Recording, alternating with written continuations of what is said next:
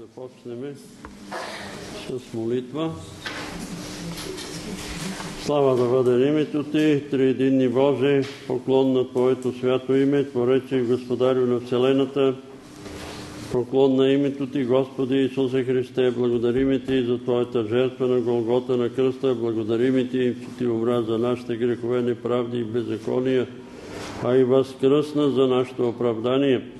Благодариме Ти, Душе Святи, че ни привлече и ни доведе под ножито на кръста, за да можем да получиме това велико благодеяние, прошка на греховете и тая велика надежда да имаме вечен живот и да живееме с Господ Исус Христос и с Неговите апостоли, ученици и с всички светии, цяла вечност в тая огромна вселена.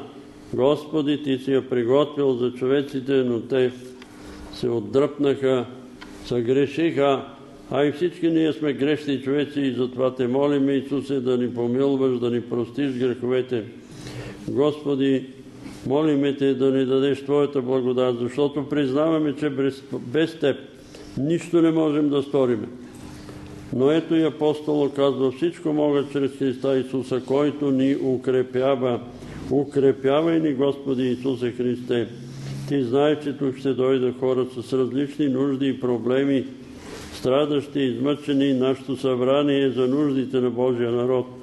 И ние те молиме, Господи, според Твоето обещание, да не се грижи за утрешния ден, защото Ти ще се погрижиш за всеки един от нас.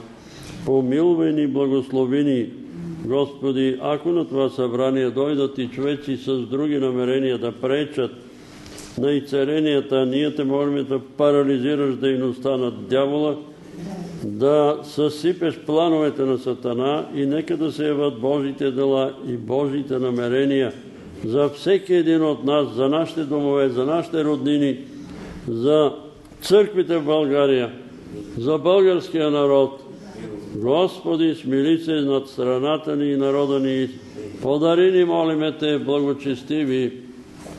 Господи, управници, които обичат Този народ, хора с чисти ръце, с непорочни сърца.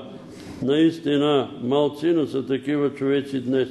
Но ти сигурно имаш поне 7000, които не са се поклонили на духа на Антихриста.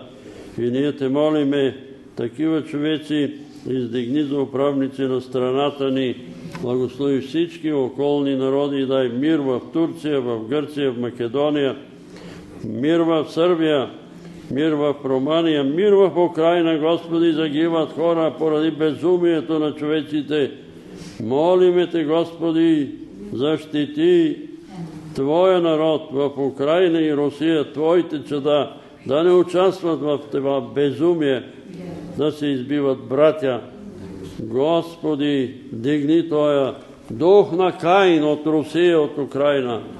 Слава да бъде на името Ти, благодариме Ти, благослови нашето събрание. Душе святи, ръководи това събрание. Ти си животворящ дух и даваш живот. И затова те молиме с силата на и царението в Исус Христовото име. О, животворявай отпадналите, болните и царявай. Насърчавай, Господи, уния, които са обесърчени.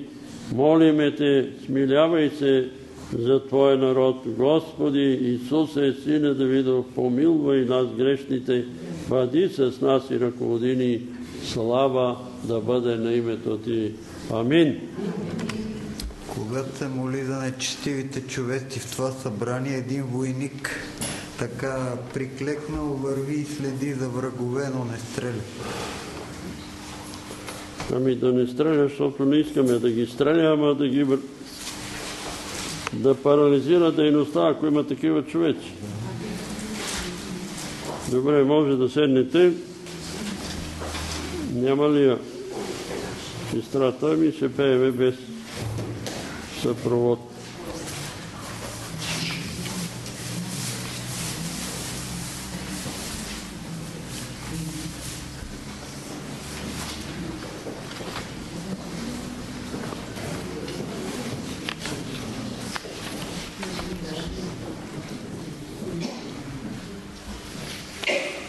слушах а, едно интервю с а, ръководителката на културния център в Одеса, българския културен център и каза, че е било страшно.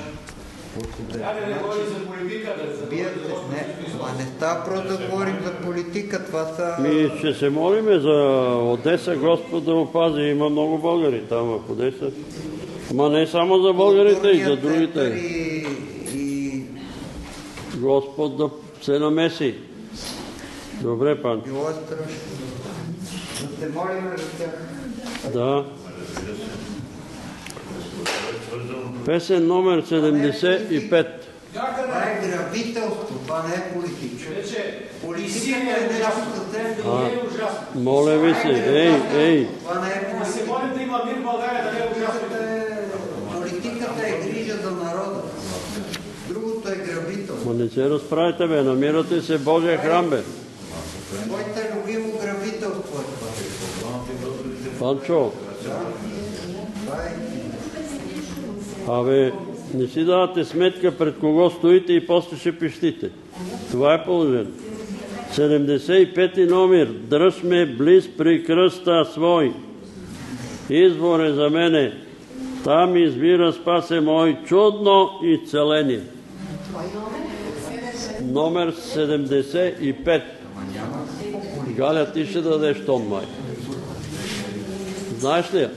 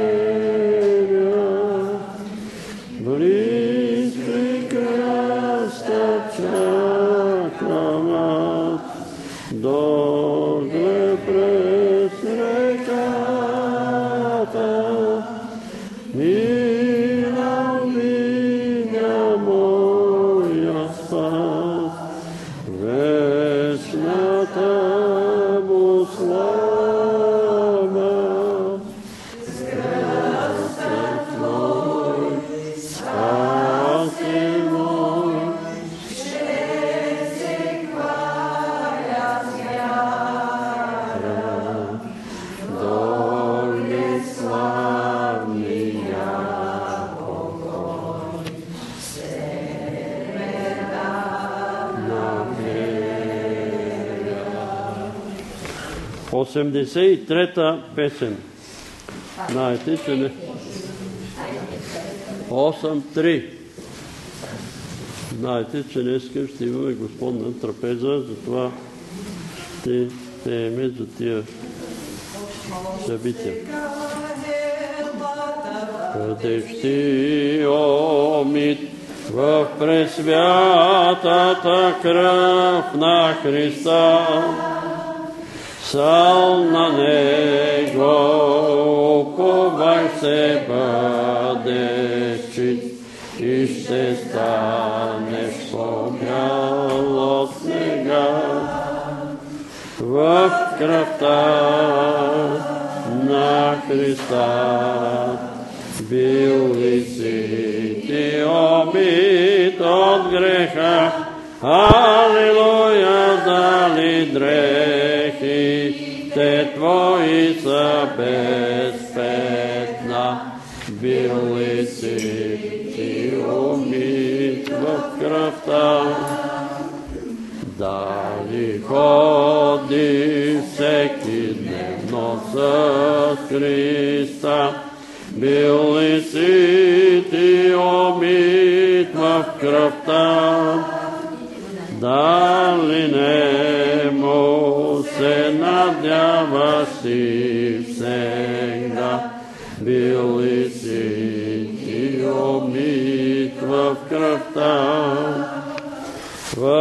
Кръвта на Христа бил ли си ти омит от греха?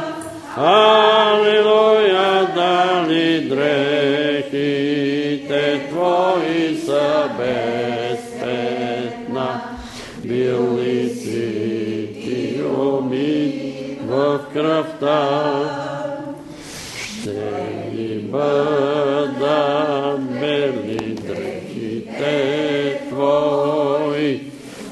Пришествието на Христа? Ще ли си готов небе да влезеш си? Бил ли си ти омит в кръвта? в кръвта на Христа.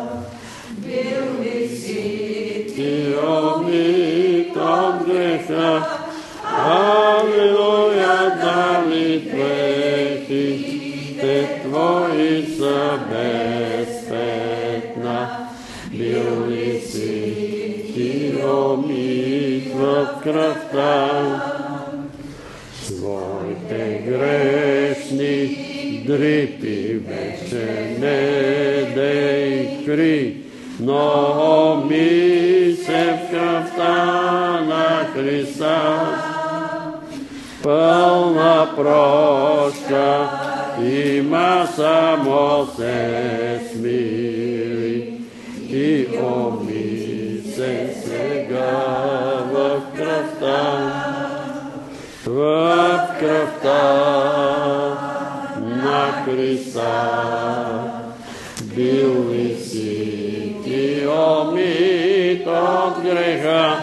Алилуя, дали дрехите твои са безпетна? Бил си ти омит в кръвта? своите грешни дрипи вече не дей кри.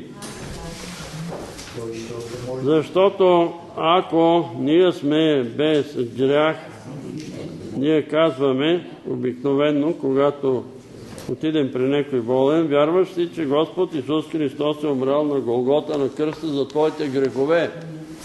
Вярвам. Вярваш ли, че е възкръснал за твоето оправдание? Вярвам. Вярваш ли, че Той ще дойде втори път да съди живи и мъртви? Вярвам. А ти имаш ли грехове? Не, нямам. Ако нямаш грехове, това не се отнася за теб. Как?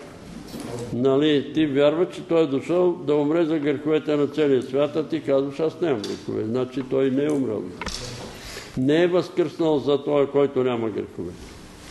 Няма да бъде и съден той, който няма грехове. Но дали е истина? Не е истина, защото всеки, който каже, че няма грях, Писанието казва апостол Йоан, мами себе си. Първо мами себе си. Второ прави Бога лъжец.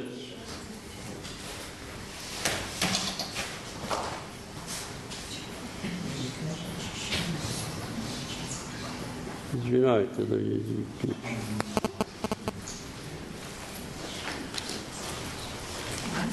Прави Бога лъжец. И трето, няма да може да се ползва от изцелителната сила на Бога. Ако каже, че не е съгрешил, понеже Бог казва, всички съгрешиха, купно негодни станаха, няма кой да прави добро. И когато тия, които са съгрешили, викнат към Бога, Той ги избавя от рова, избавя ги от смъртта, подмладява силите им, подновява силите им, подмладява ги и те казват тогава, когато са и царени, грешили сме и сме кривили пътищата Господни, но не ни е въздадено според делата ни. Жив Господ, слава да бъде името, името му. Защо кръвта? Защото кръвта е в... Живота е в кръвта. Аз съм виждал, когато човек умира, изведнъж под ногтите пожълтява и кръвта става на лимпа и човека умира. Душата напуска, защото пише Библията, душата се намира в кръвта. И затова пише в числа, не мърсете земята, не проливайте кръв по нея, защото кръвта не се очиства никак, освен с друга кръв. По никакъв начин пролята кръв не може да бъде очистена. Нито с белини, нито с нищо, освен с друга кръв. И затова тия, които сега проливат кръв там по Русия, ще дойде време да плащат за тая кръв и за последствия, да внимават. И ние се молиме за мир в Одеса, мир в Украина и така нататък. И за това си спомняме за Христовата кръв. И затова Бог дойде някой ми даде един диск, с нощи вчера го гледах, за колко е велик нашия Бог. В сравнение с нашата земя има такива звезди, които там автора, той астроном се занимава с тия неща, казва, че има такава звезда, ако нашата земя е колкото топка за тенисна маса, цялата ни планета ще бъде покрита с 3 метра такива топки, сравнена с една звезда. А друга пък е с топки, колкото Еверест. Такива, такива квазери, такива звезди Бог е сътворил и казва с диханието му само излизат и той строи цялата тая вселена и ние говорим, пред, стоим пред този Бог и се препираме и го учим какво да правим. Аз съм чувал нали, в молитвени събрания, не тук, но на други църкви, проповяда проповедника и става някой да се моли и казва, Господи, това не е така, то не е така, то трябва да стане иначе. И учи Бога как да стане, какво да стане. Защото си нямаме представа кой е Бог. Въобще си нямаме представа. Ние си мислим, че той е един немощен старец. На времето, когато Гагарин не се радвам на това нещо, но Гагарин заяви пред националната телевизия, видях космоса, летях космоса и не видях нито престола Бога, нито Бог. Нито престола Божи, нито Бог. Тогава излезна професор Чеплянов, той беше професор в Духовната академия, в Александър Невски казва Бог е духа и истина. Той не е някакъв немощен старен седнал на един облак там, та да мине някой космонавт да го види. Той е дух и истина изпълва цялата Вселена. И Вселената е дело на ръцете му. Дело на устата му. Защото Вселената се, материя се, се образува от, не чрез, а от сила. И сега Нали, физиците доказват, търсят там частичката, не знам коя си частичка и се чуват като я намериха какво да я правят тази частичка, нали, че от силата се получава материя. И от материята, която се разлага, получава сила. И той е Бог на всички тия термоядрени процеси, които стават в цялата Вселена, той е Бог, ние се пазариме с Него. Така ли трябва да бъде? Па иначе ли? Защо Боже? Криво ли се молих? Криво ли ме разбра? Какво е това? Какво е това? Няма страх от Бога. Но е верно, че не трябва да трепереме, че той е някой полицай ни демня да ни удари, като сгрешиме, да му имаме доверие, ама па да му имаме и почитание на Бога. Нали, ние критикуваме сега. Католиците, верно, има там дисциплина, ред, обаче нема, нема помазание, нема това. Ама трябва да се па научиме от реда. От реда. И сега, и закъсневаме си, ходиме си, и аз закъснеем, и вие, нема какво да се... Обаче, когато е за нас и от наш интерес, ще закъснеме ли? Ако влака тръгва в 10 часа или в 2 часа, влака за Варна тръгва и ти ще кажеш, абе аз ще мина към 2.20. И ще му изгледаш опашката на влака. Така ще стане. Значи, когато е от наш интерес, сме точни. Но когато е може да мине, оправдаваме се. Ами нямаше превод. Ако бързате за влака, ще намерите превод. Задърсване имало, не знам какво е имало. Ще намерите и превод, ще вземете такси, пеша ще ходите, ако трябва, но ще отидете на време, за да може да вхванате влака. Нека да внимаваме ние да не изпуснем влака, защото ще дойде един влак, когато ще грабне голяма част от християните и тогава некои ще се озоват, ще изпищат и така кръвта, запомнете, без тая кръв няма прошка. Кръвта на Исус. И хората се чудят каква е тая кръв. Защо кръв? Еми кръв.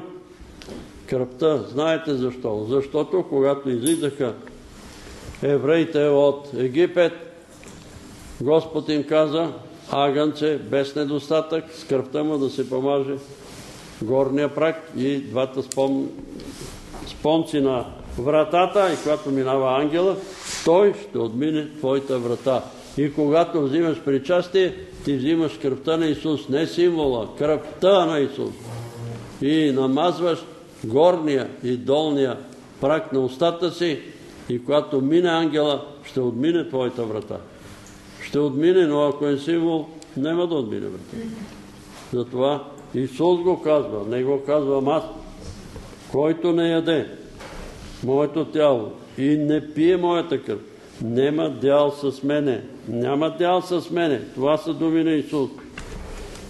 И когато почина Людмила Живкова, Ана Денева я сънува и тя й казва, и аз вярвах, че Исус е Син Божий, но никога не съм очаквала, че такова огромно значение има причастието. Никога не съм се причастявала. Огромно значение. Така ние продължаваме да пееме. Ще пееме такива песни, които са свързани с сега намерете 242. 242.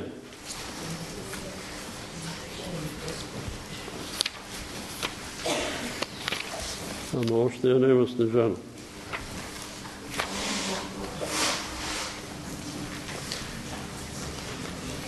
А, това е своята воля Божия върши.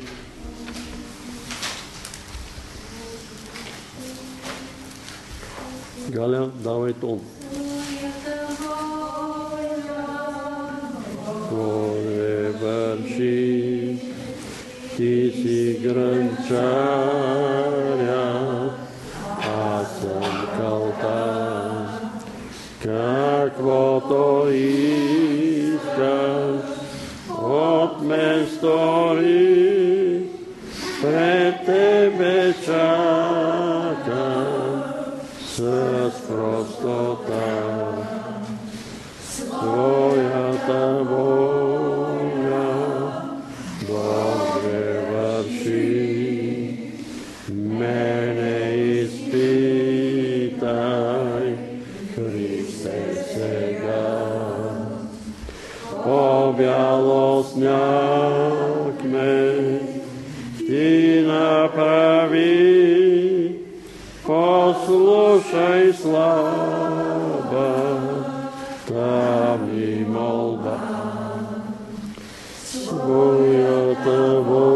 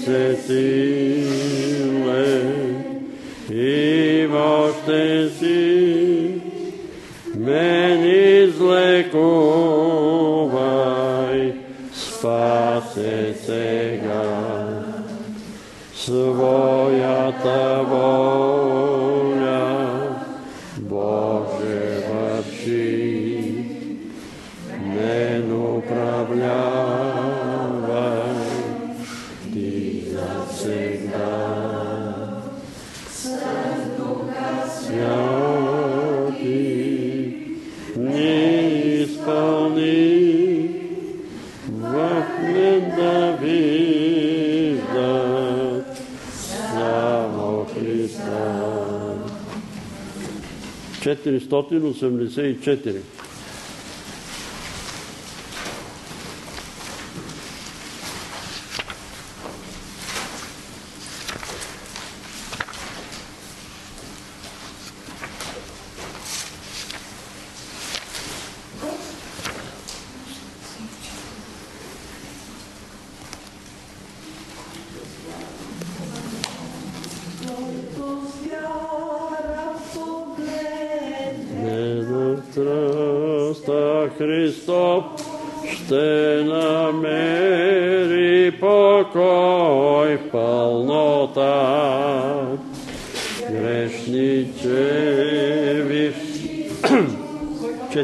484.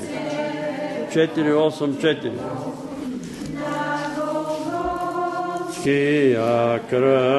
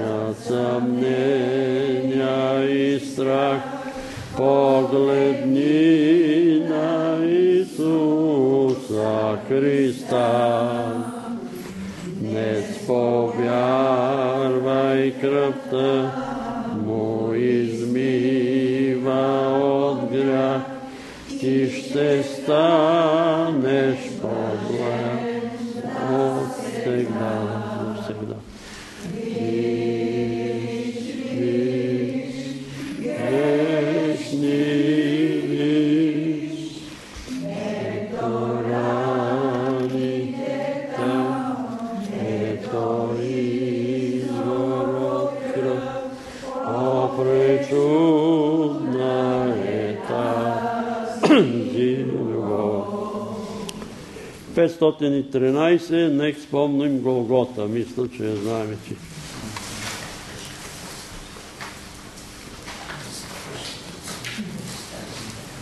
Сестра Ваня, Галя малко ниско ги дава тия тонове.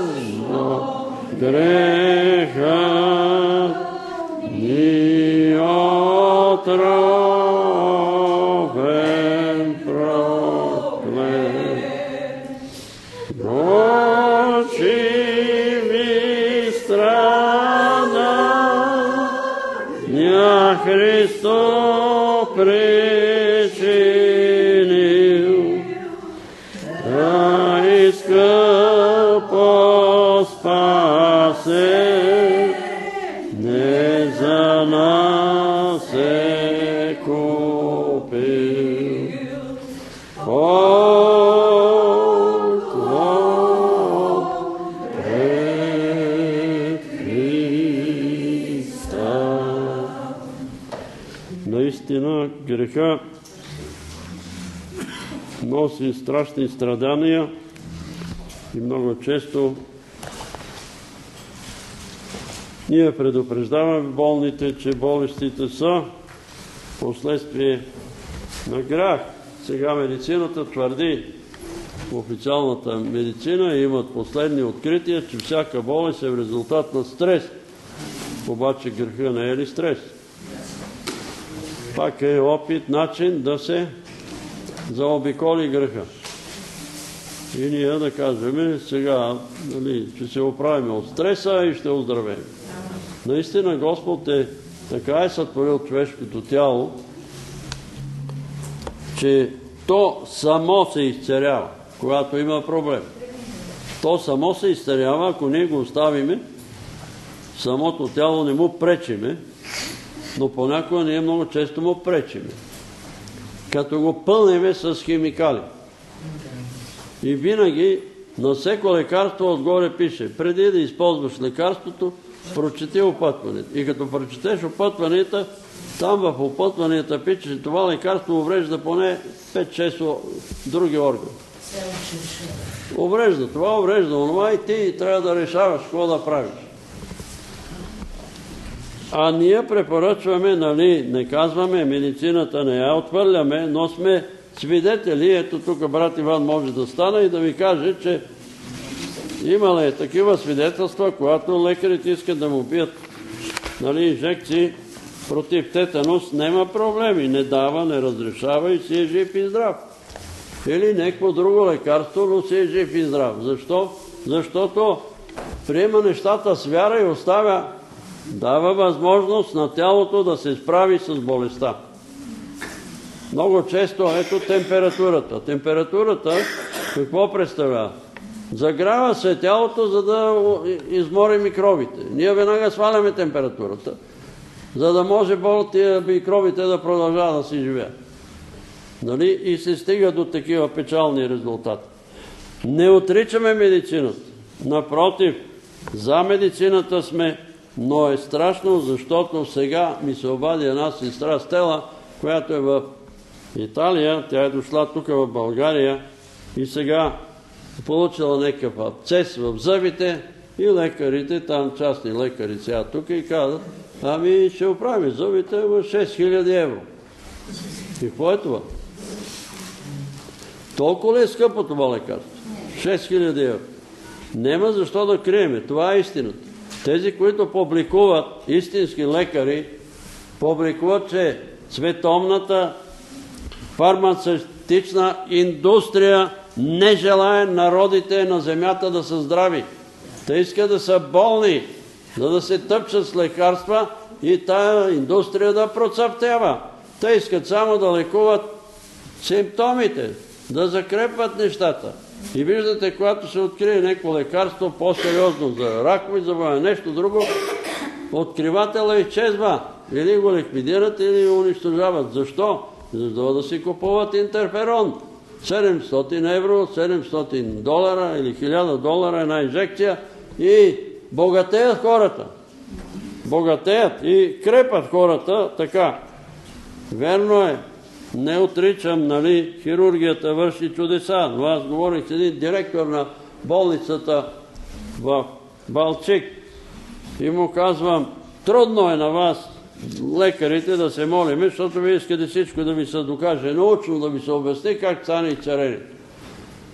А то не може да се докаже, защото в 99% от изцеренията стават автоматично чрез вътрешната борба на организъм. И лекарите, и как да ви обясна, как да ви докажа, като има толкова милиарди клетки, които се борят за здравето на човека, той каза, говори, говори, аз не вервам в медицината. Ма как не вярвам, ти си директор на болницата. Каква специалност си? Хирург. Викаме ми хирург. Още повече, човек си чупи крака или ръката, ти го гипсираш, нали, направиш операцията, наредиш костичките, гипсираш го и той казва, да, гипсирам го. И аз ли правя костите да заздравеят? Аз ли правя мускулите да заздравеят? Може ли лекаря да направи мускулите да заздравеят? Може да направи костите. Организъма се справя. Костите си заздравяват, те само ги допираш там и те се заздравяват. Господ така е устроил човека, че да може да се справи с всяка болест. Сам той да се справи. И за това не разчитайте на човеците. Проклет, който разчита на човешка мишца. Разчитайте на Господ, Той да ви насочи какво да правите. Защото във всеки човек има един биологичен часовник, който звъни и казва, не яш това. Но човека ми казва, а, не, миналия път ми стана лошо от тия яйца, ама пак ще си хапна, защото много ги обичам. Айде, пак му стане лошо. Не всека храна е за всеки организъм. Затова всеки един от нас трябва да знае какво му вреди, какво му е полезно. Освен това, самия организъм ни подсказва какво трябва да ядем. Каквото ни се яде, това яще. Защото тия, виждате какво става, колко хора идват децата им от каква беше това? Анорекция. Кожа и кости са станат. Наредби за ястия. Наредби, които казва апостол Павел, не ползваха ония, които не ги ползваха ония, които ги употребяваха. Не ги ползват. Но какво да реже стигат тия момичета? Спират да ядат кожа и кост. Наредби за ясни. Каквото ти се яде, яш, но с разум. Нали? Толкова, колко, колкото трябва. И следвайте този часовник и това знаят, аз съм чувал, нали? Жените го знаят, когато са временни, аз съм чувал да ми казват някои жени, крия се вика и отчупа от мазилката едно парче, защото детето вътре има нужда от калци и си ям вика мазилка. И ако ме види някой ще каже, тая не е пред. Обаче яде ми се мазилка. Яде ми се мазилка. Значи това, което ти се яде, това е необходимо на твоето тяло а то знае как да се справи, защото има милиарди процеси в човешкото тяло. Страшно и чуждно съм направен, говори цар Давид. Обаче днеска всички биолози твърдат страшна работа. Това е страшна работа.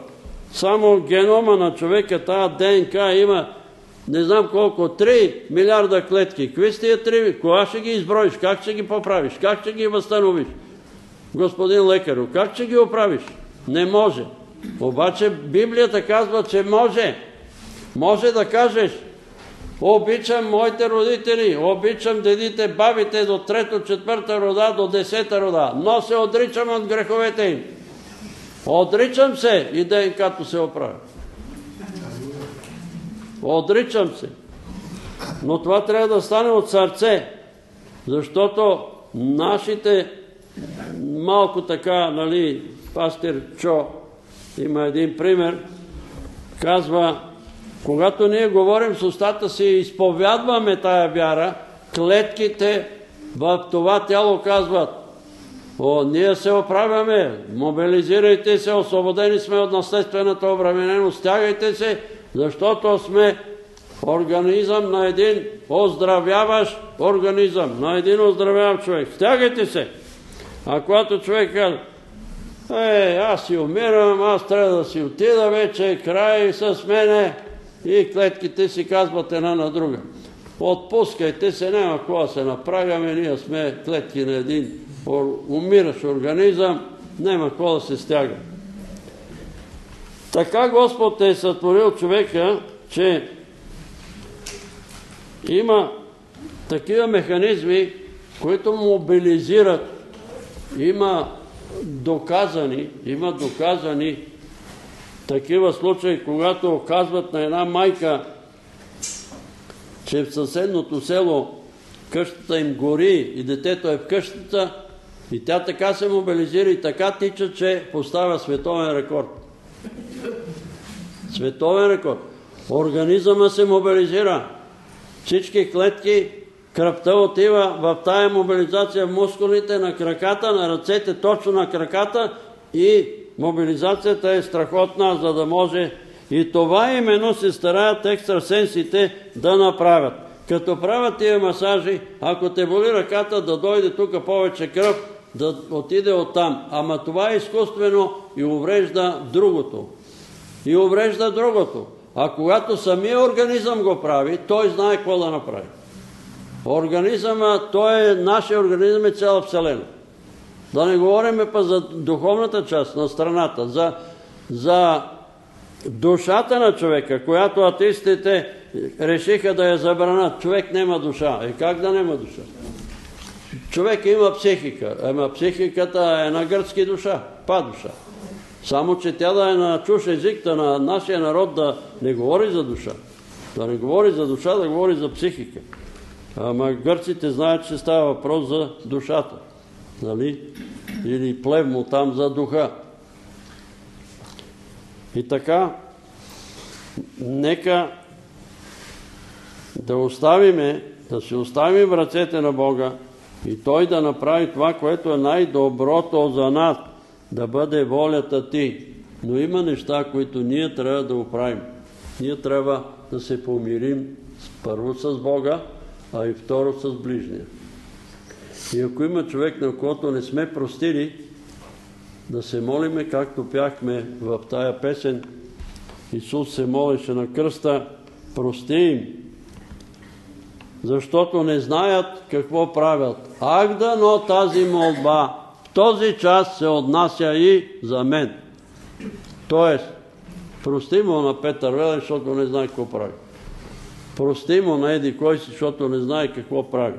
Господ да ни прости, защото наистина ние си нямаме представа какво представлява Божия син да дойде Той, който е сътворил Вселената, да прати сина си, за да може да бъдем освободени, да бъдем и царени. Ние във вторник започнахме вече Евангелието според светия евангелист Лука, първата глава и стигнахме до половината част. Сега ще продължим втората част от първа глава, но ще се върна малко от начало. И в шестия месец ангел Гавраил бе изпратен от Бога в галилейския град, наречен Назарет, при една девица сгодена за мъж на име Йосип от Давидовия дом, а името на девицата бе Мария. И като дойде ангелът, при нея рече, Здравей, благодатна, Господ е с тебе, благословенна си ти между жените. А тя много се смути от думите му и в недоумение беше какъв ли ще бъде този поздрав. И ангелът и каза, не бой се, Марио, защото си придобила Божието благоволение. И ето ще заченеш в отробата си и ще родиш син, когато ще наречеш Исус. Той ще бъде велик и ще се нарече Син на Всевишния. И Господ Бог ще му даде престола на баща му Давида. Ще царува над Якововия дом до века и царството му не ще има край. А Мария каза на ангела, как ще бъде това? Тъй като аз мъж не познавам. И ангелът ти отговори и рече, Светия Дух ще дойде върху ти и силата на Всевишния ще те осени. Затова и святото, което ще се роди от тебе, ще се нарече Божий син. Ето твоята сродница Елисавета и тя е в старените си е заченала син и това е шестия месец за нея, която я наричаха неплодна, защото за Бога няма невъзможно нещо, защото у Бога няма да остане безсилна нито една дума. И Мария рече, ето Господнята слугиня, нека ми бъде според както си казал. И ангелът си отиде от нея. През тези дни Мария стана и отиде бързо към халмистата страна в един юдейски град. Влезе в Захаревата къща и поздрави Елисавета. И щом чу Елисавета Мариния поздрав, младенецът заигра в отробата й. И Елисавета се изпълни със Светия Дух. И като извика със силен глас, рече, благословенна си ти между жените и благословен е плодът на твоята отроба. И от какво ми е тая чест да дойде при мене майката на моя Господ, защото ето, щом стигна гласът на Твоя поздрав до ушите ми, младенецът заигра радостно в отробата ми и блаженна е тази, която е повярвала, че ще се сбъдне казаното и от Господа. И Мария каза, величая душата ми Господа и зарадва се духът ми в Господа Спасителя мой, защото погледна милостиво на ниското положение на слугинята си и ето от сега ще ме облажават всичките родове, защото силният извърши за мене велики дела и свято е Неговото име и изродва в Неговата милост и върху ония, които се боят от Него, извърши силни дела със своята мишца, разпръсна ония, които са горделиви в мислите на сърцето си, свали владетели от престолите им, въздигна смирени, гладните напълни с блага, а богати отпради празни, помогна на слугата си Израел, за да помни, да покаже милост, както бе говорил на бащите ни към Авраам и към неговото потомство до века. А Мария, като преседя с нея около три месеца, върна се от дома си. А на Елисавета се навърши времето да роди. И роди син. И като чуха съседите и роднините, че Господ е показал към нея велика милост, радваха се с нея. И на осмия ден дойдоха да обрежат детенцето и щяха да го нарекат Захария по бащиното му име. Но майка му в отговор каза, не, но да се нарече Йоан. И рекоха й, няма никой в рода ти, който да се нарича с това име. И запитаха баща му с знакове, как би искал той да го нарекат. А той поиска дъвчица и написа тази дума. Йоанн е името му. И те всички се почудиха.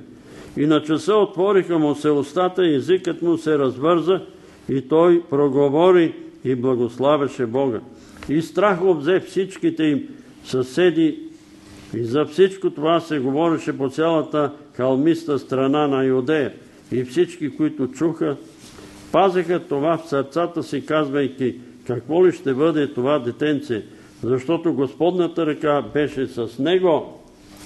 Тогава баща му Захария се изпълни със Светия Дух и пророкува, казвайки, Благословен Господ Израилевия Бог, защото посети своите люда и извърши изкупление за тях и въздигна рок на спасение за нас в дома на слугата си Давида, както е говорил чрез устата на светите си от века пророци, избавление от неприятелите и от ръката на всички, които ни мразят, за да покаже милост към бащите ни и да спомни своя свят завет, клетвата с която се заклена баща ни Авраам, да даде нам, бидейки освободени от ръката на неприятелите ни, да му сложим без страх в святост и правда пред Него, пред всичките си дни.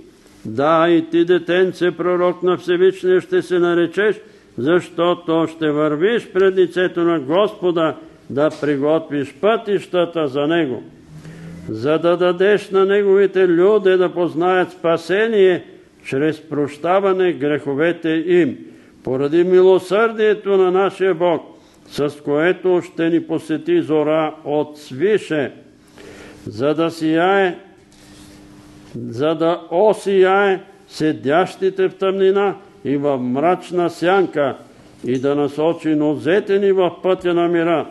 А детенцето растеше и крепнеше по дух и беше в пустинята до деня, когато се яви на Израел. Амин. Тя може да седнете.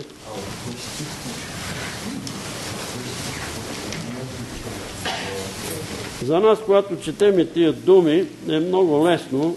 Прочитаме ги и казваме, да, какво толкова. Ангела се яви на Дева Мария и каза, ще заченеш и ще родиш.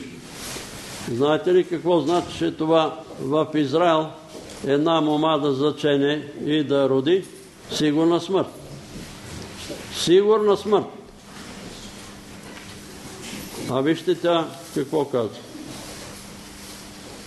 Как ще стане, тъй като мъж не познавам? Святия Дух ще ти изпълни. Нека ми бъде според думите ти, както си казал. Това каза на ангела. А когато нас ни грозат опасности и ние се молим, употребиме Господи, употребиме го Боже, употребиме. И Господ като употреби на времето и мен употребиме Господи и той казва, иди кажи там на капитан Рангел Величко, че ако не се покаже, ще умре от инфаркт. Защото извършил бе убийство. Ами сега? Ами сега какво ще стане? Нали, ще ме арестуват, къде отивам? Моите... Но трябва да отида. И отивам. И казвам. И запомнете това. Ако Господ каже да направиш нещо, прави го като Дева Мария, без да философстваш. Защото Той поема отговорността за тебе. И Той, който е сътворил Вселената, те съсипе, ще изтреби, ако трябва, всички човеци и теб ще те защити. Той поема твоята отговорност. Хиляди са случаите на християни, които Господ ги е ръководил, който ги е пазил, които са били опазени. Аз сега чета една книга там за един наш българин, който е бил християнин и са го пратили в трудовата повинност там в Бобов дол и са му казали там ще изгнеш, но там Господ прави, че един най-големия мъжага там, който ги е командвал долу, става негов приятел. И го кара, и го пита да му каже нещо за Бога, за вярата. Абе, тук се докара, що си християни. Той човек след това го защитава, пази го, властите го осъждат на смърт, но той бяга в Гърция, отива там на един остров и започва чрез този който е вършил престъпление, убийства, Бог да върши чудеса, а той бяга от остров на остров, крие се от хората, не иска да го да знаят, да се прославя и така нататък. защото се оставил в ръцете на Бога да бъде волята Твоя. Ето, Дева Мария се остави да, да бъде според дума. Но ние не си даваме сметка, че раждането на мома в Израел означава сигурна смърт по това време. За съжаление днес продължават да я хулят и да говорят против нея и за това внимавайте, защото ето какво и говори Святия Дух чрез устата на Елисавета.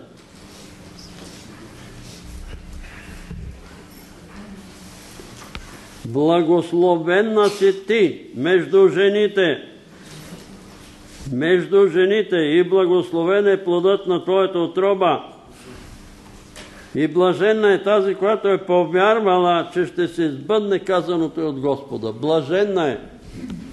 А Мария казва, когато се изпълни със Святия Дух,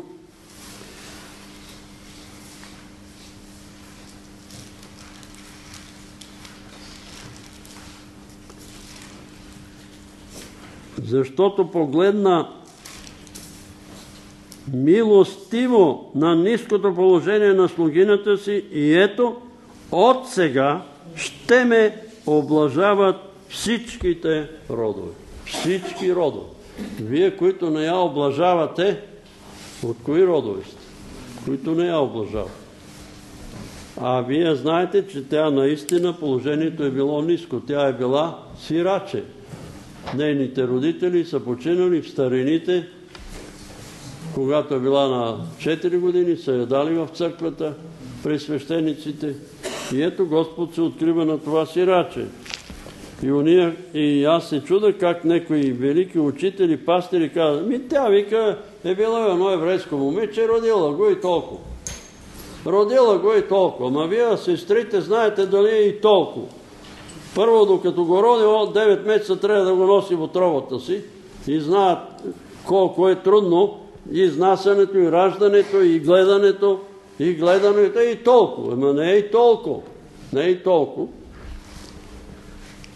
А в апостол Йоан казва в 12 глава от Евангелието от Йоанна,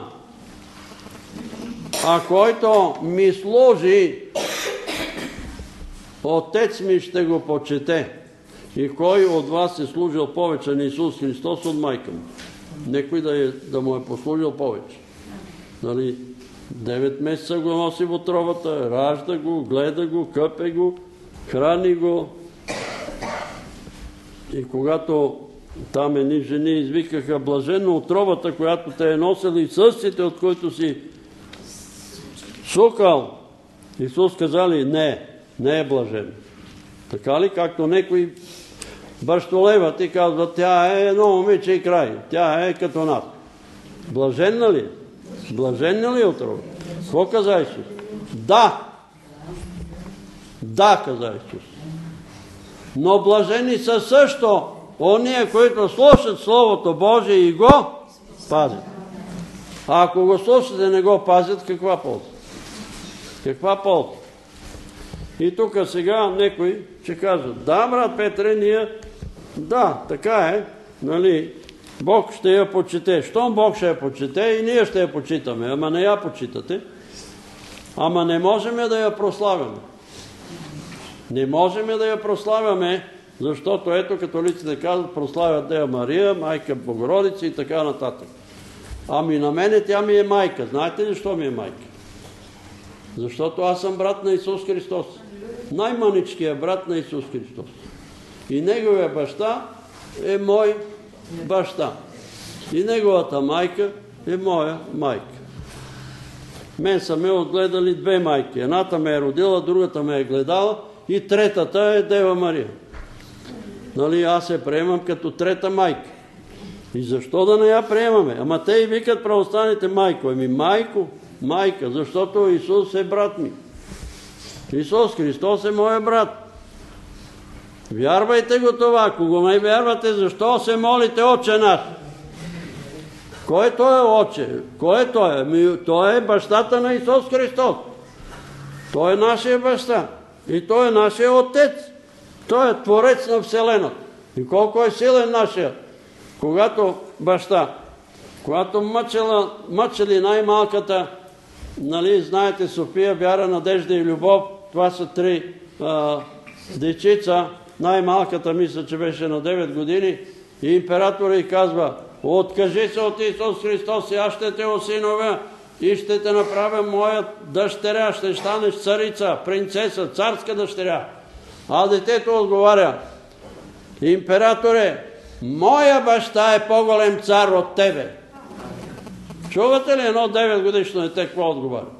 Моят баща е по-голям император, защото той е цар на Вселената. Той е цар на Вселената. За съжаление, чувам, чета разни книги там, велики проповедници, и ми тя едно момиче родила го и край. Така ли? А вие ако бехте на нейно место? Дали така щехте да постъпите? Нека бъде според и се смирява и каквото да бъде според волята на Бога, да бъде волята му. И се покорява на това, което казва ангела. А вижте какво направи Захария. Захария беше свещено служител. Какво пише евангелиста за тях? Съвършенни, праведни пред Бога. Праведен, Захария праведен, праведник пред Бога. И когато ангела му казва, ще имаш дете, той вика, а, как ще стане тази работа? Няма да имам дете, защото аз съм стар, жена ми е стара, напреднала възраст, как ще стане? Повярва ли Захария? Не повярва. Захария не повярва. Ето, той е свещеник, той е цял ден в храма. А това момиче повярва да бъде според думата. И какво стана тогава?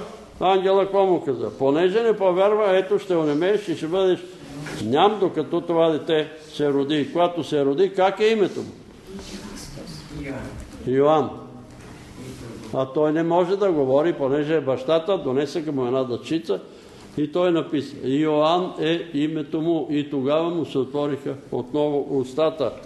И ето ние виждаме това, което майката на Самуил в изпълнението, когато се изпълни със Святия Дух, каза, и аз вярвам, че това Святия Дух говори, не майката на Самуил.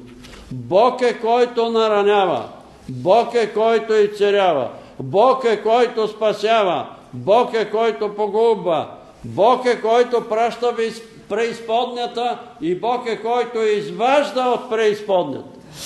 Това, което много хора се спорят и казват, не може един път човек отишъл в преизподнята да бъде изваден от там. Невъзможно е. Обаче това е Слово Божие. Е записано и Святия Дух го е казал. Не може ли Бог да извади от преизподнята? Ами той какво казва? Ще каже на Ада, върни всички мъртви. И какво ще стане всички мъртви? Ще каже на морето, всички мъртви да излезат от морето. И ще излезнат. Защо? Защото той е Бог. Защото ние, ние си не даваме сметка какво представлява Бог. Ние си представяме като космонавтите, че Бог е такъв некакъв. Нали, немощен старец, седнал на един облак там на небето и там, нали, както го рисуват с брада, немощен старец седи на един. Но не е така, това е. И затова децата в България са научени и после и възрастните повтарят като децата Дядо Господ. Дядо Господ каза, дядо Господ. Кой дядо Господ? Какво значи дядо Господ? Някой дядо, некой немощен дядо, който едва ходи, това ли, е, това ли е Господ? Твореца на Вселената. Творец на Вселената. Всичко се покорява на думата му. По думата му се създадоха звездите, създадоха се небесата, небесата на небесата. И е добре, сега имате компютри, отворете, кликнете там нещо за Вселената. Прочетете нещо да видите какво представлява тая наша Вселена, в която тия галактики, тия чудеса и всичко това е дело на ръцете му. И сега някой казва, Господ, ако може, може да ми цари, ама може и да не може да ми цари, защото моята болест е много сериозна. Казвам ви това, което аз съм чул от устата на хора болни. Една вечер повтарям ги тия неща за да, си, да не правиме същите грешки. Дойдоха в 9 часа, моля ти се, вечерта,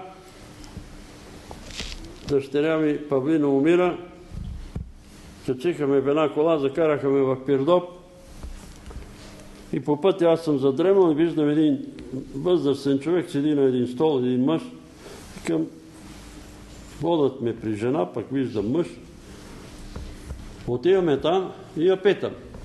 Вярваш ли, че Исус е Син Божий? Вярвам. Вярваш ли, че умрел за твоите и за моите грехове? Вярвам.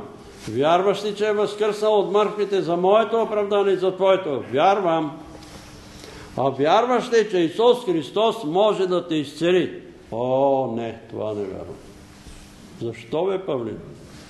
Ма аз съм болна, вика от рак, бе, ти даваш ли сметка? Ма какво е този рак за него, бе?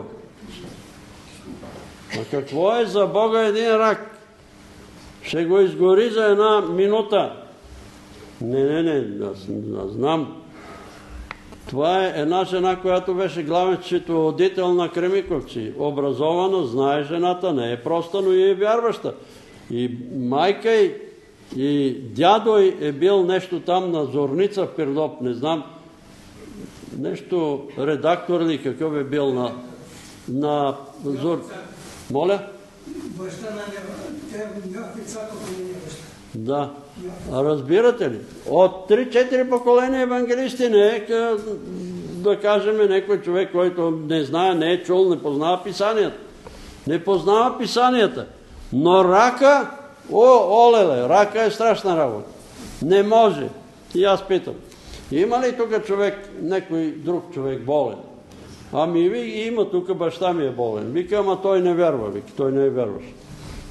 Ми може ли да го вида него, да поговориме? Може. Извикаха го наистина много слабичък, отслабнал. Сяда той на стола и аз го питам.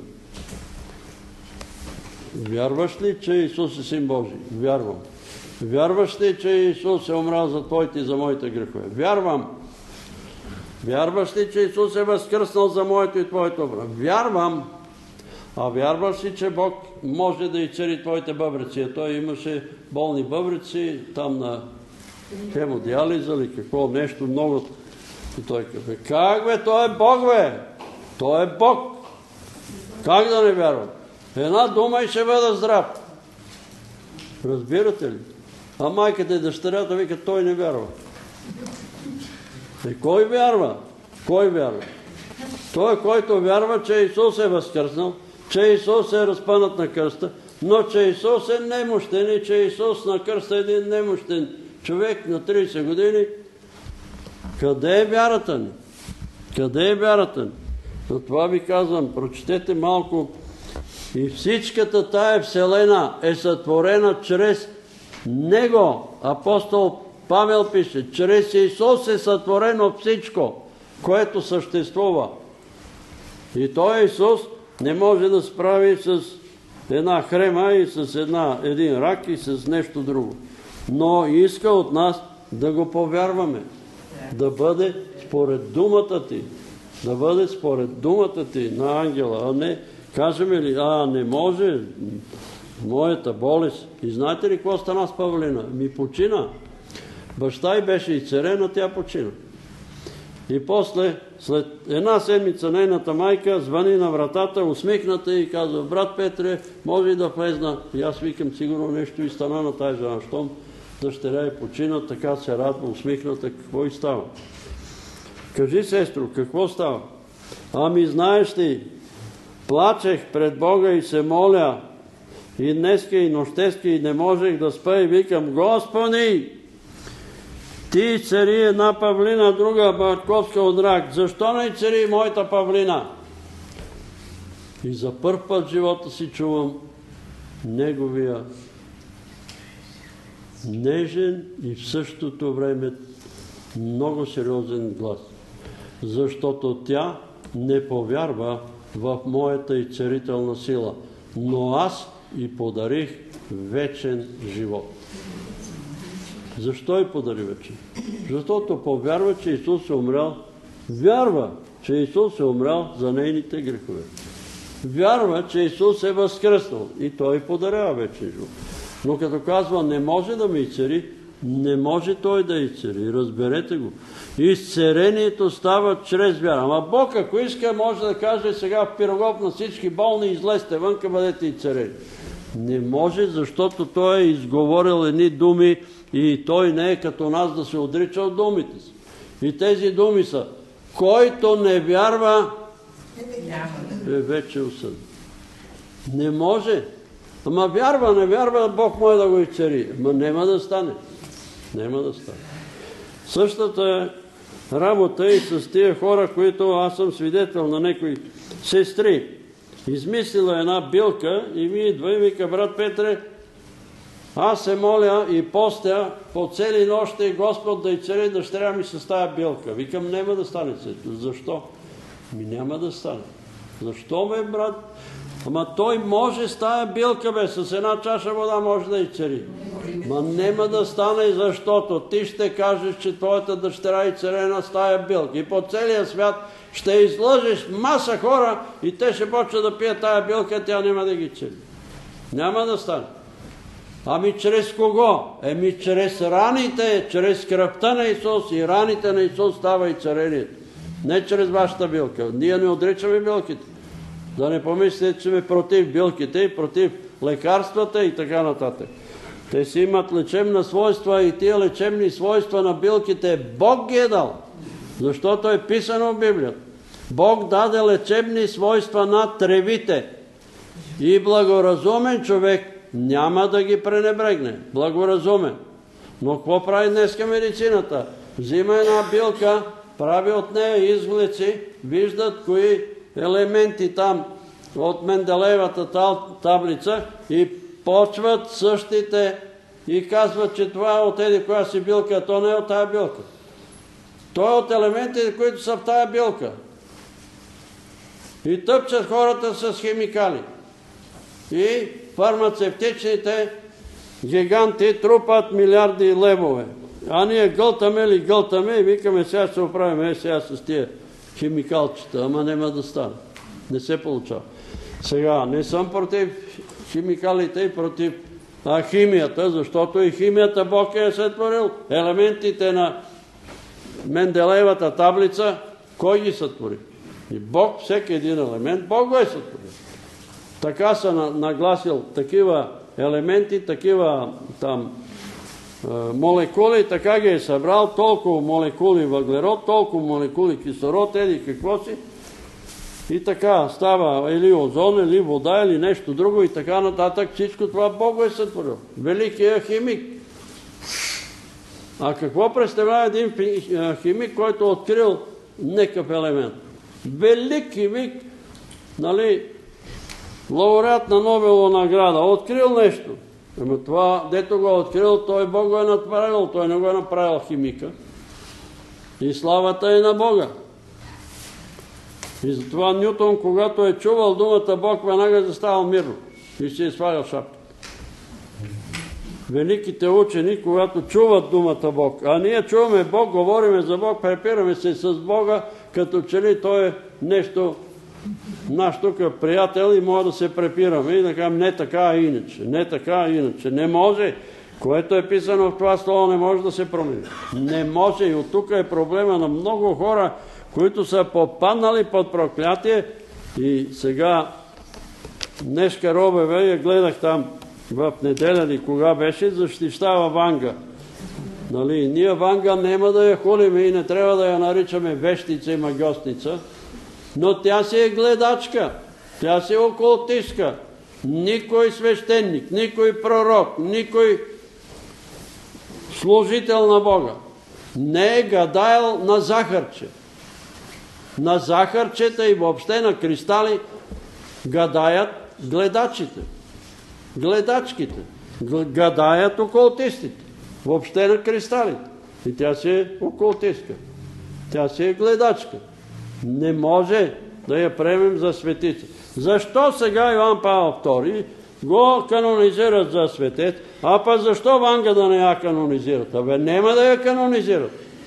Вие може да се я канонизирате там в партията, да се направите светица на партията. Обаче църквата няма да я канонизира.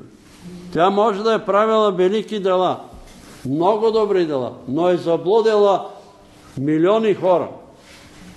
Заблудила е милион, милиони хора. Ние не сме против нея, немаме нищо, но не може да приемеме отклонение от Божието Слово. Има ли такова нещо слово в Библията некъде? Ако някой има нужда от утешение или от изцерение, или от някаква помощ, нека спи на захарче и захарчето да го занесат на свещеника и той да му го даде по. Има ли такова Библия? Еми нема. Ама за това пък е писано в Галатяните. Ако некой ви проповядва нещо по-друго от това, което тук е записано, какво да стане с него? Анатема! И тая анатема е не само за Ванга, но и за всички, които я рекламират. Защото това е нещо по-друго. И не само това, ами и всичките тия други, нали, кънчето се обади преди малко, молете си за мене, това е демонично нападение. Миналия път ви казах, че тя е паднала и се е чупила крака. Сестра ми вика, ти не си виновен, ама аз съм виновен, защото не се покорих на Божията заповед. Нейният мъж ми даде една книга, Основи на окултизъм. И аз се помолих, Господи, какво да правя тази книга? И Господ ми говори и ми отговори ясно и точно. Прочети я и я изгори. И аз я прочетах, за да имам представа какво се занимават окултисти. Викане на духове, черни бели магии, въртат там мерене на кръвно налягане, с махалото, багетите, намиране вода и съкровища, всичко това е окултизъм. И всичко това, които го правят, хората ги вкара под проклятие. Карва ги под проклятие. Един физик от Бан, детето му има тумор в главата и му казвам, детето ти го мъчи някакъв зъл дух.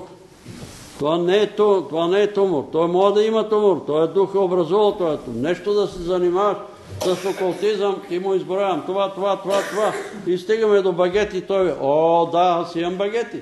Но това е физически закон. Какъв физически закон, бе, човек?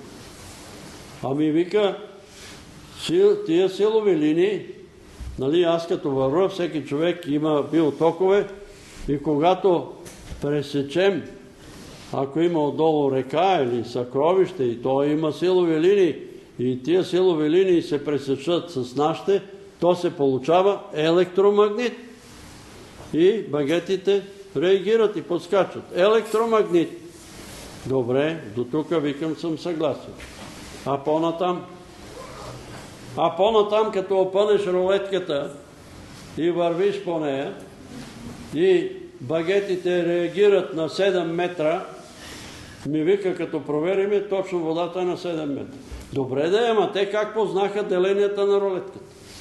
Как я познаха? Ма вика, ти не разбираш, бе. Ма викам, ти поне си физик и си професор, ти разбираш, аз не разбирам. Обясни ми, като не разбирам аз. Ти ми обясни. Ама реагират. Ама какво като реагират? Ето, чета една книга. Лекари, специалисти се събрали едно махало и откриват диагнозите на болните. И каза, при 100% махалото показва точната диагноза. Ема махалото как ще покаже, бе, хора, една игла и един конец, те какво разбират от диагноза? Какво има зад махалото? Дявол! Сатана! Това е истината. Какво има зад захарчето? Дявол, който знае миналото ви, знае къде ви е магарето, знае какво еди, какво си и тя като ви каже и вие ето, е големия пророк.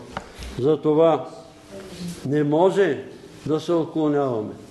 Не може да се отклоняваме. А трябва да бъдем като майката на Исус, Дева Мария, като Елисавета, като тия жени, които повярваха това, което им бе казано, че ще стане. И когато на нас ни се каже, ще оздравееш, това ще стане. Да, Господи, да бъде според волята Ти. Когато Господ ти каже, не бой се, не бой се. Защо? Какво трябва да правиме, когато пък получиме тия изпълнения на тия неща, които Бог ни е говори и те са сбъднали? Трябва да прославиме Бога, както Елисавета, както Дева Мария, както Захария, да прославяме Бога, който ни е благословил. А ние малко прославяме Бога и тая песен Припомни си, що е теб сторил и ще видиш колко благ към теб е бил. Още от младените ти, още от детския, как те е пазил, как те е ръководил и така нататък. И като му благодарим, той ще продължи да ни пази и да ни помага. И така, нека да помниме това, което направиха тия святи люди и повярваха на думите на ангела. Повярваха и Господ извърши чудеса в живота им и в неплодните там в Израел са ги подигравали, ами и тук не са ли? И тук не ги ли подиграват неплодните? Аз съм слушал, моето село. Тая яловица. Каква е тая дума? Подигравка. Обаче знаете ли какво казва некъде слово? Блаженни неплодните. А знаете ли защо са блажени? Ами защото няма да бъдат осъдени за аборти. Разбирате ли? Те няма да бъдат съдени. Защото другите 90% от жените правят аборти. А това какво е? Ами убийство.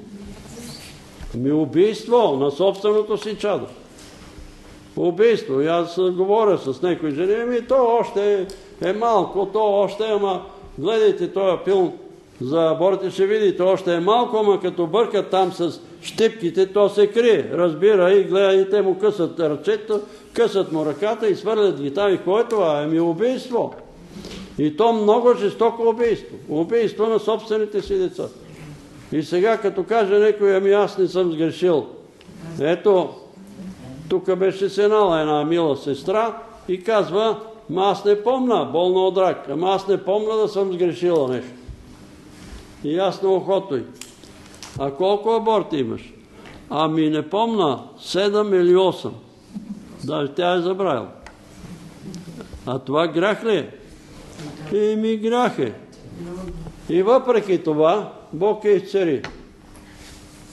Та идваш тук при нас, сега замина да живее в провинцията. Бог е изцерил от рак.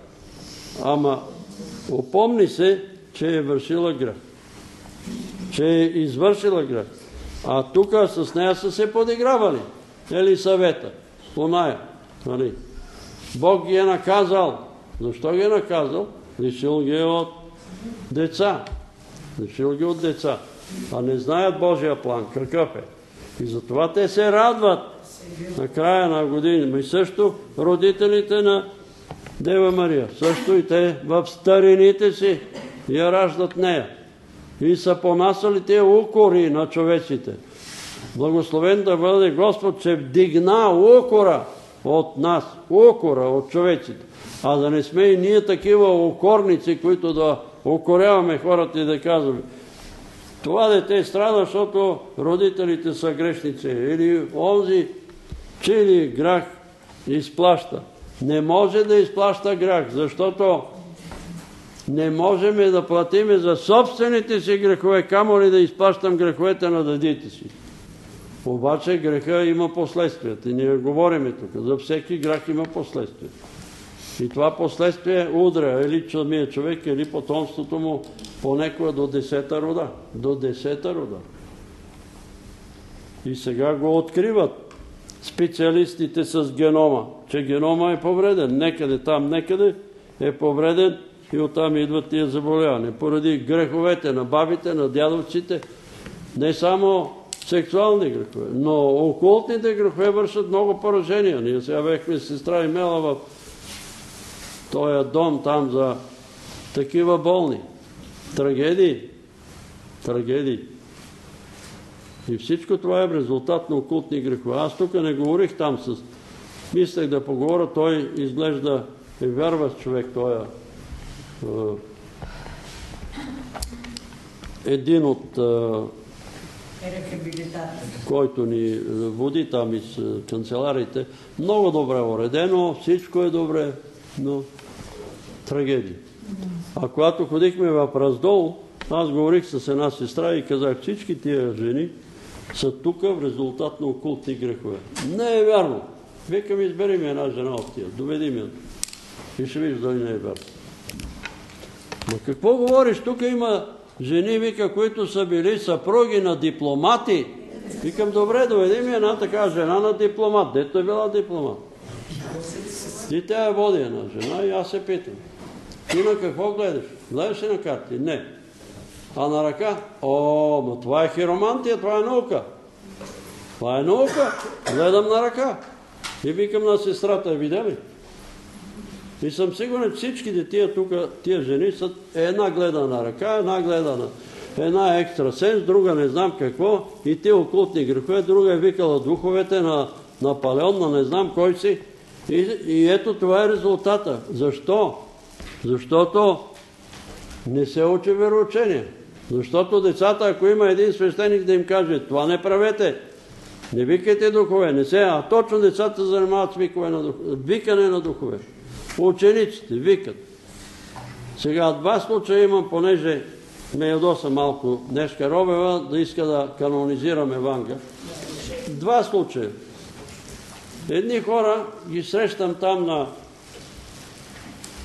площад Света неделя, говорят си и там ме видеха някакви хора, заговориха ме, вика тук тия хора нещо са закъсали, викам какво има. Ами вика, дъщеря ми не може да спи нощно време, сънува кошмари, чува гласове. Ходихме при Ванга и Ванга каза, че като се ожени всичко се оправи. Викам, нищо няма да се оправи. Я ми кажи, моето момиче, вие викахте ли душата на некой починал? И тя се мисли, вика, ми да. И кой беше този човек? Еми той е един обощар, който живееше, вика, до училището и той почина. И ние се съба, понеже беше, ние отивахме там при него, той ни разказваше при, приказки и така се виждахме при него. И той почина и решихме да го викаме, да говориме с него. Какво стана с другите момичета, които викахте духа? Ами едната катастрофира и загина, а другата е като мене не е добре. А той баща идва от Пет, идваше от Петрич. Е, сега. Какво добро е направила тя? Като е казала, че като се ожени, ще се оправи. Мария Аршенкова припада от епилепсия. Отиде там, баща и майки казаха. Ванга казва, като се ожени, като се ожени, ще се оправи. Ожениха я. И вместо да се оправи, ако тя припадаше един път на ден, след като се ожени, почна да припада по два пъти. Това го каза Банга, аз го казвам от Амвона. И познавам момичето, познавам и родителите. И това се рекламира по телевизията. Защо не излезна там да дадат думата на един свещеник, на един пастир, да говори, да каже, да каже истината на хората, на тия деца. Ами пълнат домовете за такива психично болни. Пълнат ги, защото занимават с окултизъм. И няма кой да им каже на децата. И не само това. Викат духове, викат... Сега отивам да купувам шапка на Йосиф, нали, молихме се на една шапка. Тук се молихме, помаза и брат Количев, ама те искат и за лятно време. И гледам на шапките отгоре 666. На децата на шапките 666. Ей, родители, знаете ли какво правите? Взимате печата на Антихриста върху главите на децата си. Какво е това? Бягайте и спасявайте се от този опак род, защото идват тежки времена върху цялата Вселена. И ще се чудиме откъде са ни дошли шамарите после, ако бъдеме такива немарливи. Хари Потър, не знам какви други, що народ пострада от този Хари Потър. Кики, обаждат се по телефона майката на Даниела от Пловди. Тук идваха от телевизията журналисти, идвахте лекари, идвахте от БАН, професори. Ами сега дъщеря ми не е добре. Ми кой ще й помогне? И обажда се някакъв там. Аз съм психиатър, лекар, еди какъв си, доктор, психиатър. Кики един домър до вашен дух, сменете квартирата и Даниел ще се оправи. А тя отговаря майката по радиото. Сменихме не само квартирата, ходихме да живееме в Прусе, ходихме в Америка да живеем и там я преследва Кики. Кой е това Кики? Сатана. Сатана, дявол, паднал ангел. Паднал ангел. Кой ще помогне на това момиче? Има ли кой? Има. Има, но родителите не искат да потърсят истинския изцелител. И той се казва Исус. Той ще помогне. Така, добре. Сега да направим едно отричане, защото днес имаме по-специално служение. Нека да дойдат. Извикайте ги да дойдат.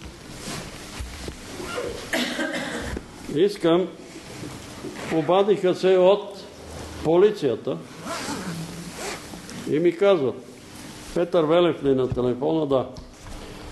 Ами тук в Добрич, пастера на църквата иска да арестуваме, вика едно момче от църквата.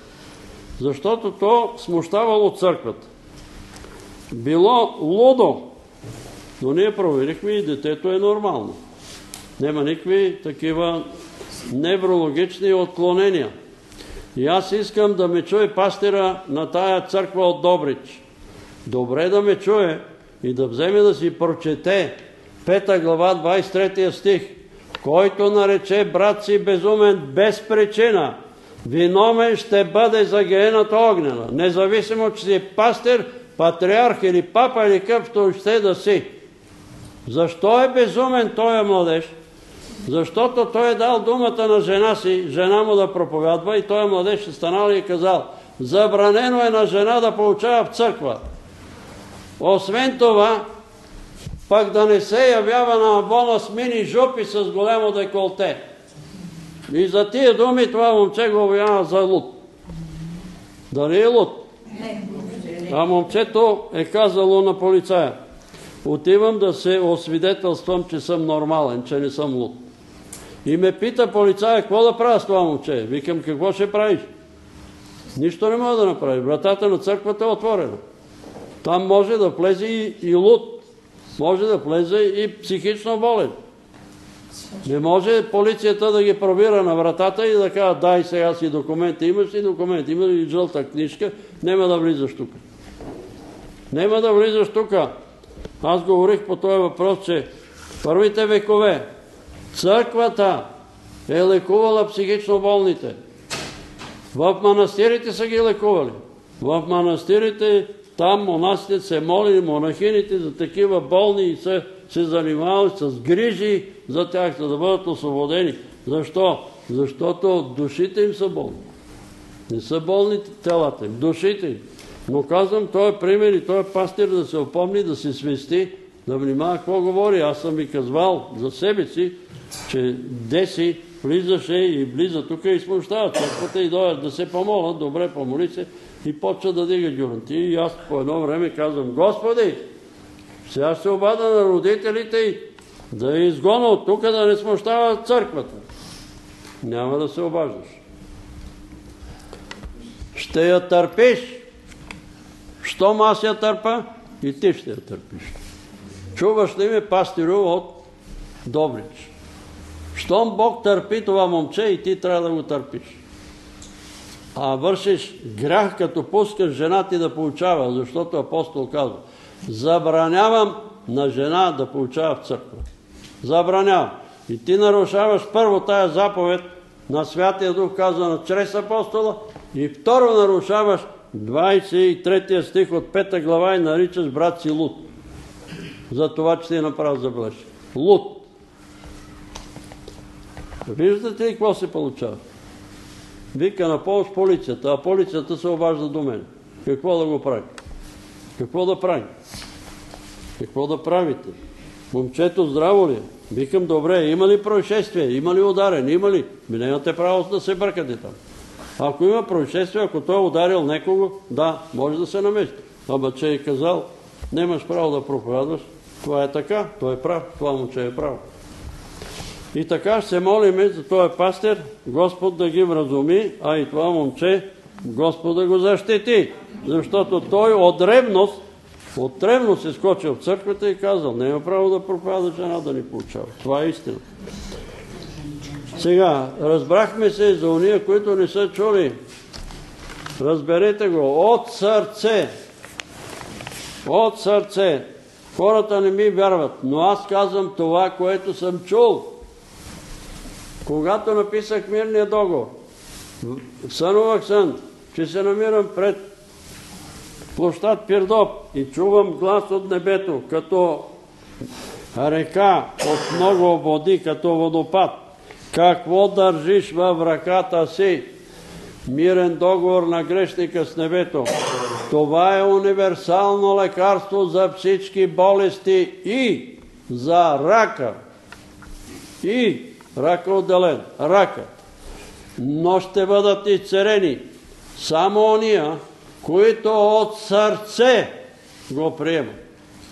Които го приемат формално, няма да бъдат изцерени. Какво значи формално? Да го изпееш, само да го кажеш, без да минава през сърцето. Без да минава, когато грешен съм, Господи, да кажеш, ами да, не, въобще, ние всички сме грешни, ние всички и всичко се размива, когато кажем всички. Абе, човече, Бог иска от тебе да чуе, ти грешен си? Грешен съм, Господи. Грешен съм, грешна съм, Господи. Грешна съм и тогава има резултат. А къде бе? Да, всички сме грешни. Затова като повтаряме това отричане, правете го от сърце. Ние сме свидетели в Брестовица, бехме с брат Георги. Повечето там са роми, но има и българи. Църквата, когато повтараха как от сърце гърмеше там салон. И веднага след повтарянето се оказа едно дете там изцерено, един човек глава го боли, престанал да го боли, друг бил изцерен, защото от сърце го направиха ромите. Може би и българите, които са там. А ние ако мрънкаме само така, ами да, дай, щом каза брат Петър да го направим, а ако не го вервате, няма полза. Нема да има полза. Трябва да го извикай, не се щади. Извикай. Милост Господи. Добре, повтаряйте след мен. Кажи, сестро.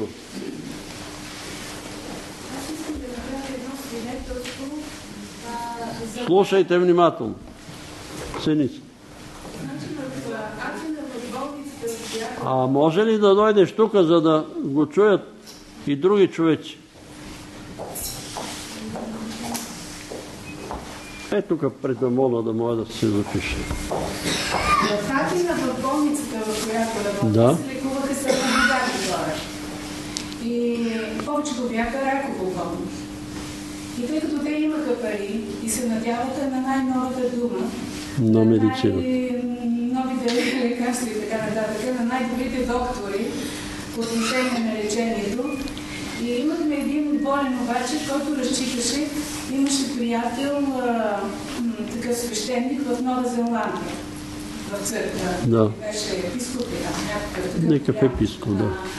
Нали, чин, голям чин от тези нали, папските чинове. Митрополит или епископ, да. Единствено на него, на православието, на вярата. Да. И той най-бързо се възстанови от всички останали болни. Еми ето, Тези, които бягаха на най-новата дума на лекарствата и най-добрите доктори, те много бързо се възстановяваха и дори умираха. А този човек всеки ден се обаждаше нали, на този свещеник да се моли за него и така много бързо се възстанови. а Нова Зеландия, знаете ли къде е? На другото, полу... другото полукълбо в Тихи океан, от татъка на 2000 км, може би и повече. Добре, да се изправим. После. После, като свършим сестра. Ама имаш нужда, ще се помолим, ама сега, като свърши това,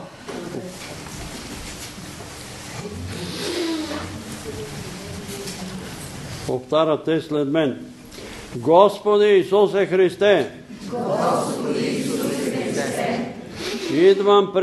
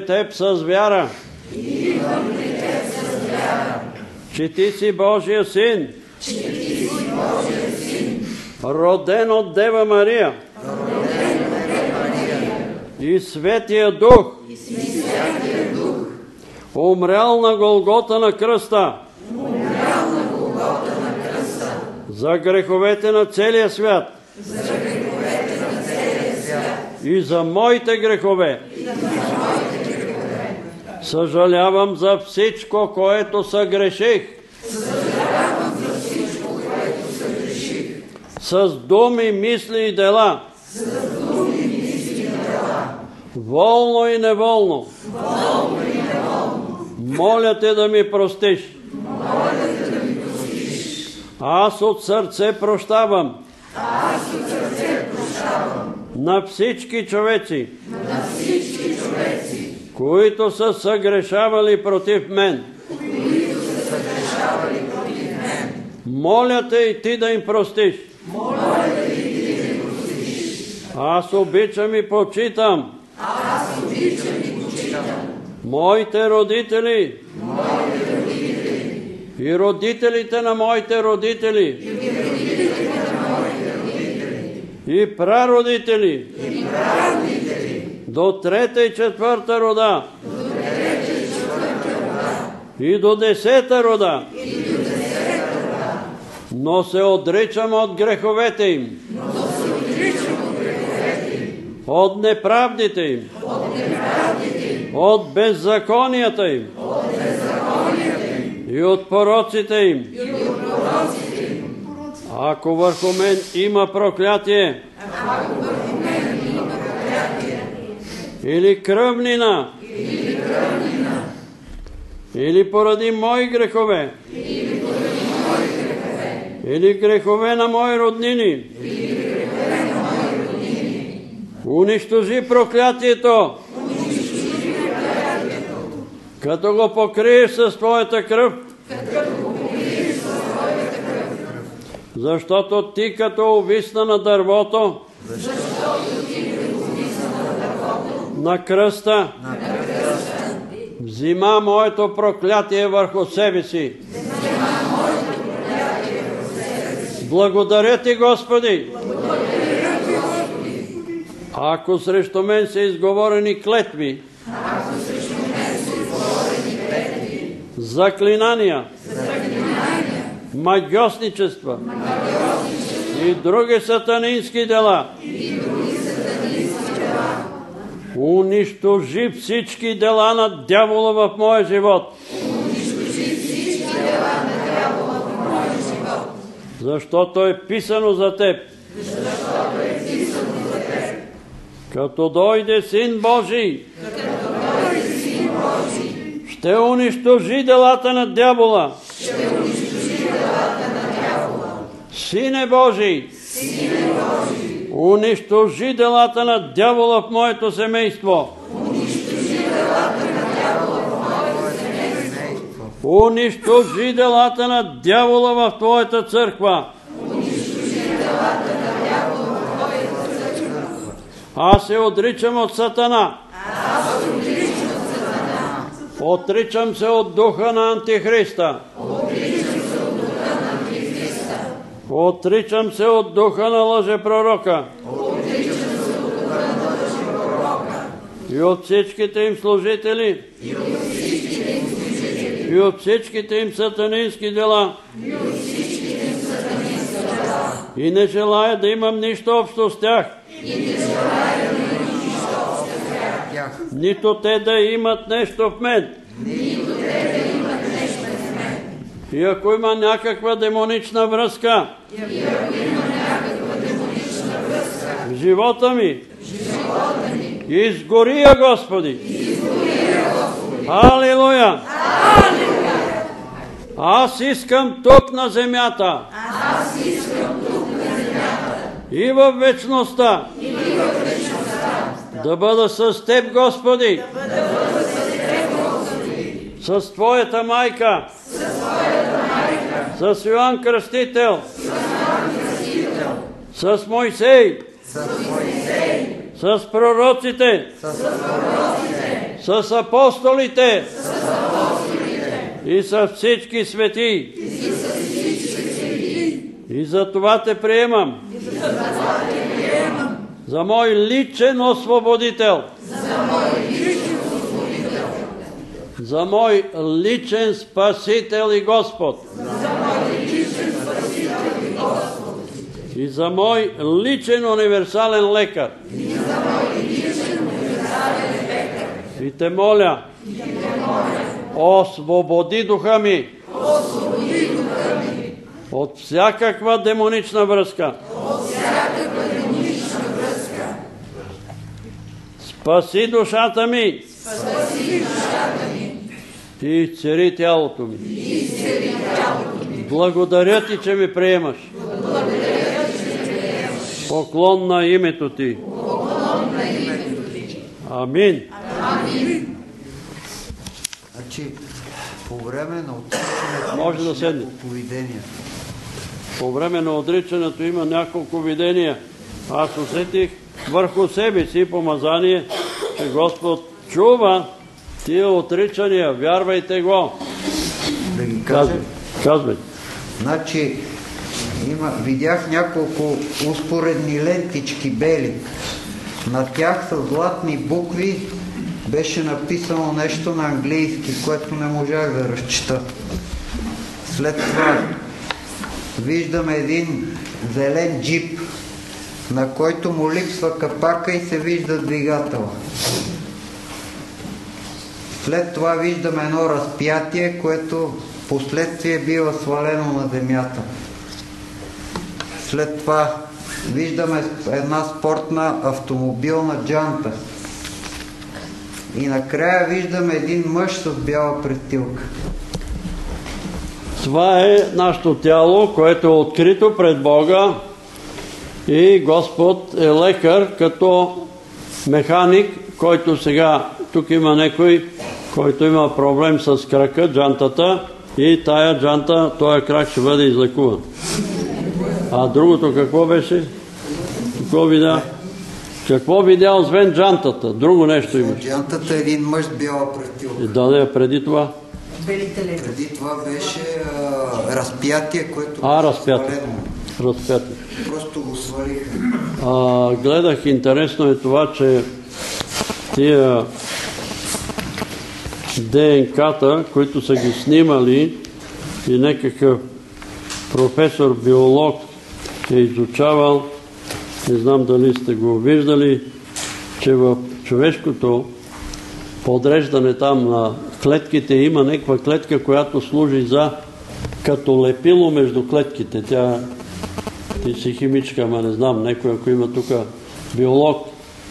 И когато той подвижда в взима там някакви част от човешкия организъм и ги снима и в много голем мащаб, се оказва, че тези клетки, които свързват отделните клетки, те се казват някакво друго име има, са подредени на кръст. На кръст във всеко човешко тяло. Кръста е запечатан на всяко човешко същество. И сега, тия, които на времето гонеха, нали, сестра ви са и писали в досието, като ученичка е носила кръстче. Леле, какво големо престъпление извършила тази ученичка, да носи кръстче. Кръстчетата са написани върху тялото ни, върху телата ни. Библията не може да бъде унищожена, защото е записана на небето и тя идва от небето. Бог я диктува, чете и, и оттам я дава на пророците, на, на светиите и на апостолите и тя не може да бъде унищожена. Така че опитите нали, на атеистите да съсипат християнството и верата няма да стане. Няма да стане. Каквото и да правят. и земята да изгори, и да гори земята, защото сега има паника за тия събития в, и ми се обаждат. Какво да правиме? Да купуваме, да се зареждаме ли? Да... Какво да правим? Да правиме сухари. Правете сухари, да, няма проблем. Ама колко сухари ще направите? 10 хляба и после, като ги изедете, какво ще правите? После какво ще правите?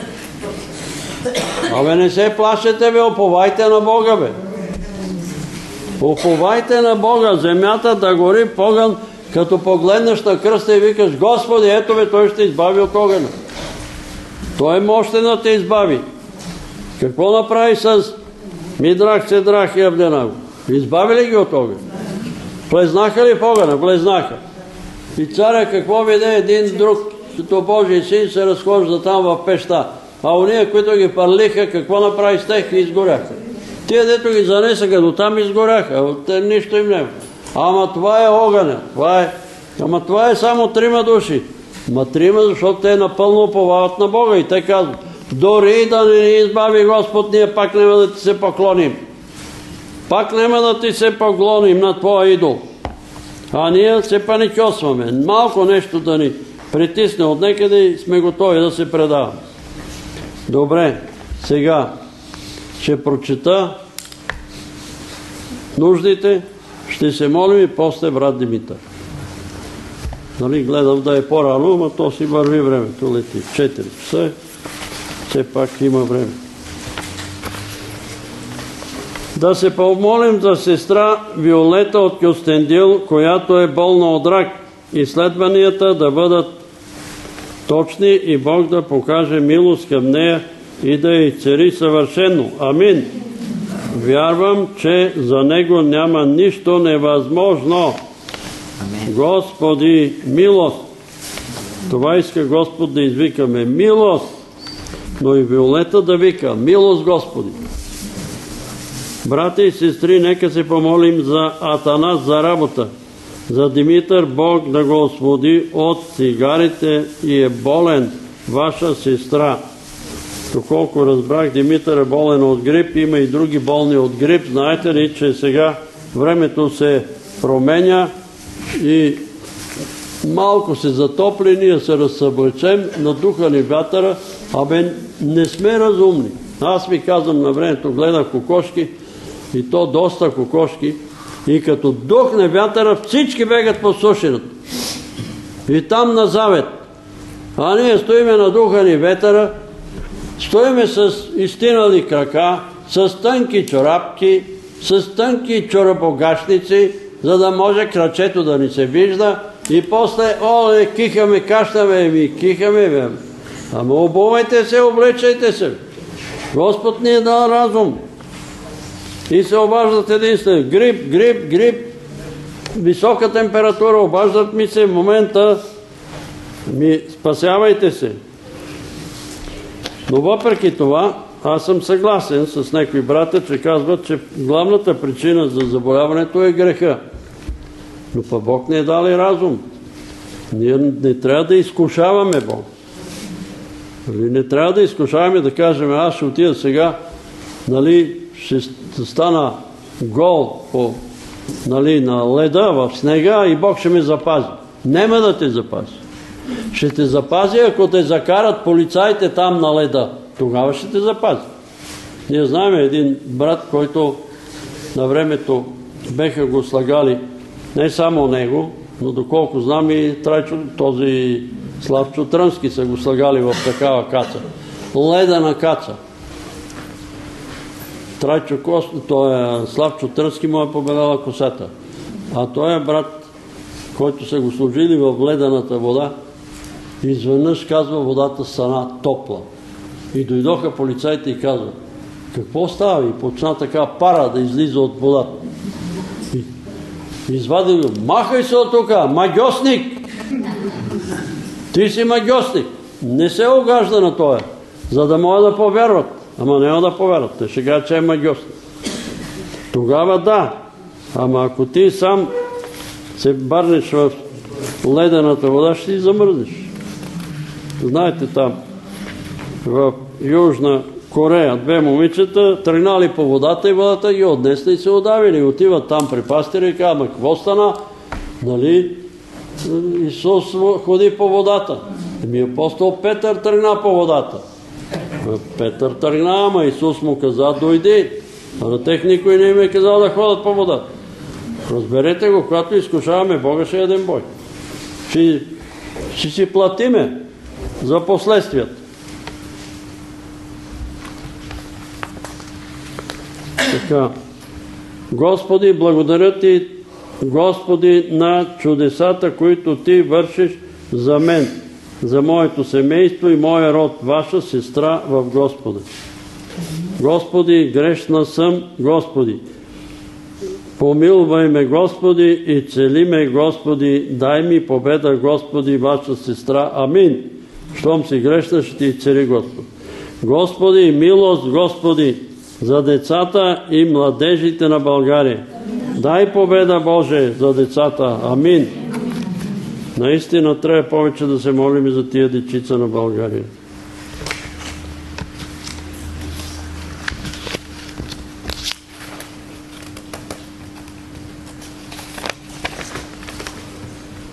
Обръщам се с молба към вас, брата и сестри, да ме подкрепите в молитвата да намеря, да ме вземат на работа. От дълго време съм без работа. Трудно е, невъзможно е да се живее така. Вярвам Господ Исус Христос. Как, вярвам в Господ Исус Христос, както и във вас, да за подкрепа и съдействие сестра Паша в Господа. Амин.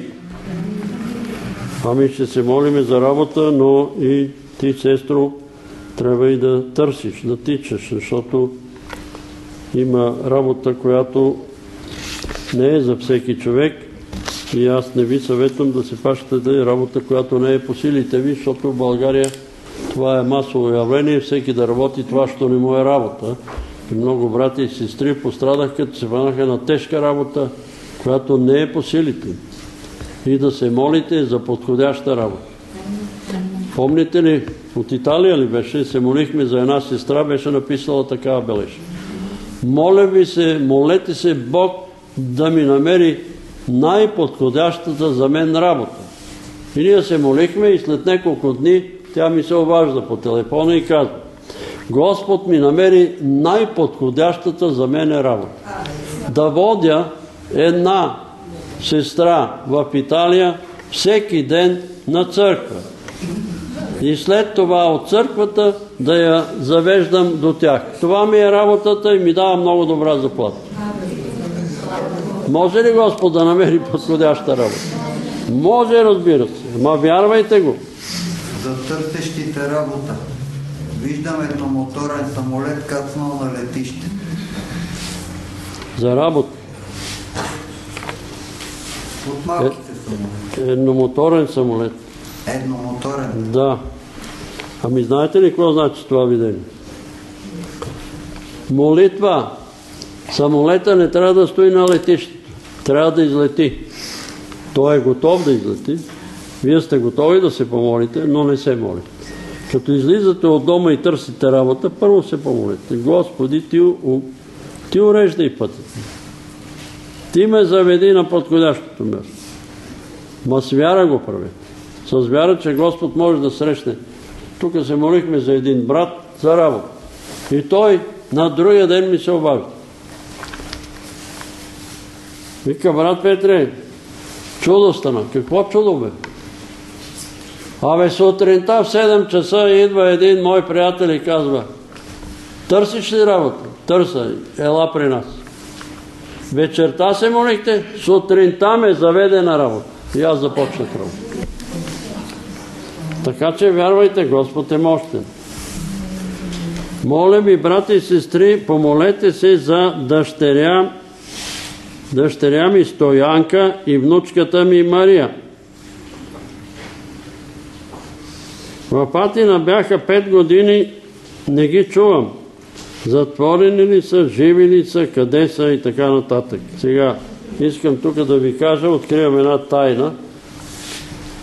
Ако те са отишли нелегално, те не се обаждат, защото ако се обадат, ще ги върнат. Затова да не се притеснява. А тая сестра, която дава тая бележка за внучката си, да знае, че ако нещо се е случило с дъщеря или внучката, непременно ще бъдат уведомени. Непременно. Така беше и в казармата. Ако се случи нещо, дълго време не се обаждат по три години, не им дават на такива неблагонадежни, късат им писмата, не ги под... Но ако се случи нещо, веднага се обаждат. Защото те отговарят. Нали? Те са отговорни за тая работа, но ние се молиме за внучката и за дъщерята. Братя и сестри, да се помолим Богу за нашата сестра Росица да оздраве и да дойде след нас за дъщеря Йонка да се разбира с началниците и колежките си и за ангел да си намери друга по-подходяща стая. Бог да промисли и за такава квартира. И това не е нещо маловажно, много е важно къде живееш. Между другото, сестра Русица вчера имаше рожден ден, но тя не приема, защото няма и средства да приема гости. Но така Бог да я благослови за рождения ден, да благослови и дъщеря Ионка. Боже, заради Исуса Христа, Твоя Син, моля Те, освободи от дяволското иго детето ми Кристина, не и дава да се храни и непрекъснато сипе заплахи. Помивай Божий Васил, помилвай съпруга ми. И аз друг път пиша големи писци, но сега само който се обади.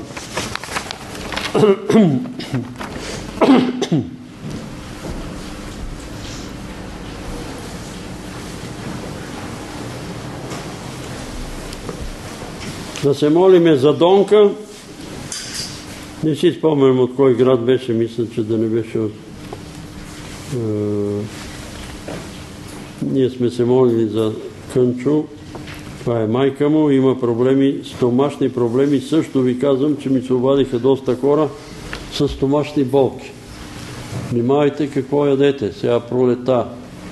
Внимавайте, не се обличате от веднъж ти, особено които са постили, 40 дена и после се напърлят и става нещо в организъма. Неколко души се обадиха с болки, коремни болки и после се пак се обадиха на другия ден. Добре съм, оправих се. Да се молим за Ангелина. Нали? Да се молиме за Стела, тя се казва Стелияна. Научете се да казвате имената си по паспорт, защото Господ ги знае по кръщелно свидетелство. Има страхотни инфекция в зъбите. Тя е на работа в Италия, дошла е в България.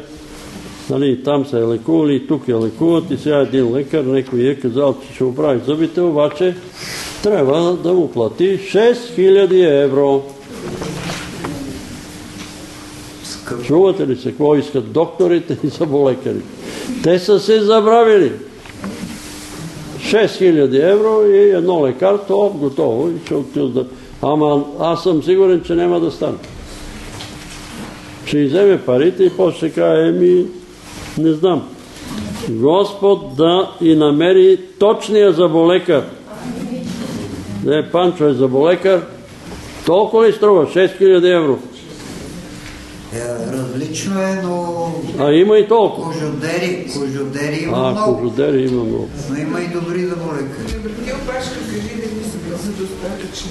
Ние сме се молили, тя гледа в Италия един Антоний, ако си спомняте, той беше много зле. Той беше много зле и имаше а, рак на простатата, болки в простатата, имаше болки в краката, неколко заболявания. Между другото, той е на 89 години и след молитвата тук, тая вечер, тя каза, че след тая молитва Антоний е здрав. Нема проблеми с простатата, болките в краката и в кръста са изчезнали и той се движи, ходи, но сега отново се е влушил и проблема му е сега с дишането. Но Антоний е на 89 години, но това няма значение, защото Бог лекува и млади и стари, но не знам как е с килограмите, нали? Ако е много тежък, ще трябва малко да намали килограмите.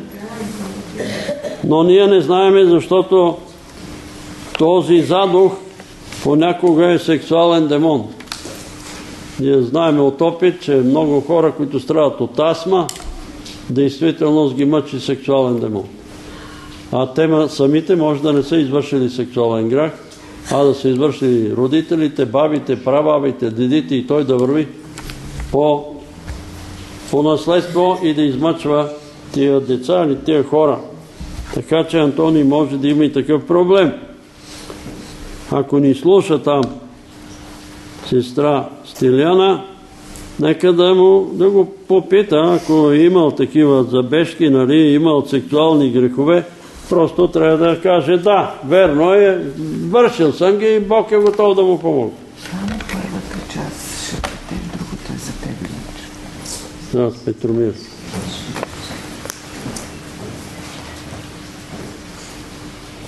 Сестра Марта, а, Николайна сестра Марта не е добре да се помоли църквата. Другото е за себе лично. Добре. Добре. Ще се молим и за Марта и за Николай. Вие знаете, че той психично не е добре. Николай направил забележка там на пазара на нека продавач. Неква жена се оплакала и ви, що ми издават тия скапани домати? Не ти ги искам. И той, как така не ги? Край, замала си ги вече. И той направил забележка. Абе, не те ли е срам? Върни парите на тази женицата. Може... И се обръща и си тръгва и след малко с една търба по главата Николай на земята. Търговци с търби и с бухалки. И какво да прави? И той го жива много труд. Така. Брат Сашо от Горна Оряховица се обади, няма да може да дойдем. Той идва тук до печката, редовен е. Се молиме за Андрей, Андрей, за майка му Марийка, за Мариус. Майката на Мариус също е налегло. Господ да смили там за цялата църква. Сестра Къна от Герман е с чупен глезен и тя обаче сутринта ми се обади и казва, че тя счита, че това е демонично нападение. Нали, аз вече ви казах за този случай. С... Това е мъжа Иван, който ми даде една книга Основи на окултизъма. И аз се молих и Господ ми каза, прочети я и я изгори. Обаче той като дойде, аз му казвам, Господ ми каза да я прочита и да изгори. Не, не, не, не, тя на един голям човек, голема работа, ще стане бъркотия, моля ти си, дай ми книгата и аз му дадам.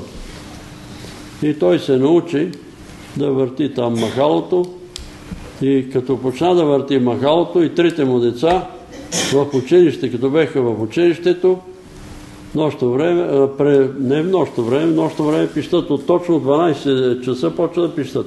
А когато са на чиновете, чуват гласове, които им казват, сега ще умреш, след малко ще умреш. И те скачат, тичат. Аз ходих там, от тех един, една нощ спах и тая нощ, откакто вика ти си дошъл, за първ път заспаха без да имат проблеми. Но те пораснаха, но той може би продължава да си върти. С него сме ходили преди 50 години на църква, заедно всичките тия неща сме ги оговорили. Как може един такъв християнин, новороден и кръстен, с претенции, с Святия Дух и така нататък, и говори езици и върти махал. Сега не знам дали продължава, но тя казва, това е демонично нападение. Усещам го като демонично падение, което ме вкарва в отчаяние. И то е, ние се молихме един път и се даде там на брат Христо. Мъжей да обича повече жена си. Да се молиме за Иванка и Ради, които са от Гърция. И тя идваше тук с една, спомняте ли си? Е, тук сядат с една количка. От Гърция имат проблеми. И пастира в Каламата. Когато те са били тук, пастира имал проблеми и ние сме се молили и той се е оправил. Обаче сега отново се е влошил. Болен е от рак. Пастира в Каламата. Нищо не можем да кажем, но ако този пастир проповядва нещо по-друго от това Евангелие, да знае, че оттам само проблем. Не може пред Бога, нема пастир, владика, патриарх, за него нема никакво значение. Щом се проповядва нещо по-друго от това Евангелие, попадаме под проклятие. И резултата е ето го. Рак. Ние ще се молиме за него, защото е пастир, служител, Божий.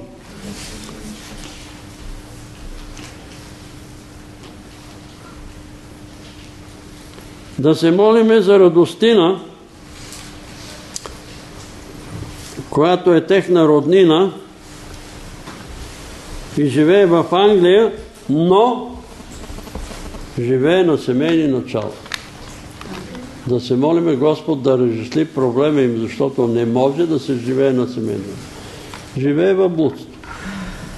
И ще дойдат други по-големи шамари, ако Радостина не се опомни. Да се молиме за едно момиче Радостина от Варна, за задомяване. Тя беше много зле, не смеше да излезе от къщи. Сега излиза много добре, ходи на разходка.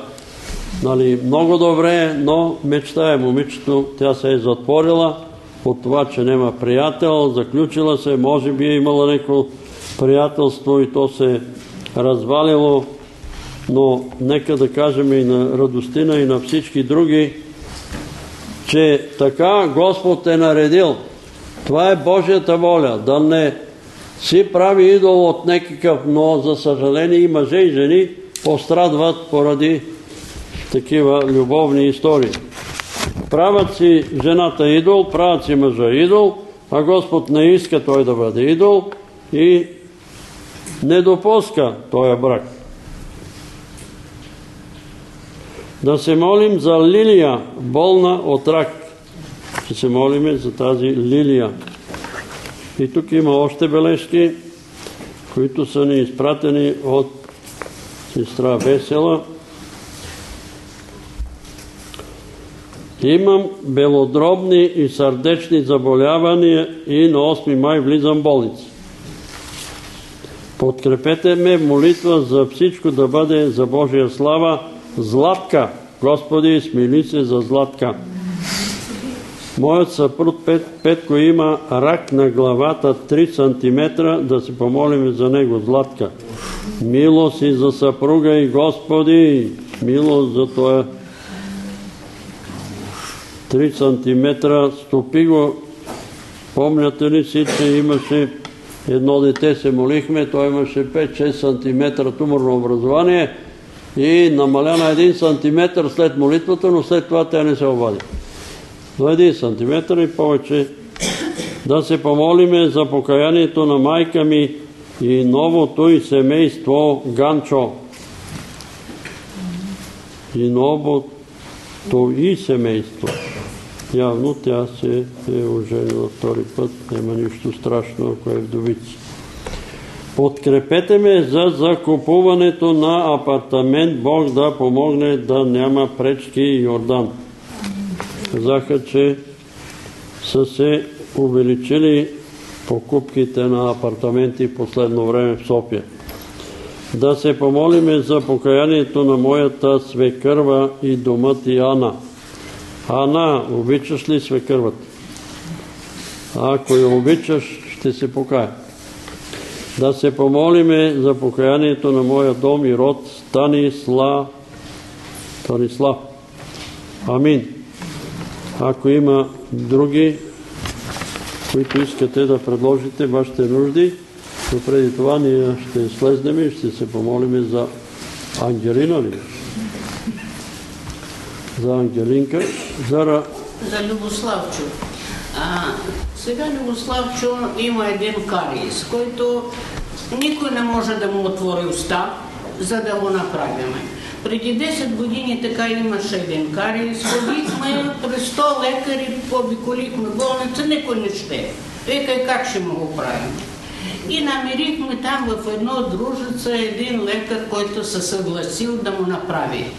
И го направил без пари, само сме платили 100 лева за инжекция. Нали? Пълна инжекция, пълна обойка. И ние от такава радост да му направихме едно благодарствено писмо там, дружество, дето той работи. И от тогава 10 години мина. И сега пак, той каза, ако стане нещо, обадете се. И ние пак го намерихме. И той каза, че щеше да го изгонят от работа. Та го глобявали. Как може ти да направиш без пари операция? А вие Значи какво Еми- правили, вика, аз не исках да ви се обадим и вас да ви, нали, така да се притеснявате. И сега го намерихме, той това ни каза, но каза, заповядайте. Обаче искам Бог да го благослови, да не му се карат и да го направи Любославчо с пълна Ами няма да пишете благодарствено писмо и няма да му пишем. А то с пълна упойка трябва той да бъде. И да има още един лекар, който му следи сърцето или какво. Е, Двама. разбира се, да. А, що с пълна упойка? А, не знам. Е, И- и сега някъде след десетина дена ще Пак ще му отидем. Искам да се помолим Бог да го благослови този лекар, да му направи на Любославчо, който трябва с пълна упойка какво и да взема пари според нашите възможности, ако може. Ако вземе, по-малко да вземе. Добре. Е, не знам сега как го старали се. Да, сега ще вземе, защото са му се карали, че не взима. Две сестри от Добрич. Магдалена, 30 на годишна, с а, проблем на кръка, някакъв... Какъв не- проблем има на кръка? Ами не може да ходи, има много силни болки в кръка и Коляното ли? Къде е? не, палеца долу, А, палец. пръстите. И другата сестричка Ирена, която е с ушипяване на гръбначния стълб. И двете са сестри в Господа. Молим Добре. да се молим за тях.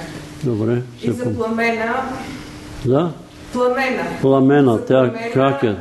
Пламена се разболя и в момента това е, изобщо не е добре. Грип.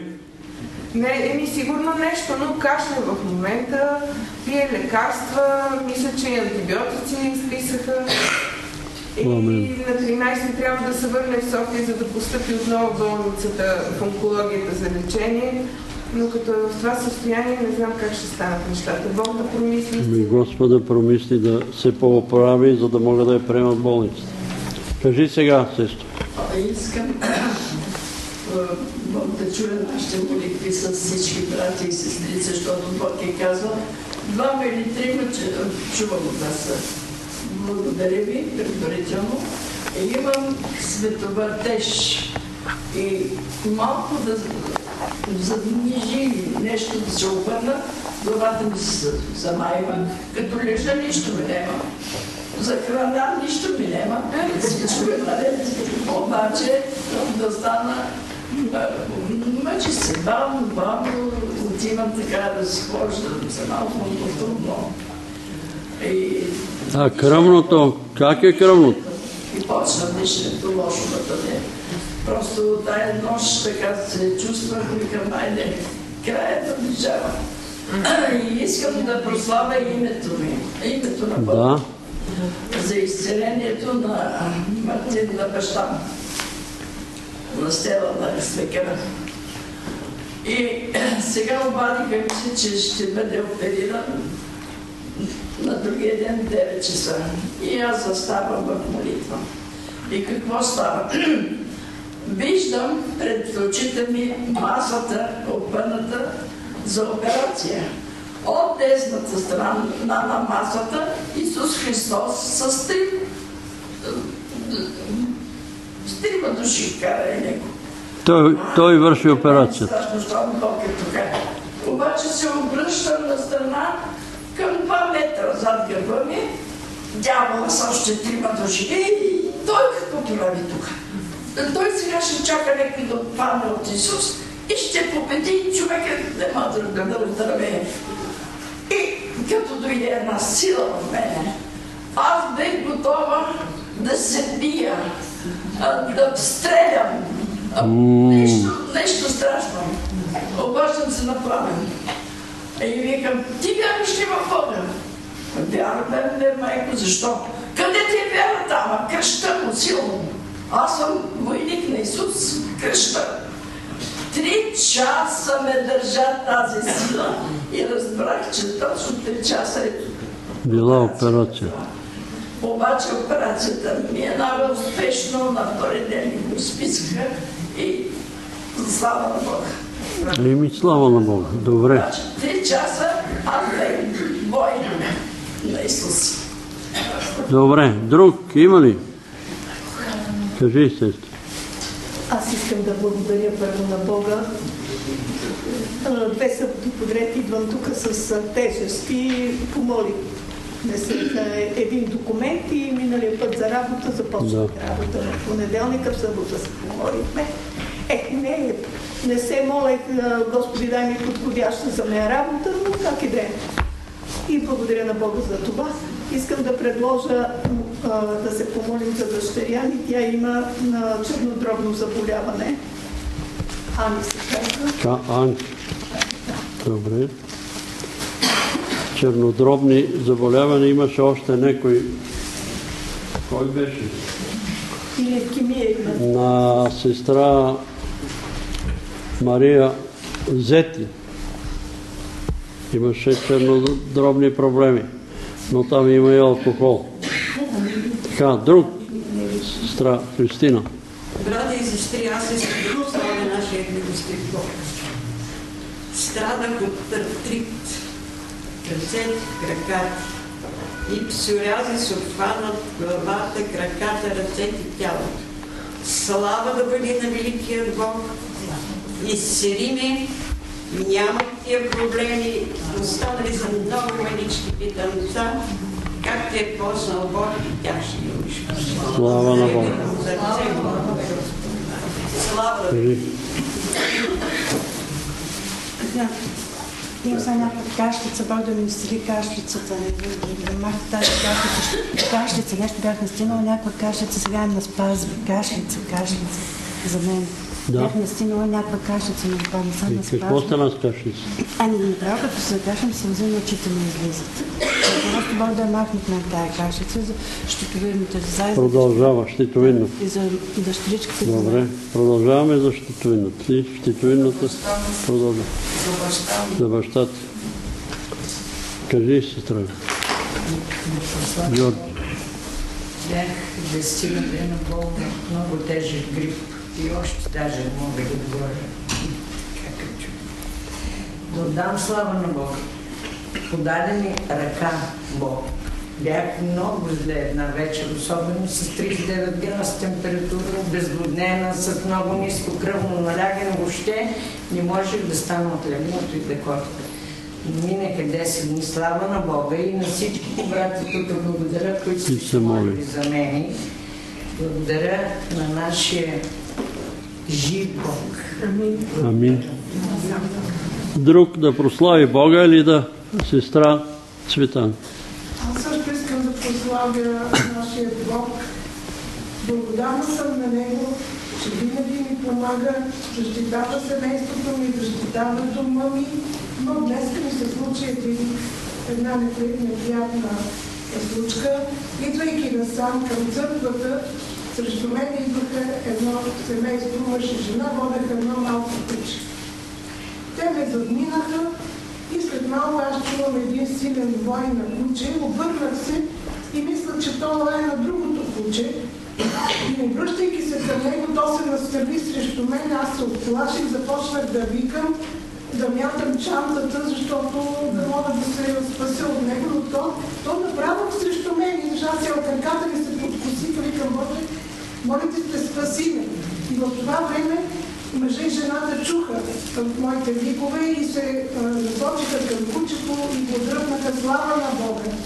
Значи, Бог искаше аз да не, т.е. Сатана искаше аз да не дойда тук. Казва така, сигурно ти няма да отидеш там, но благодаря на Бога, благодаря чрез тези двама души, мъж и жена, аз успях да дойда тук. А, също искам да се помолим и за Пепи, Дано Бог да разреши проблема, да започне да идва тук при нас. Амин. А много му е вечно, че не може да идва. Не може. Благодаря на всички брати и сестри, Амин. които се молят в своите молитви за неговото изцеление. Слава на Бога! Слава. Сестра Тетка Дойно. А, понеже обещах пред Бога, в четвъртъка сега се тръгнахме за село с колата. Мъжа ми наля бензин, сложи и газ, за да има и двете. И така, след като излезе от бензиностанцията и колата спря. И се мъчи, мъчи, мъчи, вика, нищо не разбирам, нищо не разбирам. Обади се на Тони, Тони дойде, чудика се гледаха, нищо не разбират. Дойде някакъв мъж от някъде, не го видях откъде, каза, според мен е еди какво си, еди какво си. Те тръгнаха, ходиха до някъде, къде ходиха, не знам. И нищо не стане. Сина ми дръпна колата, нали, нашата колата, нашата, къде се отиваме. И повървя, повървя, тя запали. И викаме, сега ще се отидем, защото мъжа ми вика, няма да се водим тая вечер. Обаче бехме натоварили колата с багаж, с домат и засадихме на село, ходем нали. И като тръгнахме и стигнахме до Чуре, всичко беше добре, обаче колата спря там на едно място, всички по- покрай нас и никой не спира. Само каза, нищо не става, нищо не става и само това се говори. И само се тюхна, гледа напред назад, гледа и нищо, нищо. И сега през ця- цялото време се моли и като се моли, каза Бог, тя ще постави името, защото сега ние сме тръгнали вечерта, беше а, и какво ще стане, ще връщаме и пак и ще викаме Тони. И така, и благодаря на Бога, че Бог така направи, че колата тръгна. И си отидахме така и се върнахме сега, викаме какво беше на колата, гледаш ли нали там на село да видиш това. Нищо няма, не разбирам, не знам какво стане. Благодаря на Бога, защото аз казах, Господи, ще прославя името ти. И така и благодаря на Бога, че успях да дойда на църква, защото а, не исках да стоя повече, като знаех, че трябва да дойда на църква, стигнах точно време. А тръгнахме късно. Това беше невъзможно, обаче благодаря на Бога за неговата милост. Господ ги направи възможно. Че изхвърли нещата, които ги държеше толкова време. Той каза, че аз ще питам брат Кор, той да ми каже. И така, и какво стана, говориха с брат Кор, и, и Бог подейства, и той ги изхвърли тези неща, които ги държеше окултните неща. Толкова време ги държи и не може да ги изхвърли. Да се молим и за него за духовното състояние на всеки един Добре. Къде се трябва да даде? Трябва да се молим, да дойде да краката, да може да идва на църква. Добре. Николай. Светелина. Молиме за Йордан за освобождаване от наследствена обремененост. Имат Йордан. Да. И за целия ми дом. А също така, миналия път, когато идвах на Чехка, беше много лошо времето. Аз съм шофьора. Много трудно дойдете. Няма парно, стъклата са съвсем бели. Вършеме, то отвънка вали. И викам, Господи, на... тръгнали сме на черква. Аз първо се отнася, викам, не искам да ходя, викам, Йордан, остани за другия път. Много ми се ходи, много ми се ходи, вика да с рейса, но той не може с рейса. Викам, добре, значи тръгваме с колата. Господи, в Твоите ръце сме. Дойдехме живи и здрави, живи и здрави се върнахме. Благодаря му на... Благодаря му на Бога. И много пъти, много пъти ми е помагали от цяло, много пъти. Така възтълно идваме. Една вечер също нищо не се виждаше. Господ Добре. Господ ме пази вече толкова време. Аз по принуда карам, не по желание. Но благодаря му, че ме пази и да ни пази за напред с мен и. Благодаря ти, Господи. Аз имам един въпрос. Малко по-силно. Да. Моят племенник е женен в Америка и там му се родиха и деца. И сега скоро разбрах, че посещава църква, която, в която се проповядва, която проповядва жена. Паст, има пасторка. Да. И тези деца са кръстени от пасторката. Това кръщение легитимно ли е пред Бога? Ми не е легитимно. Не. И сега легитимно ще бъде, ако няма мъже. Нали, ако в едно село, да речем, или в джунглата, или некъде няма мъже и една жена ги кръсти, то е легитимно. Но когато има свещеник, когато има пастир и жените да почнете да кръщават, е, няма да стане. Ма те ще, тя ще пострада тази жена. Тя си присвоява. Защо беше отвърлен Саул? Помните ли защо беше отхвърлен? Ами защото се забави а, пророка Самуил, забави се и той ами аз ще от, извърша служи, това богослужение. И каза там да заколат жертвите и той и поча и, и пророка дойде вика какво правиш? Разберете го. Всеки иска България да върши това, що не му е работа сега.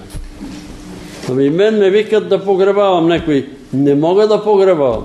Не съм овластен. Не съм авторизиран. Има свещеник, който е овластен от властите, пастир, който е овластен от... Ама ти си пастир. Аз съм проповедник. Не ме наричайте пастир. Даже по това оче, оче ми по телефона. Не съм някакво оче. Аз съм един проповедник на Евангелието. Това е.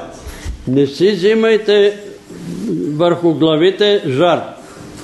И после какво стана с Саул? Втори път не послуша, той му каза всичко да се изтреби там на Амалик. Той събрал хубавите волове и хубавите овце и пророка вика, какво чувам? Блена на овце и мучене на волове. А, отче, ние така, тия ги избрахме да ги пренесеме на Господ в жертва. Ма каква жертва? Бог каза да се изтребат. И какво каза? Ето Бог те отхвърли. Заради това, че се изволяваш, ти си цар, ама не имаш право да, да свещенно действаш. За свещенно действие си има хора определени, нали, които са поставени. Немате право жените да получавате в църква. Писано е, записано е Библията. И когато го нарушават, тя е под проклятие. Тая жена е под проклятие. А и тия хора, където отиват тая жена да ги кръщава. Разберете го, да бегайте от такива кръстници. Бягайте. Нема ли в това село и в този град мъже, които да ги кръстат, жена ще ги кръщава. Пророчица. Тя може да бъде пророчица, но не може да бъде учител. Не може да бъде пастирка, не може да бъде епископ. Не може, ама в Америка може. Дъщерята на Осборн е главен епископ на, Южните щати. Ама какво пише Евангел? Епископът трябва да бъде мъж. Така пише, не съм го писала. На една жена. Да не е разведен. И тая жена не трябва да бъде блудница. Не трябва да бъде разведена. Не трябва да бъде еди каква си. Пише, всичко е писано какво трябва да бъде. И ние сега ще го направим. Епископа ще бъде жена на един мъж или на два мъже. Тая жена ще пострада, а и вие, ако ходите там да я слушате, и вие ще дадете бой, защото не, сте послушни. То е писано там. Забранявам на жена да получава в църква. Жените ви църкви да, да мълчат. Жената, ако има дарба, може да говори на език, може да пророкува, може да тълкува. Може. Ако има дарба, да пророкува, да тълкува. Не може да получава в църква. Не може. И бързо да се качат на воля. Кажи сестра Цети. Сега си говорим с Сега си говорим с Вили, понеже ходи в стария дом. Така. В старческия дом може да проповядвате, да благовествате, не се плашете. Можете да благовествате, но не може в църквата да вършите богослужение, да извършвате богослужение. Забранено е на жените. Бог го е наредил, не съм го аз измислил. Бог го е наредил да бъдат мъже. И Исус избра 12 мъже. Ако беше така, ще избере 6 жени и 6 мъже и апостолки. И сега се появили апостолки. Не ги слушайте. Нали? Жената може да благовества, може да бъде учителка, може да ръководи неделно училище, да учи децата и така нататък. Но църквата не може да извършва богослужение. Да отслужва Господна трапеза. Не може. Обаче аз знам, че има жени, които отслужват. Ма те си отговарят. Те си отговарят. Не може сега една жена да иде там в Александър Невски и да каже дядо, еди, кой си, аз ще служа тук и аз ще... Ами, как ще стане тази работа? Кажи се. Във връзка с този въпрос, любопит- Моля, по-силно във връзка с този въпрос, който сега нали, се поставя. а, за, за, за женското проповядване, това важи ли, че освен на богослужение, тя няма право и в домашна обстановка, в домашна група да го прави? А да благовества. Ако в домашната група има един мъж, един мъж, мъжът трябва да ръководи група. Ако са само жени, може. Ако са само жени, може. Ако той не иска. Да, да, кажи, сестра. Тихо, за да чуя. поне и се заговорихме за този случай, за погребален случай. А, така се наложи за моя мъж почина и той а, не вярваше в Бога и аз бех принуден, аз извърших това в грех и съм Какво си извършила? за погребението. Ти си го погребала. Ти Ама аз се молих там. на погребението. Да. Еми, не е, рош- не е, леш, не е редно, сестро. Ще извикаш мъж, ще извикаш свещеник, ще извикаш пастир, който и ще да е, който е областен с тая работа. Защото от друга страна властите търсят сметка на църквите. Какво правите? Нали? И когато то няма да те убият, няма нищо да стане, но ние трябва да се покоряваме на реда, на начина по който, защото така е наредено. При нас няма, нямаме свещеник в нашето село. Добре,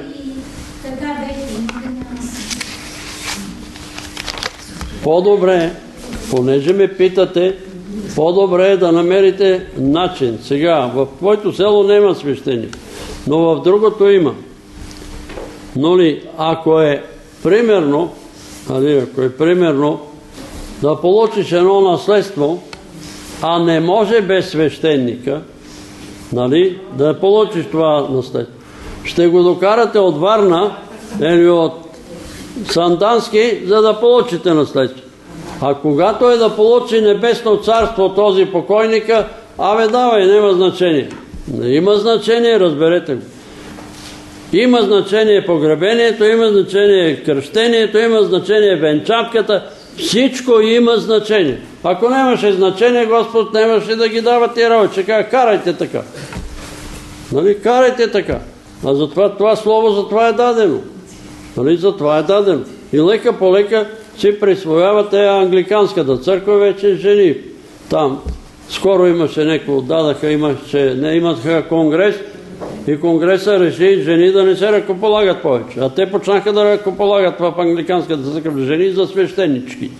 Свещенички. Но не може. Не става. Добре, ние казваме това, което трябва да правите, а па кой каквото прави вече на там си отговаря. Нали?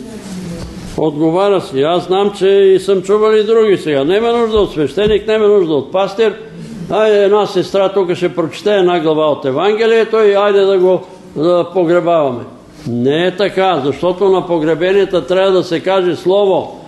На погребението това служение не е за покойника, то е и за него, но е повече за останалите, за тия, които са там на гробищата, да им кажат, братя, и вие ще легнете в този ковчег. И аз ще легна и вие един ден ще дойде, оправите си живота, защото кратък е живота, гледайте, внимайте как живеете и да се поговори там.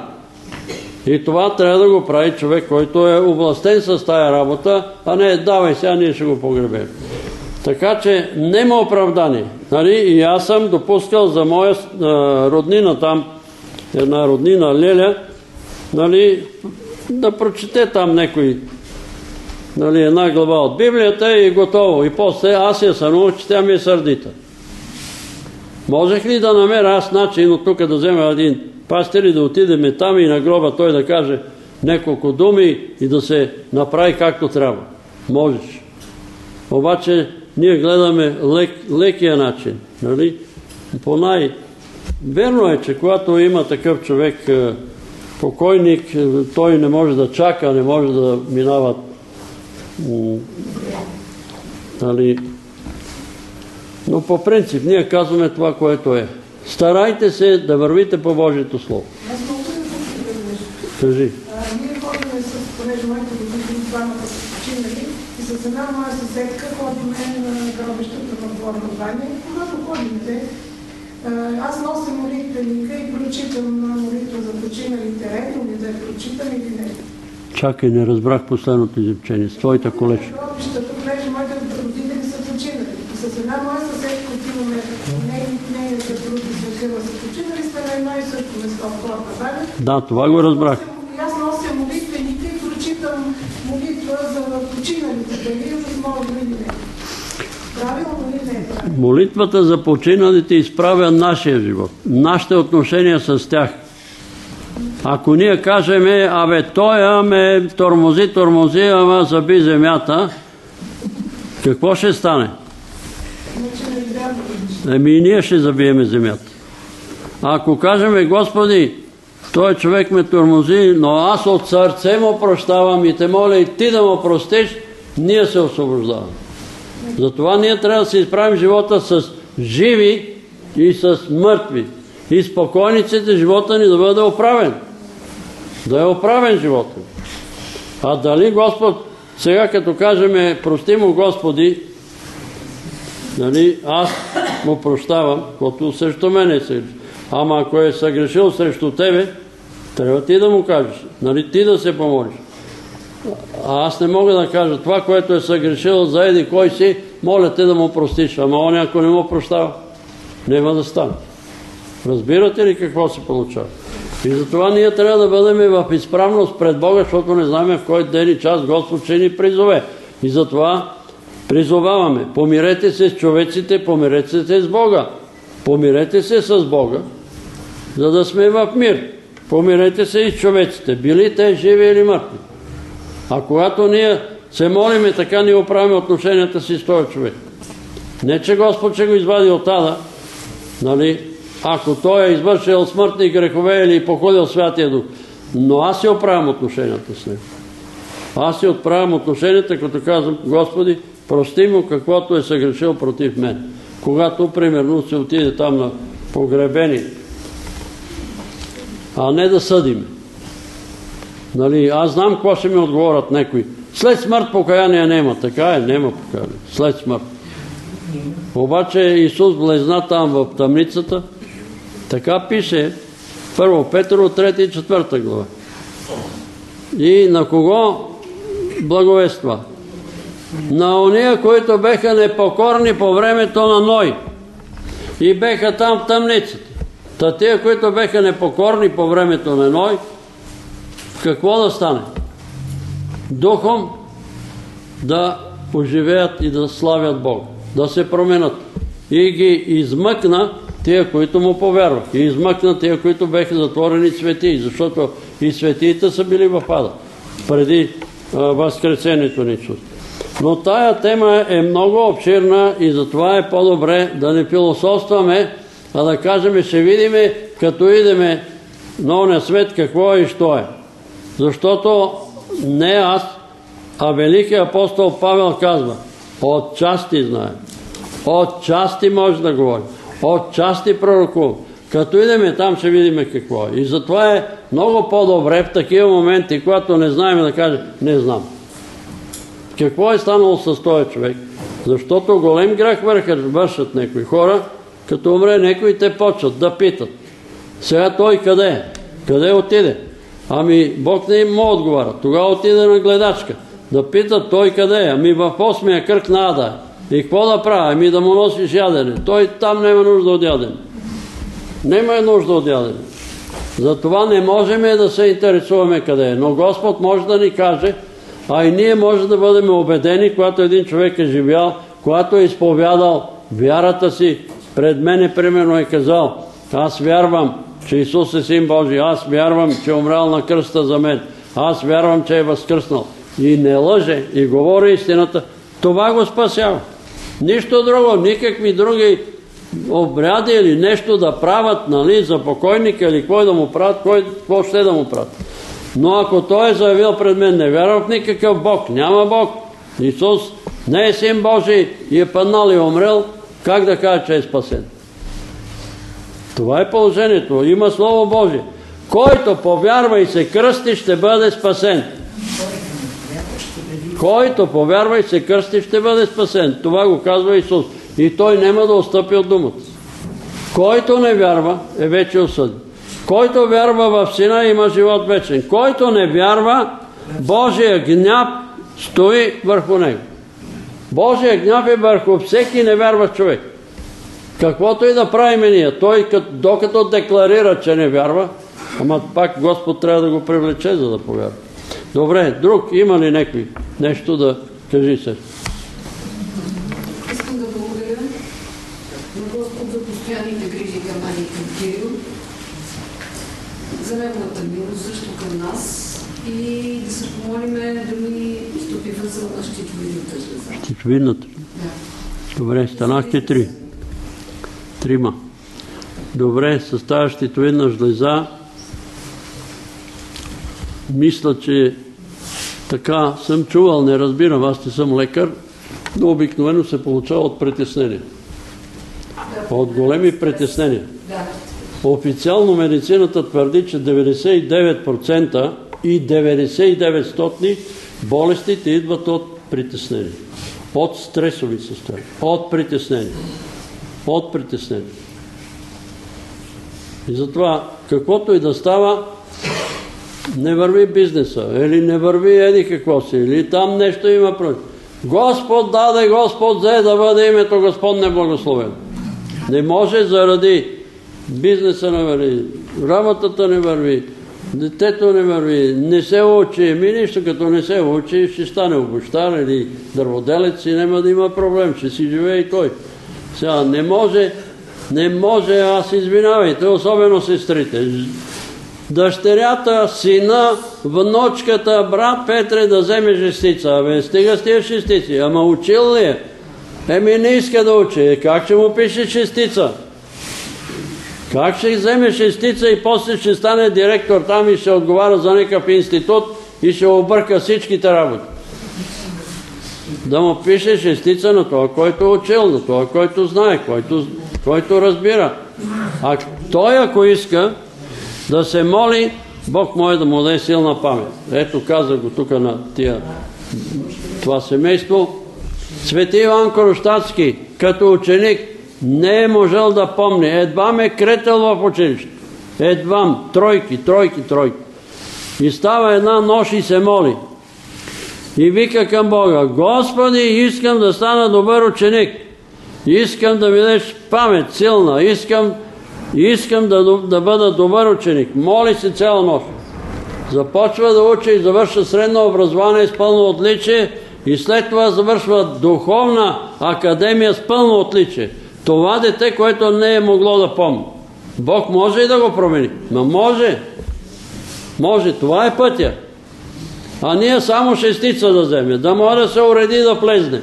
Еми шестица, ама ако не знае, ами той е, ако е хирург и нищо не разбира шестица и утре ще го направят хирург там да оди да оперира и ще измори хората. Нали? Той, който учи, трябва да си знае работата, да може да в неговата си област. Тук искам да ви кажа тия грешки, които се правят шуробажанащините, които е из България масово явление. Това е наш човек, това е наше момиче, това е наш, наше момче, така ги назначават. Като бех в Египет,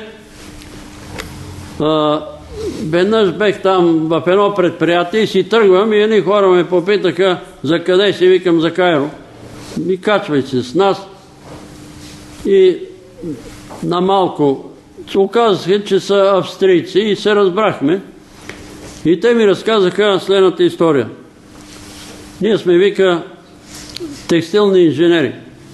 В текстилния институт петимата с най-голям успех на средства на издръжка на текстилни комбинати отиваме 5 години по целия свят да видим къде има нововъведение в текстилния бранш и да направим доклад всеки пред своето предприятие, където ще отиде на работа. И един път се допусна една такава грешка. Директора имаше син, който учеше текстилния институт. И той беше завършил с отличие. Но когато се връщат тия петима души, нали, дават своите доклади, неговия доклад се класира на трето или не знам кое е място, но понеже е син на директора, него го назначиха за главен инженер. И работата в фабриката пропадна. Пропадна, а не назначиха това, който е най-добрия. И затова там им върват работите. Защото главният инженер не е на еди кой си, еди какъв си, а е човек, който е доказал, че е най-добрия в своята специалност. Затова ви говоря и на вас, на сестри, обаждат се по телефона. Моля ти се, дъщеря ми сега да влезне, еди къде си, трябва ти шестица да изкараш шестица. Ама учила ли е? Ама не е учила, ама да вземе шестица. Еми, като не е учила, ще вземе тройка. Не ме карайте да влизам в грях за такива молитви. Нема да се моля за такива молитви. Моля ви се. Ама Бог може да направи тя да... Може, да, и Петромир, тя знае, Бойка. Петромир вика дявола и му казва, дай да се разбереме с тебе, искам сега да изкарам шестица, ще науча само един урок. Като отида на изпит да ми се падне той урок. Отива на изпита и му се пада той урок. И той получава шестица. Обаче цел живот съсипа си живот. После го облада дявола и стана трагедия. Съсипа живота и на майка си, и на баща си и така нататък. Добре, друг има ли някой? Ако нема, първо трябва да се помолим за Ангелинка и за това семейство. Ще се молиме и после брат Димитър. Или първо да се молим общата молитва и тогава да се... Добре, айде ще се молим общата молитва и после за, вас. Нали? Добре. Който не може да става и е възрастен, може, не дейте да а, се тормозите, че дори ще седи на, стола, като сестра Веса или други не, некои. Защото аз бех там преди един брат, който е болен от рак и му казвам, седи си на стола. Не, не, не, аз ще коленича. Ами като продължихме да се молиме, той се изтощи и едвам стана. Господ не иска да ни измъчва. Може да се поклониш, да коленичиш, да поклониш, но след това си сени на стол. Ако някой лежи, е, легнал там и е болен, и е тежко болен, нека да седне в леглото, или ако не може да седне, нека лежи, Господ вижда, той царява и лежащи, и коленичили и така нататък. Добре, да се изправиме и да се молим.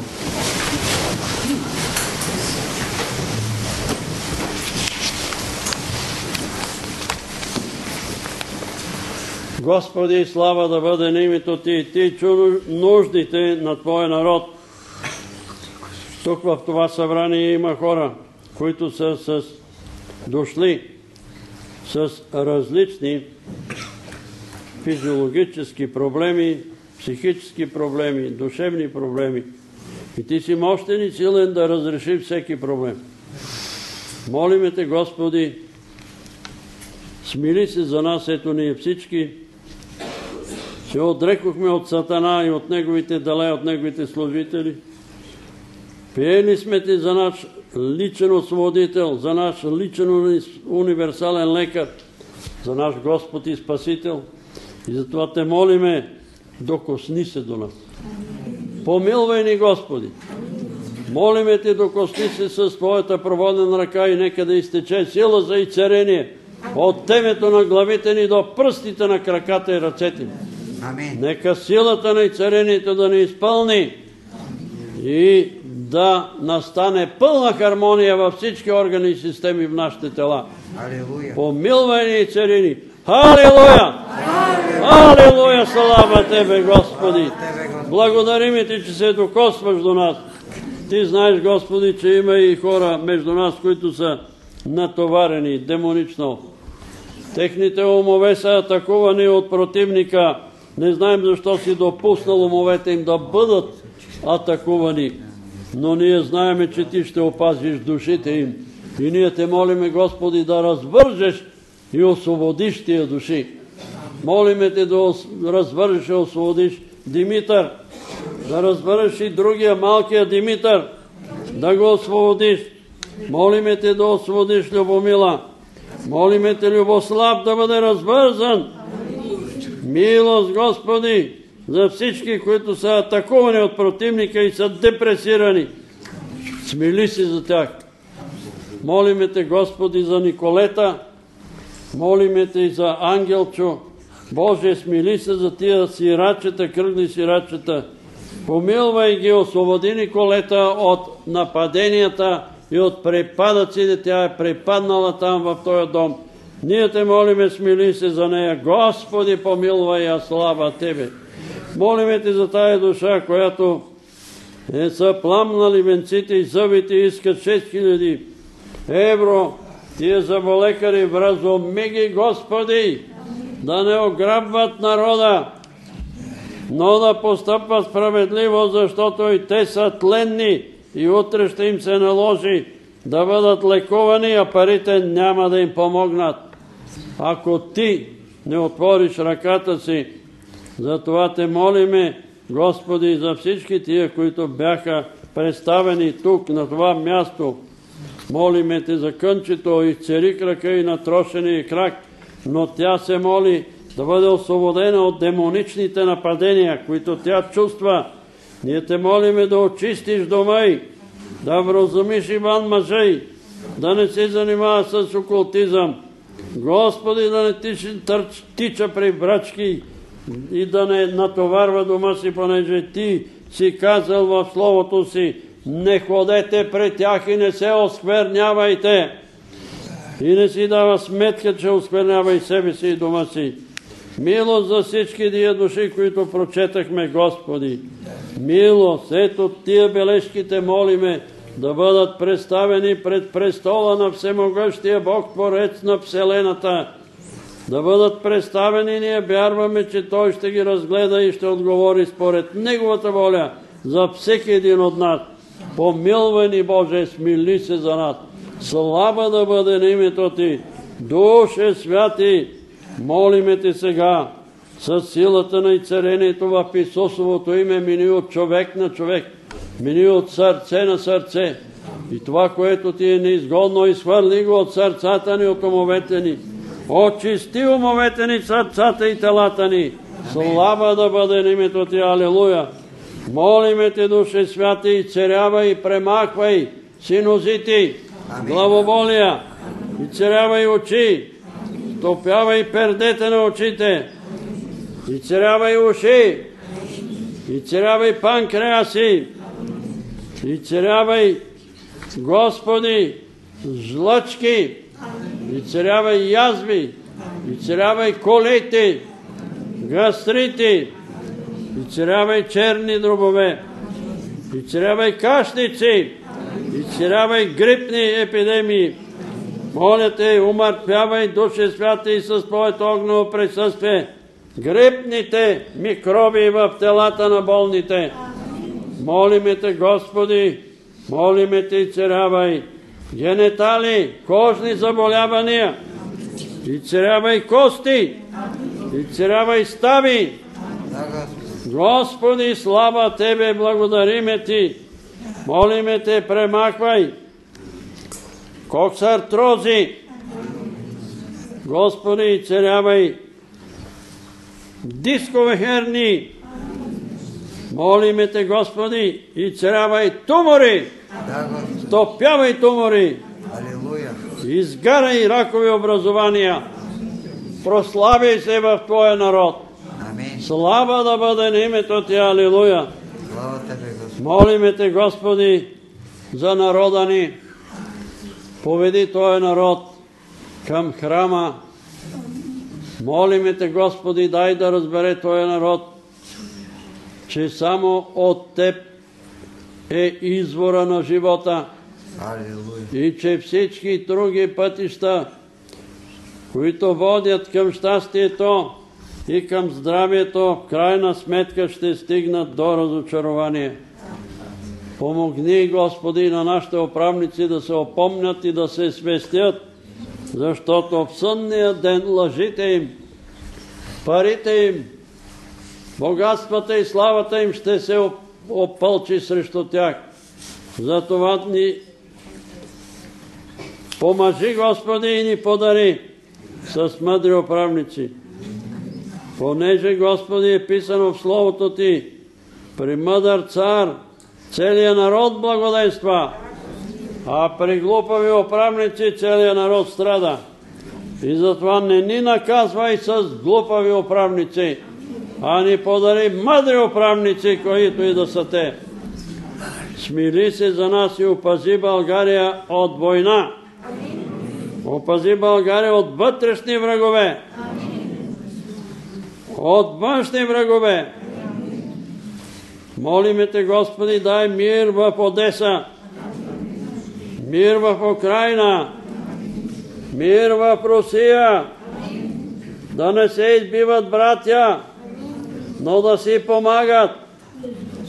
И тия грандомани там ги смири, Господи, понеже Ти си, който поставяш царе, Ти си, който поставяш управници, Ти си, който сваляш царе и сваляш управници. И затова те молиме, Боже, не допускай поради техната грандомания да загиват, да се проливат реки от човешка кръв. Молиме Те за мир и в Израел, в Твоя народ. Молиме Те за мир в Турция. Виждаме, Господи, какво става и там. Не допускай да се избиват едни други, да се проливат реки от кръв. Мир в Гърция, мир в Македония, мир в Сърбия, мир в Румъния. Благослови нашите братя румънци. Господи, чуваме, че там се изучава вероучение и че румънския народ се обръща страхопочитание към Теб. Благослови ги. Молиме Те, Господи, за нивите и полето на България. Ето дъждове, наводнения. Ние те молиме да ни даваш дъжд на време и слънце на време, за да дойде и да порасне, да израсне добра реколта в България. Господи, помилвай домовете ни, роднините ни, привличай ги към себе си, прибавяй ги към спасяващите. Молиме Те за уния наши сънародници, които са пръснати по целия свят. Там, където са Господи, молиме Те, пази ги. Пази ги и помагай им. Пази ги от катастрофи, от природни бедствия, пази ги от препъвания, падания, наранявания, настинки, заболявания. Пази ги, Господи! И ако са отишли там, атеисти да се върнат разколебани, атеисти най-малко, а ти можеш и да ги направиш да се върнат християни в България. Халилуя! Слава да бъде името ти! Помилвай ни, бъди с нас и в нас. Благодариме ти, славиме ти и те величаваме, свята Тройца, един Бог в три лица. Нека Твоя мир да пази стража на умовете и сърцата и домовете ни. И затова те молиме, пази живота ни, пази имота ни. Пази домовете ни от пладнешки кръци, разбойници и грабители. Слава да бъде името Ти. Молиме Те, Господи, за Твоите, служи, Твоите слуги, за Твоите служители, които и да са, в която и да са, деноминация и нация, помилвай ги, сили им давай, здраве им давай, мъдрост им давай да не отклоняват народа от Твоето Слово. Но помогни им да търсят, да пазят, да проповядват пълното и чисто Христово учение. Слава Тебе! Благодариме Ти, Господи, пази ни и нас да не се отклоним нито наляво, нито надясно, но да вървим по Твоите стъпки, Господи, за да наследим това, което си обещал. Ние Ти благодариме сега за това, че Ти стоя верен. Остави се един Твой ученик да те предаде. Ти се гриеше за него. Той видя възкресение на мъртви, видя и царение на болни, на слепи да проглеждат, глухи да прочуват, прокажени да се очистват. И въпреки това се подмами за 30 сребърника предаде своя учител, своя Господ и Бог. Никога това да не стане с нас при никакви обстоятелства, Господи. Алилуя! По-късно ти се остави да те бият, да те подиграят, да те плюят, да те разпънат на кръста, да те бият с къмшиците, да те удрят по главата и да питат, познай кой те удари. И търнен венец служиха на главата ти и пробиха Твоето божествено чело, за да се ороси и челото ти, и тялото ти, целото в кръв и тая кръв се проля на Голгота за моите грехове и за греховете на моите брати и сестри. И затова сега те молим, Исусе, измини очистини от всяка мерзост, от всяка нечистота. Измини очистини, Господи. Ето спомняме си за Твоята смърт на Голгота на кръста. Слава да бъде на името Ти, благодариме Ти, че устоя верен до смърт и то смърт кръсна. Но и възкръсна и стоиш отдясно на силата, за да ходатайствуваш за нас. Благодаря Ти, че си ходатайствал за мен, Исусе. Благодаря Ти, че си ходатайствал за моите братя и сестри, за всеки един от нас.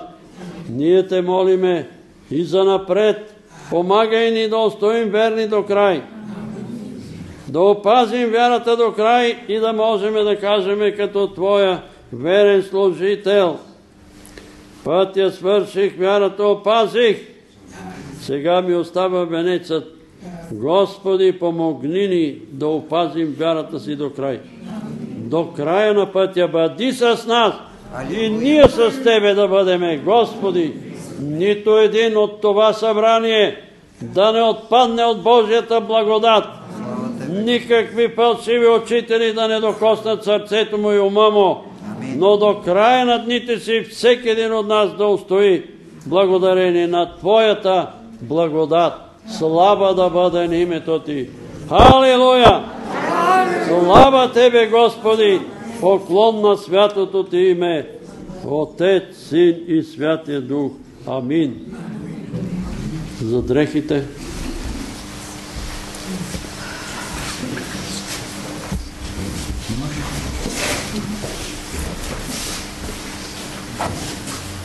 Боже святи и праведни, благодарим Ти, Таща, че имаме достъп до Твоя благодат и Христос. Чрез Твоя възлюбен Син, който разкъса завесата, откри света светих, Твоя благодатен престол. Ти казваш, защото си престол на многообразната благодат. Това е Твоята благодат, която ни даде чрез Твоя възлюбен Син че можем всяка наша нужда, всеки наши проблеми да представим пред Тебе в името на Твоя възлюбен Син. Сега да се молим, че благи за тези люди. Тези дрехи представляват техните тела. Те са обърнени. Ние не знаем, но Ти знаеш всичко. Но ние знаем от Твоето Слово, че няма праведен човек, който да е живял на земята и да не е съгрешавал ние знаем от Твоето Слово, че Господ Исус Христос, Твой възлюбен Син, понесе на Голготският кръст не само нашите грехове и престъпления, но Той понесе нашите болести и нашите немощи. Затова Ти казваш, в Неговите рани ние се изцелихме. Затова се молим в Неговите сега очи благи. И да изпратиш Твоето Слово върху тези и да бъдат съвършени страни. И казваш, чрез псалмопевеца изпраща Словото и то го изцелява.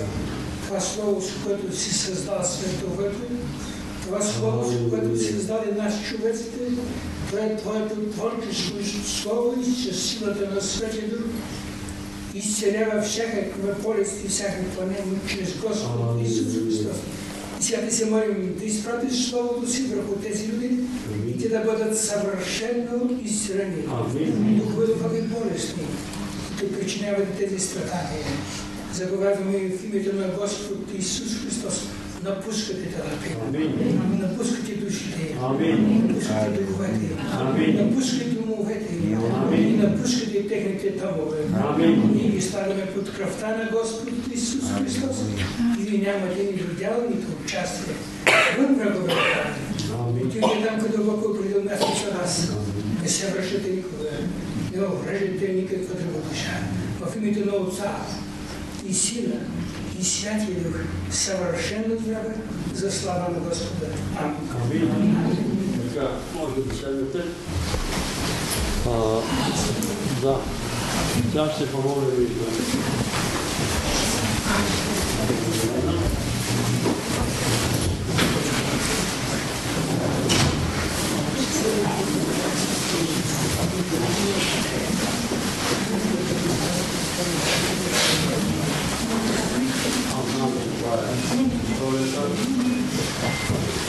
Слава да бъде името Ти, Всемогъщи Боже.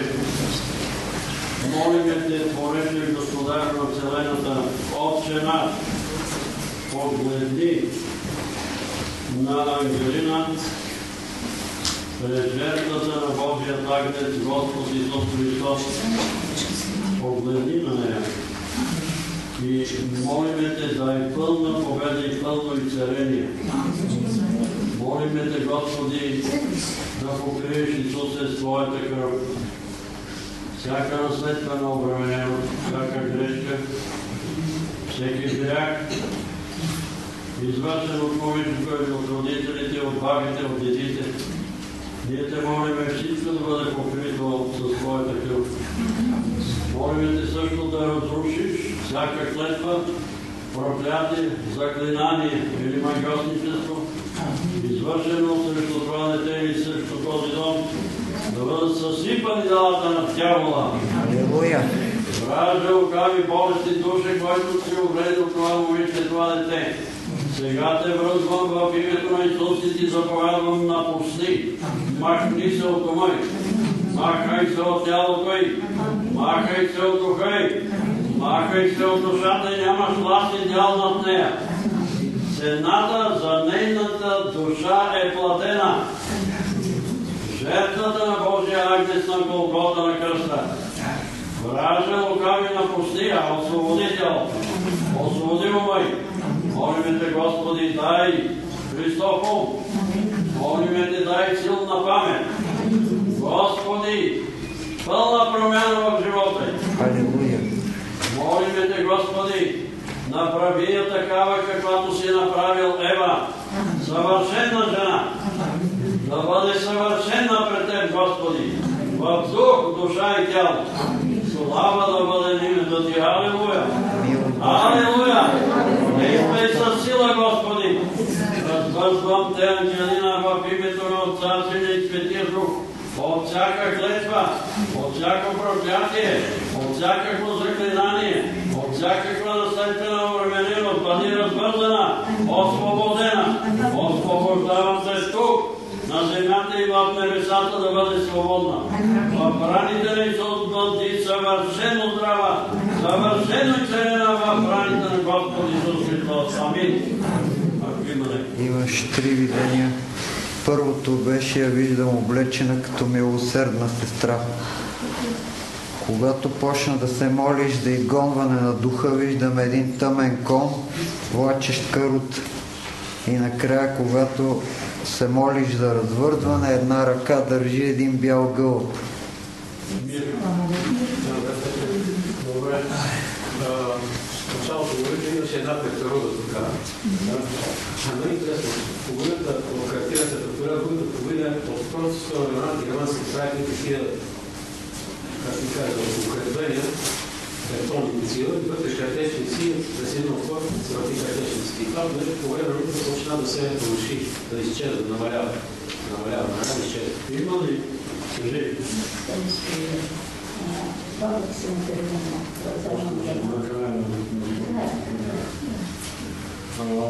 Подозирате ли, че някой може да ви дал не? Възможно. Защото така ще да го означава да много се руши. това време е говоря последно. Понекога, за съжаление, роднини към нас. Дори момичета с леко очила, има очилата.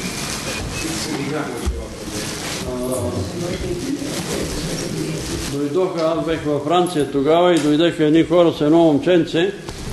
Красиво, една къдрова косичка, но няма. И споделиха родителите, че а те двамата италианци много красиви и се обичали, обаче момчето е от голям род, момичето от беден род и майката, свекървата, като казала, няма да я вземеш тая бедна. Не може да вземе. И той обаче казва, напускам богатия ви дом, вие си живеете с богатствата, аз си отивам при моята любима и се жена. И на сватбата майка му казала, проклети да се, проклети да е потомството. Каква е тая майка? И това дете се ражда не. Не искам да кажа, че вашите свекари, свекърви или това, но може и роднини да го правят, но некой кълне. Но вижте, повярвайте, че клетвите им вече немат сила. Защото Господ казва Словото си. Както е когато хвъркне враче отлети, лястовица, когато прелети, така на празни клетви Бог не изпълнява.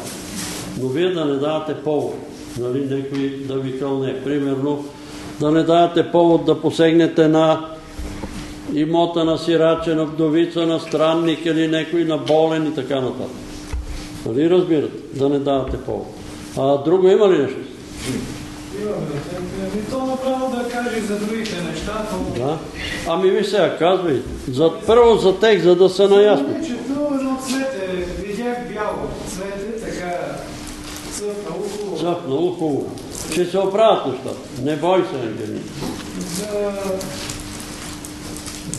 туморите, като се моли за туморите. Тумори, да. Молитва виждам един стълб, горе една бяла дупка, където е стълба, и една змия, по него, по него отидаме горе. Това е за туморите. Тумора излиза от главите или от а, телата на некои, а, но не знам некои да не са прави това да не е пак кундалини, тая змия, която некои християни ходят и занимават, да, са- за съжаление, моята сестра се препира с мене, че това няма никакъв проблем, с йоги. Да не би и вие да сте занимавали с йоги. Защото се играят с огъня. И йогата е окултно учение, разберете го. Те си вярват, че една змия върви по кръста на гръбнака и прави отвор, проби в мозъка на човека и се свързва с отвънния свят. И е възможно някои хора, които занимават с йога, точно да се разболеят от рак. А те ми е, че това не е това, ами това е физкултура. Това е физкултура. Но дай Боже, той е дух на рак да е изчезнал от ако има тук между нас болен от рак. Аз имам убеждението, че е точно това, че изчезна предупката за... И изчезна. Тоест напуснала е тялото, той е дух на рак. И забележките виждам кръгнака, хвъркват и като падат, така падат и се образува от тях като букет. От самите бележки. Ами вярвайте, че така ще стане. Имаш ли нещо да... Проблемите ще станат на букет, на подарък. Друго нещо имаш ли пак? Има, да. Ай, я да седна малко за 5 минути. За дрехите видях един кръст, който така беше обвърнат от пламъци. Хоризонталната и хоризонталната и вертикалната града в пламъци. Пламъци. И по едно време влезе в амбона това кръст. Какво направи? Влезе в амбона. Вътре в амвона. Ами това са страданията, които ще бъдат изгорени, ако вие повярвате, че тия помазани дрехи са осветени и като ги сложите на телата на хората, страданията ще бъдат изгорени и ще изчезнат. И ще останат само тук в амвона за свидетелство. Така, за обладаните от духове виждаме едно черно същество, грозно, приличащо на кон. И когато се моли за да се бъдат избрани мъдри политици, ми мина следната мисъл. Избират глупави политици. Както виждате и на тия избори партиите са същите. И аз призовавам мъдри човеци да основат нови партии и да съборят тия стари партии. Защото ще бъде същото, повярвайте ми. Старите партии се маскират под нови имена, иначе всичко е също. Това го виждам. За българите по света, значи виждам едно стълбище, което върви надолу. Това виждам. По света има много съблазни. И като отидат там, нали, ще им предложат.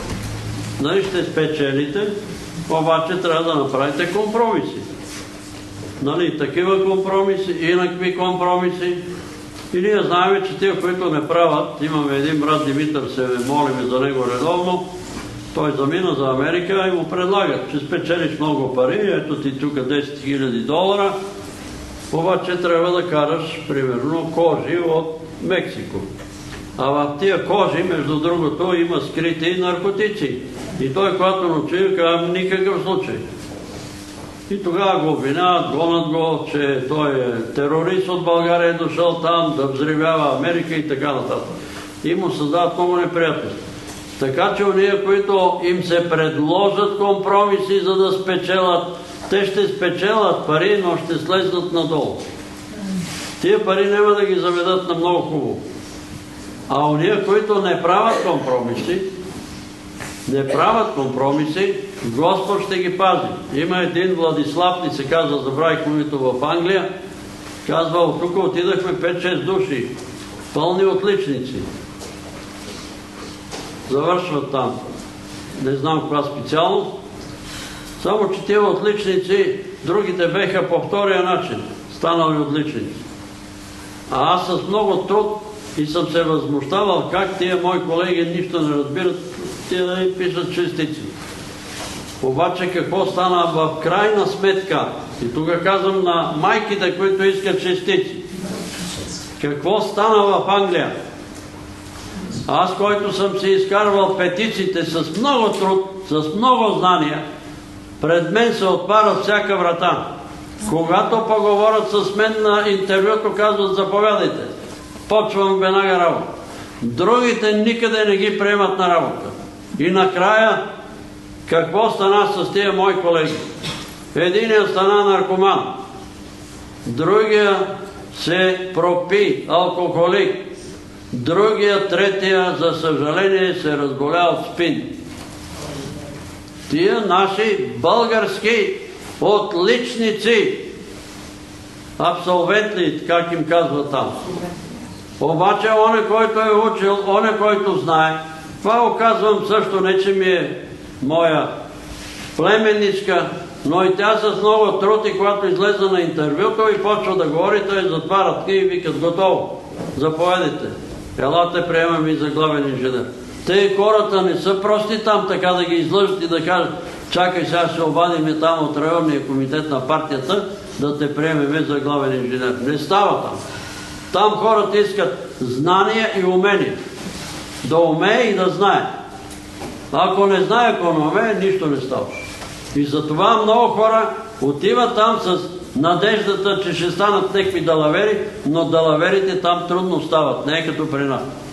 Далавери стават навсекъде, но далаверите водят надолу. Надолу, надолу, надолу и все надолу.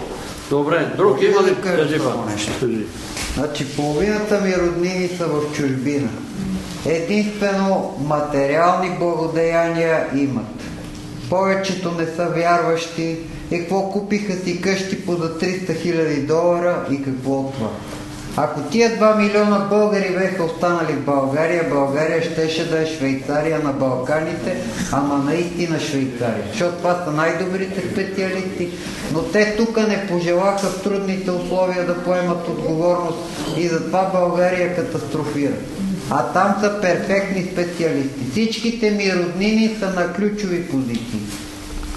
Работят, изкарват, но само материални благодеяния. Духовно ги няма. Това е истината. И като дойде онзи час, богатствата остават тук. Апартаменти, вили, коли, самолети, всичко остава тук. Нищо не може да вземе със себе си. Мисля, че Рокфелер, предния Рокфелер, не това, който е сега, като умирал, казали да му поставят ръцете така, да видят хората, че не е вземал нищо в ръцете си от този свят. Нищо. Нали, милиардер. Добре. Брат Димитър, заповяда. Направо там. Добре.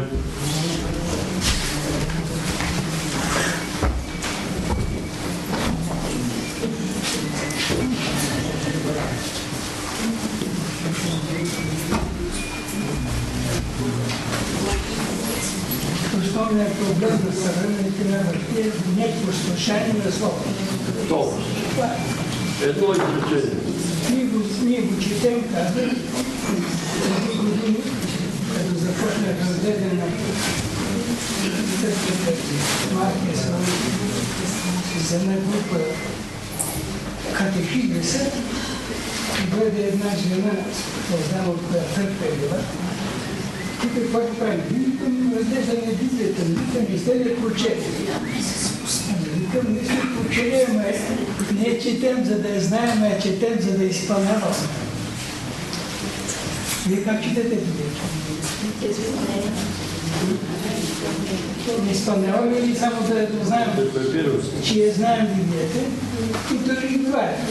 Ама аз го знам, това е определението и оправдание. Аз го знам това. Но знанието, казва апостол Павел, възобновява.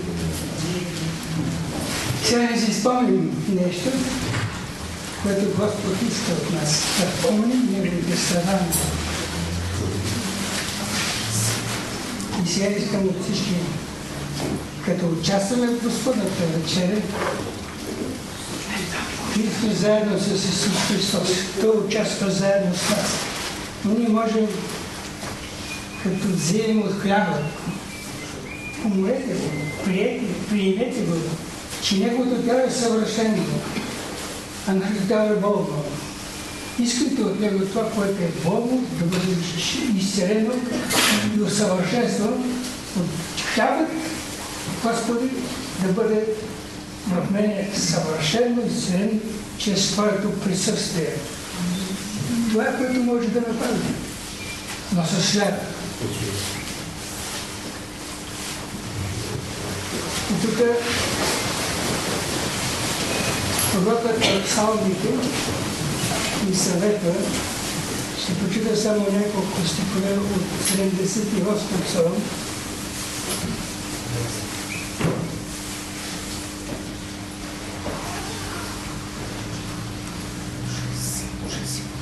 че това, което правим, трябва да го помним и да го предаваме.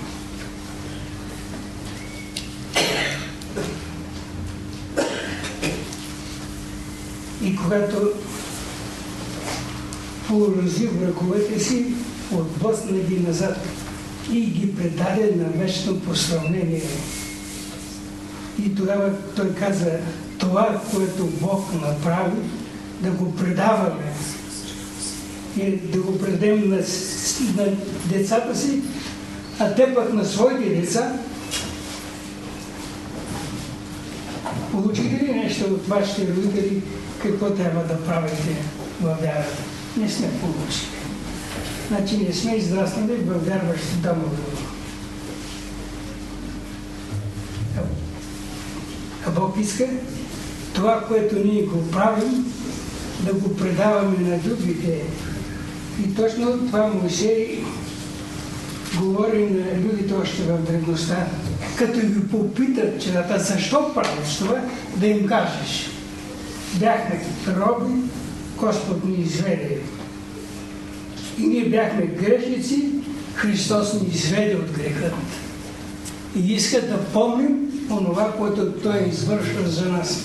Именно това, което Христос каза на учениците е записано в Евангелието от. Това правете за мое възпоменание. Какво ще споменем? Смъртта Господ Исус Христос. А защо е тя смърт? За нашето спасение. И именно Христос иска да помним. И така, през нощта, когато Христос бе предаден, евангелист Матей е записал тая последна вечеря, която Христос има със своите ученици. И когато ядеха, Исус взе хляб, благослови и го разчупна. И като го даваше на учениците, рече, вземете и ясте. Това е моето тяло. Взе и чашата и като благодари, даде им и рече, пийте от нея всички, защото това е моята кръв на Новия Завет, което се пролива за прощаване греховете на мнозина. Но казвам ви, че от сега няма вече да пи от този плод на лозата, до ден, когато ще го пия с вас нов в царството на моя отец. И като изпяха хим, излязоха на втор. Амин. Брат Христо, водени в. Слава на Отца, Сина и Светия Дух сега, винаги во веки веков. Амин. Да се разпръснат всички врагове на Господ Исуса Христа по път са дошли по 7 и по 10 път ще. Амин. Господи Исусе Христе, Силе Божи, благодарим Ти, Господи, че Ти цар на царете, Господ на господарите, на всяка власт на небето и земята. Алелуя. Благодарим Ти, Господи, че Ти си пътят и истината и животът и никой не дохожда при Отца, освен чрез Тебе. Благодарим Ти, Господи, че Ти си възкресението, животът Ти, който даде, който дойде при Тебе. Никак няма да говориш, Боже. Който вярва в Тебе, никак няма да умре, а ще живее до века. Благодарим Ти, Господи, че Ти си хлябът на живота Ти, който дойде при Тебе, никак няма да обладнее и който вярва Тебе, никак няма да обладнее. Благодарим Ти, Господи, че Ти си изворът на живота вода, и който вярва в Тебе сам ще стане извор на жива вода. Благодарим Ти, Господи, че Ти си светлината на света, Ти, който те следва, няма да ходи в тъмнина, но ще има светлината на живота. Благодарим Ти, Господи, че Ти си единствената врата на спасението, който влезе през Тебе и ще влиза и ще излиза и паща ще намира. Благодарим Ти, Господи, че Ти си добрият пастир, който даде живота за всички нас. Благодарим Ти, Господи, че Ти повисна на кръста на Голгота и умря за греховете на всички човеци. Биде погребан, но възкръсна в третия ден за, според писанията за оправдание на всички, които вярваме и те първо ще уповал към Тебе. Благодарим Ти, Господи, че Ти изпраща Словото си, то ни изцелява. Благодарим Ти, Господи, че Ти прощаваш всичките ни беззакония и изцеляваш всичките ни болести. Благодарим Ти, Господи, че Ти на кръста на Голгота понесе всички наши болести и немощи. Помогли ни, Господи, да бъдем винаги вътре за греха, живи за Тебе, чието рани ние се изцелихме. Слава на Отца, Сина и Светия Дух сега, винаги, во веки веков. Амин. Както казах, това е заповед, като Христос дава на своите ученици, това правете за мое възпоменание. Христос иска да помни неговите страдания. А това ще рече да помним какво Той е претърпял за нас, какво е понесъл. Неговите страдания са резултат от моя грех и това е грех. Това Христос иска да помни. Защото Словото казва, че Той е жертва за грехът на човека. Той пожертва себе си заради нас. Защото Словото казва, заплатата на греха е смърт. И Христос получи тази заплата за мен и за теб. Той обяснява на църквата в Рим своето послание, заплатата на греха е смърт, а Божия да и живот вечен в Христос Исус. Ние получаваме Божия дар. Вечен живот. А Христос получава смъртта заради мен и заради теб. Тази кръв, която бе пролята от Господ Исус Христос, и която покрива греховете ни, която изчиства греха. Няма друго средство. Апостол Павел обобщава всичко, като се обосновава на жертвите в Стария Завет и каза, мога да кажа, че прощаване на греха без проливане на кръв няма. Защо? Защото Святият Бог приема само нещо, което е свято. В мен няма нищо свято, ако вас има добре. Но Бог приема само това, което е свято. И затова не се опитвате да правите нещо, което Бог ще ви приеме с благодарност, че вие давате нещо на Бога. Защото всичко това, което ни е умърсено с греха. И затова и умираме. Това тяло е умърсено от греха и то трябва да изчезне, да се създаде съвсем ново превъзкресение. И това Бог е предвидел. Кръвта Бог определя по силата на живота, който е в нея, служи за умилостивение.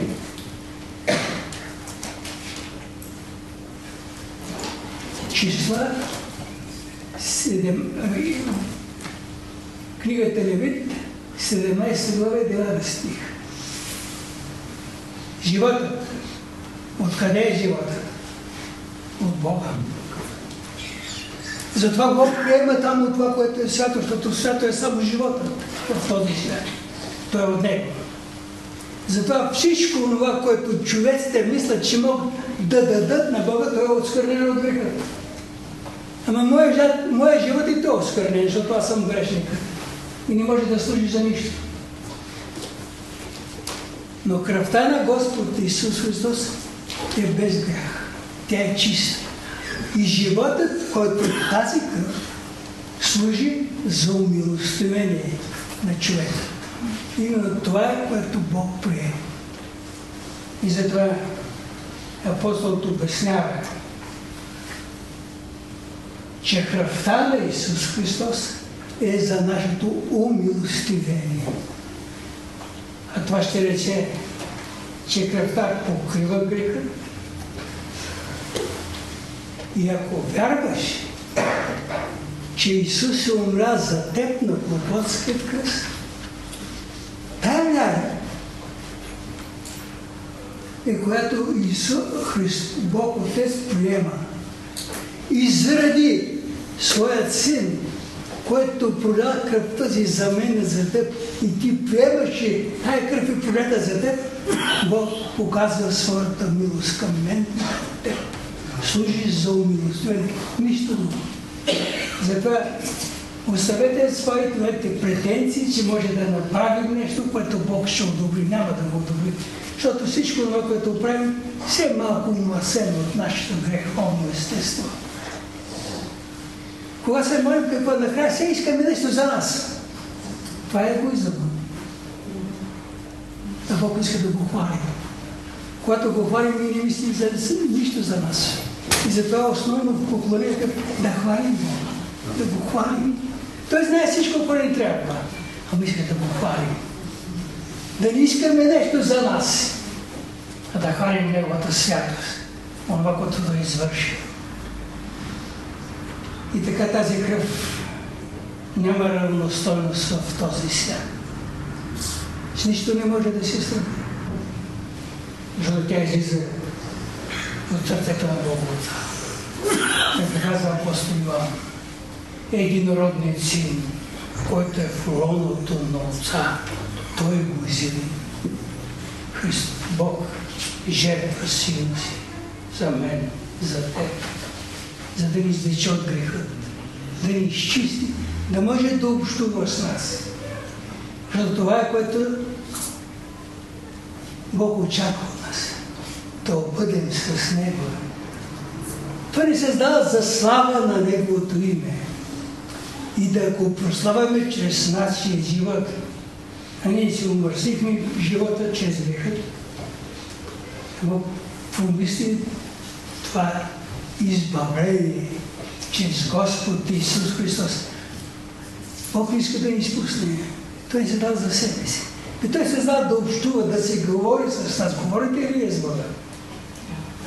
Чакате ли да ви говори? И казвате, че Бог ви говори. И като се молите, искате да ви говори. Той ще почне да ви говори. Ще почва да идва вас в вашия бум мисли, които вие за тях не сте мислили никога. Но той иска да ги приемете. И като ви каже нещо, да го изпълнявате. Ако не го изпълните, той няма да ви говори, защото ви не слуша. И тази кръв бе пролета на Голготския кръст. И това е същността. Но кръстната смърт на Господ Исус Христос, че тази кръв покри грехът на целия свят. Бог не вижда през кръвта на Исуса нито моят грех, нито твоят, защото той е покри. И затова Словото казва, кръвта на Сина Исус Христос ни очиства от всеки грех. И като ни очиства от грехът, ни въвежда в своето царство. Защото там пък не може да има грех. А Бог иска да общува с нас. А Той е свят. И святът общува само с нещо свято. За да бъдем във връзка с Бога, да общуваме с Него и Той да общува с нас, трябва да няма грях в нас. Защото грехът гори в Божието присъствие. Искам да го запомните. Грехът гори в Божието присъствие, защото Бог е свят. Така казва Словото. Огън пояждаш. Божията святост гори грехът.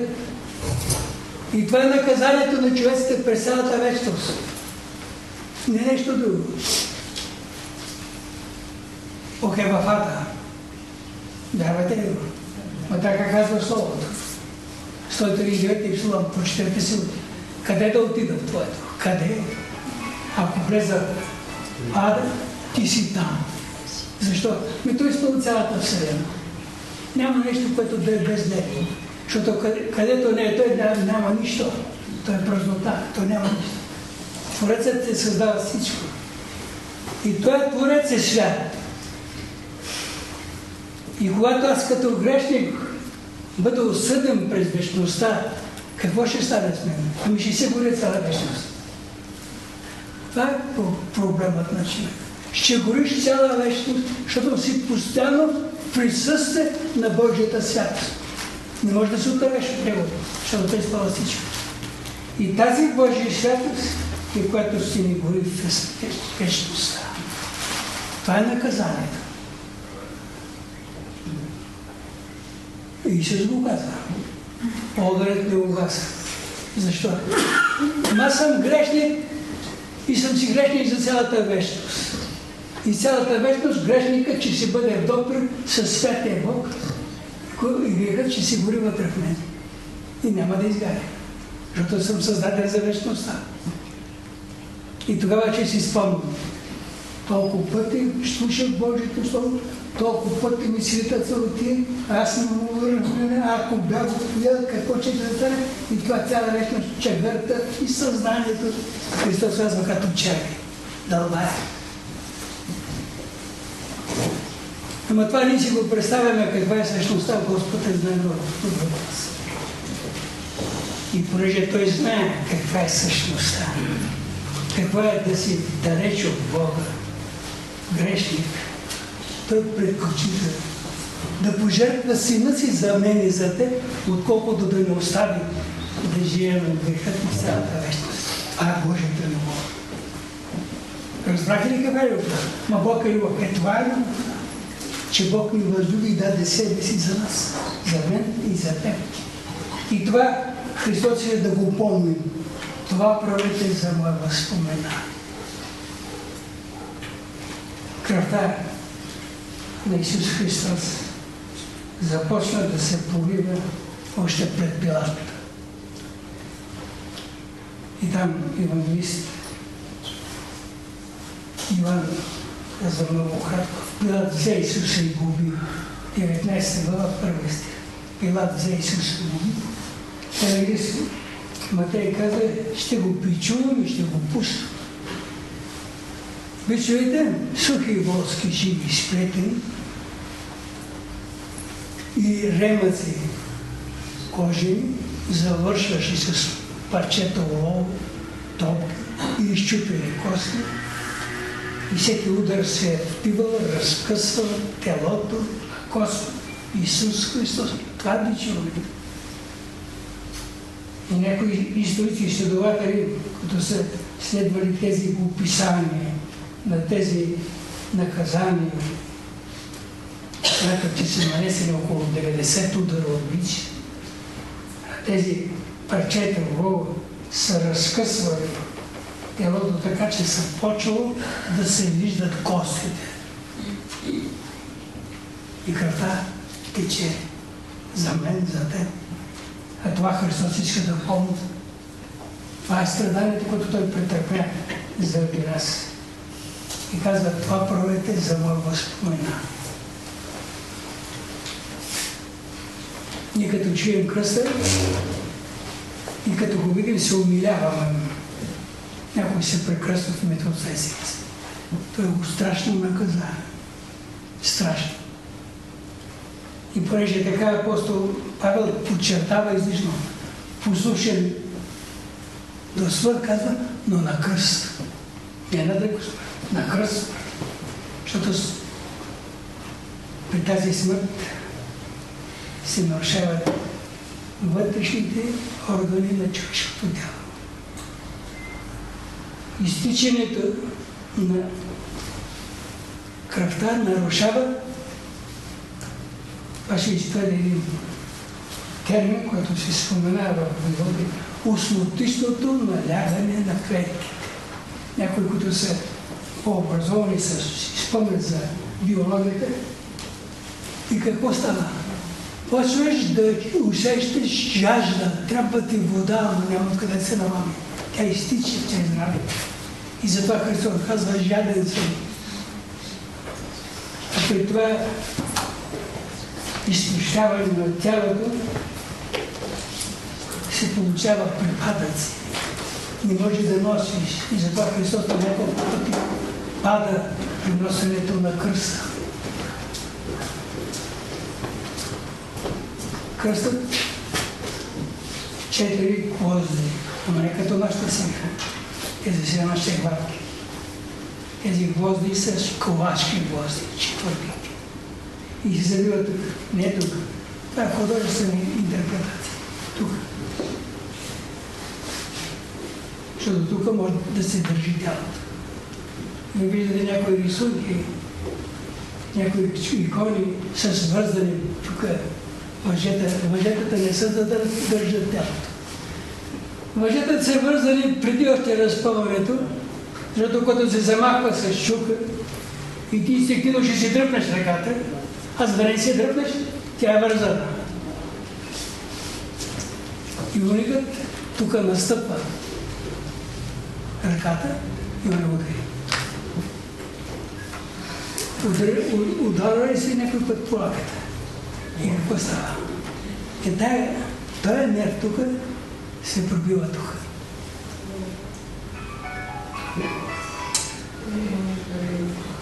А от тук върви един нерв, нервус изжадикус от домалкия пръст. Като се завива петата, тук разпъва се на кръка, гвоздът закача този нерв. Представете ли си болката? И това, което Христос претърпява. И когато е обвиснало тялото така, тук рамените и кости, рамените сами се разводяват. И псалмопевец казва, костите ми се разбубиха. Това е кръстът. А като се изправи, разплатият, то увиса на тези рани. И те разкарват още повече. И трябва да се спусне. И всичко се разтрусва. И това разкървява още повече. Това е кръстното. И затова апостол каза, смърт на кръст. И Христос иска да помним това. Ще го претърпя за мен, за теб.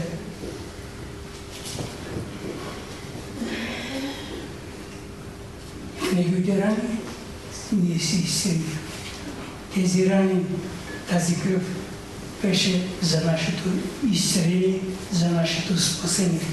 Защото кръвта по силата на живота, който е в нея, служи за умилостиве. Тя служи за умилостиве. Ако не беше пролета кръвта на Христос, нямаше да имаме милост от Бога Отца. Но когато Бог Отец вижда тези страдания, които пренася Неговият Син, а ние повярваме, че Той страда за мен. Това сърцето на Бог Отца се възпламенява от тази любов към син и се простира към всички тези, които са повярвали. И Той показва своята милост към нас. Неговите рани. Бог ни спася. Затова Христос иска да си спомним винаги за тези страдания. И апостол каза, колкото пъти едете този хляб и пиете тази чаша, възвестявате смъртта на Господа, докато дойде. Затова вярвате, колкото да са, където и да са, винаги ще се събираме около хляба и да си спомним за смъртта на нашия Господ Исус Христос. И затова не се оставяйте да изцедвам в дявола, да не участвате в Господната вечеря. Същността, която е Христос я знае много по-добре и затова иска да си спомним за него. Когато взиеме хляба, ние ставаме съпричастници на светостта на Господ Исус Христос. Като участваме в Неговето алтара. А алтарът е кръст. И в Стария Завет ни се казва, че този, който принася жертва и, се, и участва в светостта, която се извършва чрез алтара, на който се принасят жертви. И така, когато взимаме от хляба, ние ставаме съпричастници на светостта на Господ Исус Христос. А когато отпием от чашата, ние ставаме съпричастници на вечния живот на Господ Исус Христос. Той го казва. Който иде ми и пие кръвта ми, има вечен живот. И затова винаги трябва да бъдем готови да участваме в трапезата на Господ Исус Христос. Кажете, да, ние сме извършили грех. Ние сме били поначало грешници. Не можем да станем достойни, за да участваме в Господна търпета. Няма да станем никога. Ние живеем греха, да сме увърстени от греха и се стараем да се пасим от греха, но Бог ни пази чрез своята благодат. И това е едно от средствата, които Той използва, за да може да подсилва нашата воля да се пазим от греха. Защото като знаем, че ще участваме в Господна трапеза, ние ще се пазим от греха. Точно това Той иска. Да се пазим от греха. За да бъдем готови да участваме в Неговата трапеза. Това е достойнието. Това е основна песен в Откровението. Достойно е агето. Нищо за друго не се пие там. Достойно е агето. И този, който е достоен, той се отмени, те отпочва на неговата трапеза. И ние пристъпваме към Господната трапеза с дух на благодарност. Че Бог ни изправя от греха, че ни извлекал от тинята на ръчена, че ни въведе в своето царство. Благодарение Господ Исус Христос. Налеме се с дух на покаяние, че ние сме тези грешници, които са причинили тези страдания. Именно това е, което Господ иска да възбуди нас. Благодарност към Неговата любов и Неговата жертва. И дух на покаяние, че сме тези виновници, които са причинили тези страдания. Разбира се, Словото ни предупреждава. Трябва да внимаваме. Апостол Павел пише, който не прави разлика. Не означава, че това е Господното тяло вече какво прави. Взима осъждение на себе си. Това вече не е хляба, който ни сидим всеки ден. Макар че трябва да бъдем с благодарност ден. Но това вече хляба, който е област телото на Господ Исус. И на това предупредено. Да знаем, че това вече не е хляб по Това е телото на Господ Исус Христос. Това е кръвта на Господ Исус Христос. И ние с този дух трябва да пристъпваме към Господната трапеза. И ако сме направили нещо, не сме били непослушни, ще го изповядаме. Ще си го признаем. Защото апостол Йоан точно това казва. Ако речем, че нямаме грях, лъжем себе си. Истината не е в нас. А ако кажем, че не сме грешници, па лъжем Бога. Защото той казва, че сме грешници. И какво трябва да правим? Ме да изповядаме грехът си. Ако изповядаме греховете си, той е верен и праведен да ни прости греховете и да ни очисти от всяка неправда. Е това е което трябва да направим. Да го признаем пред Бога и Той ще го очисти и си го превахне. И да пристъпваме с благодарност. Това може да направим сега. И предупреждението е това, че не трябва да смесваме нещата. Не можем да мразим някой. Не знам дали мразя или аз не мразя Трябва се. Прощаваш абсолютно всичко на всички, каквото и да, си, да са ти направили. Това е положението. Не можеш да мразиш никой, каквото да ти направят, прощаваш на всички, каквото да са извършили. Защото Христос казва, ако не простите, няма да се прости. И после не можем да се разправи с съседите. Да предизвикаш разправи, да клюкатваш за тия зоне и да се разправяш с съседите си. И след това да взимаш Господната трапеза. Не може. Христос казва.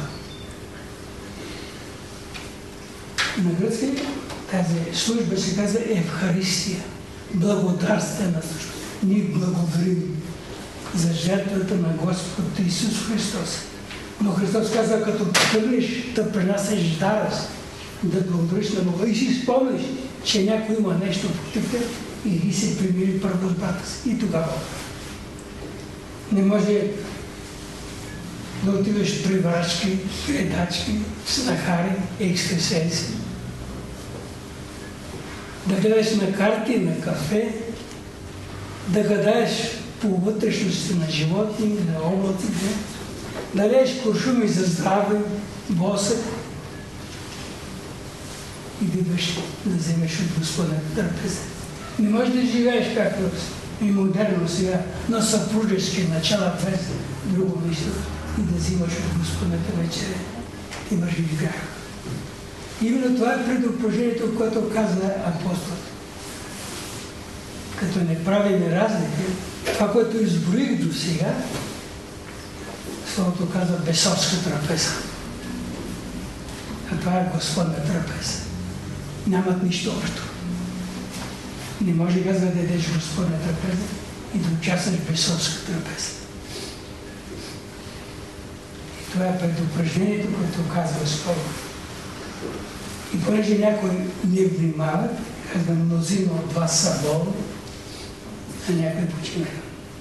Така че много от Божите съвестни си ние причина, а след това се молим Господ да ги премахне, а да си продължаваме да живеем греха и си казваме, ма нищо не става няма да знаме. Грехът няма нищо с Божията святост. И Божията святост няма нищо с греха. И затова, ако сме го вършили, преставаме да го вършим. Представяш изповядаш пред Бога и се молиш Бог да ти даде сила да се съпротивляваш на грехът. Да се съпротивляваш. Но вижте, съпротива значи битка до, до кръв. Така пише словото. Не се се съпротивлявай до кръв с греха. 12 глава, посланието към евреите. Съпротивлява се с греха, просто кръв се пролива на ти, се съпротивлява. Ама няма това много е силен съдът, казва дявола си и капитулираш. Няма такива работи при Бога. Битка до смърт. Но кръв пролива се. Христос воюва с греха и проля кръвта си на Голготския кръст, а ние казваме, ама това не може, сме слаби човеци. И капитулираме още веднага. Няма такова нещо пред Бога. Защото всичко е дадено на наше разположение. Ние трябва да го използваме. Искам да запомня още е второто послание на апостол Петър право.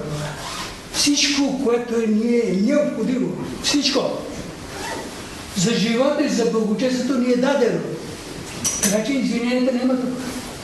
Всичко, което ни е необходимо за живота и благочестието ни е дадено. То е на наше разположение. И това благодарение и жертвата на Господ Исус Христос. И така е. През неща, когато Христос бе предаден за хляб, благослови реши да рече за те ясни. Нека да го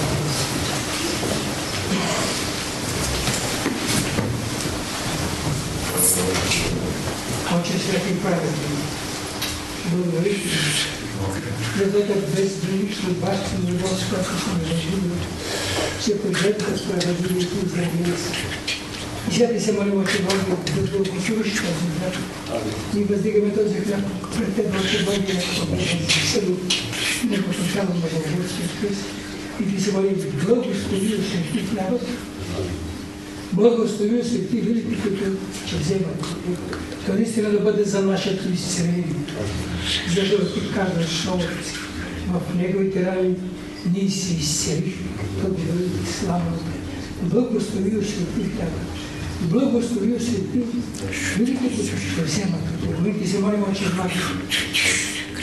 от тялото на Господа Исус Христос, което беше свято, онова, което е уважено в нас, да бъде наистина изсирено чрез Неговата святост и Неговата всеки вид. Слава ми.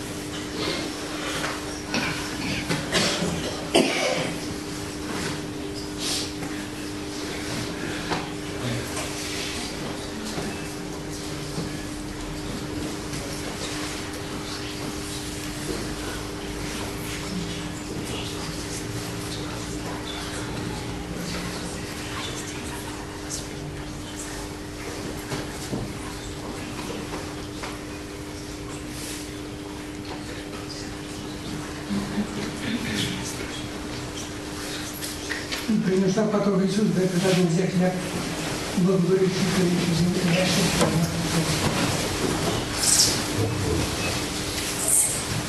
Благодаря Господ Исус Христос. И аз ще с благодарност на това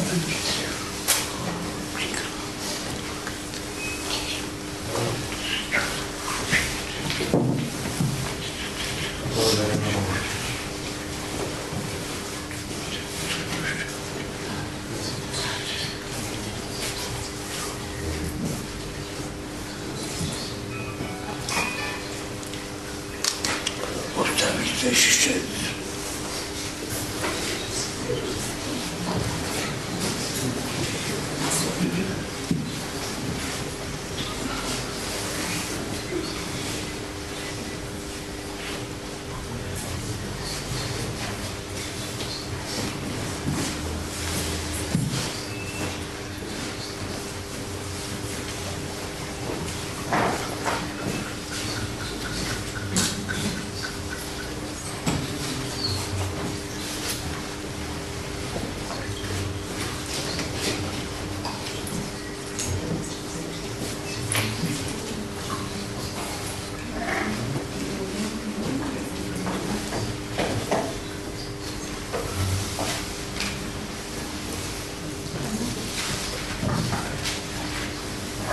Боже мой, Боже мой, защо си ми оставил? Защо стоиш далеч и не ми помагаш? Нито внимаваш на думите на охрани. Боже мой, викам деня, но не отговаряш. И нощя, но нямам отдих. Но ти си святия, който си възцарен между Израилите хвалени. На тебе уповаваха бащите ми уповаваха и ти ги извадаха. Към тебе извикаха, бяха избавени. Аз съм черен, а не човек, укоряван от човеците и презиран от другите. Всички, които нагледат прогаята си, отварят устите си, киват с глава и казват, то упова на Господа, нека го избави. Нека го избави, понеже има благоволение в него. Но ти си, който си ми изведал из отробата. Ти си ме научил да уповавам, когато бях на майчините си гърди. А те не бях оставен от рождението си. От отробата на майка ми, ти си мой Бог. Те се не отдалечиш от мен, защото с кръвта е близо. Понеже няма помощник много юнци ме обиколиха. Силни васански дихове ме укрилиха. Отвориха срещу мене устата си, като лъв, който граби реве. Разнах се като вода и разглобиха се всичките ми кости. Сърцето ми стана като восък. Разтокава се след вътрешността. Силата ми изсъхна като черепка. И езикът ми прилепна за чест. И ти си ме свял пръста на смъртта, защото кучета ми обиколиха.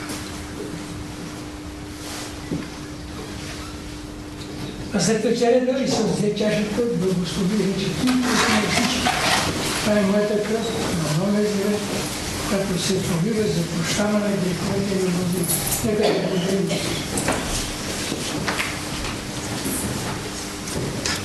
Отче святи праведни, благодарим ти за скъпоценния кръст на Твоя възлюблен син.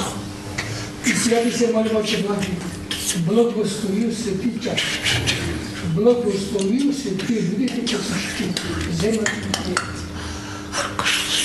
и и ти се молим, Отче благи, кръв, като бе пролята от възлюбен син, да изчисти греховете ни, защото ти казваш, но кръвта на Сина на Исус Христос ни очиства от всеки грех. Благодаря. Благословил си ти чаш. Благословил си ти людите, които ще пият. И както ни успяваш да бъдем участници в трапезата на Твоя възлюбен син, и ти се молим, да ни удостои да участваме в Неговата слава. Ама в Неговата ми. Амин.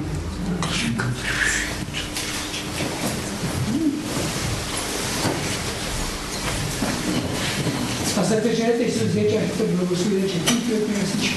Това е моята кръв на Новия Завет, като се пролива за прощаване на греховете на мъжа.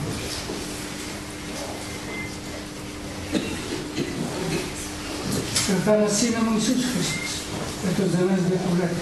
Видите, благодарност на това души.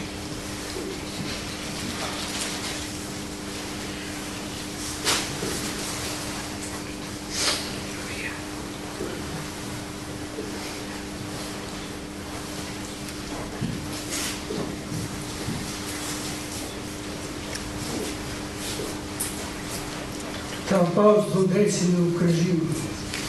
Поводоха ръцете ми и носете. Могат да преброя всичките си кости. Хората се взират в мене и гледат. Разделиха си дрехите и за облеклото ми хвърлиха жребе. Но ти, Господи, да не се отдалечиш.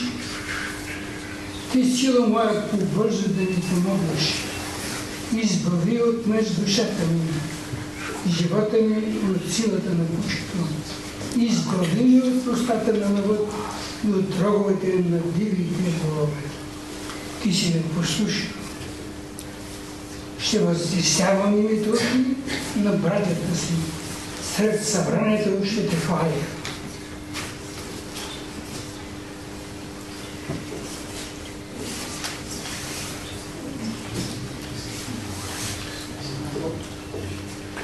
Послушай ме, Господи, защото е благо Твоето милосърдие.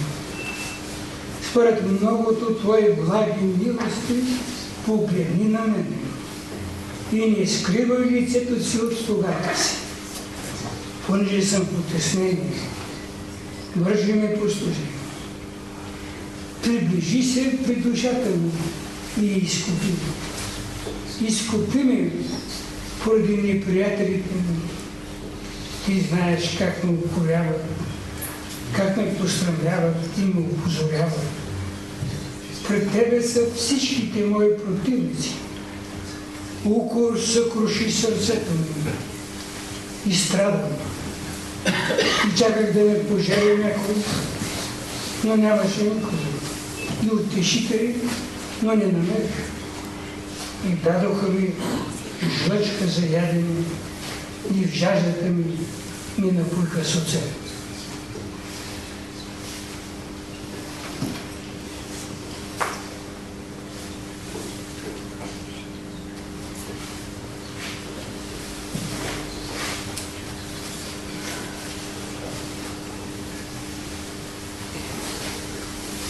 Ето служителят ми ще благоуспее, ще се възвиси и издигне и ще се възнесе твърдо високо, както мнозина се чудеха на тебе.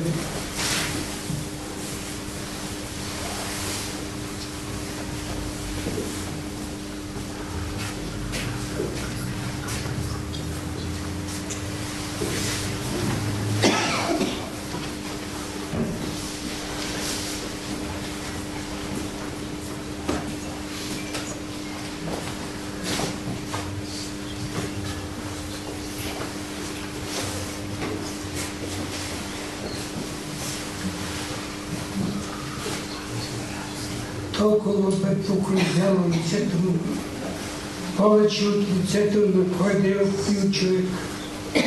И образът му от образа на кой да е от човешките силове. Така, той ще убие много народи. Съреда ще затворят устата си пред защото ще видят онова, за което не им се е говорило. И ще разберат онова, което не са чули. Кой е повярвал известен? На кого се открила мисията Господна? Защото израсна пред него като отрасъл и като корен от суха земя. Нямаше благообразие. Като го гледаме, нито красота, като желаем. Той бе презрян и отхвърлен от човеците. Човек разхърби и навикнал на печала. И както човек, от когото отвръщат хората лице. Презрян бе и за нищо го не щетало.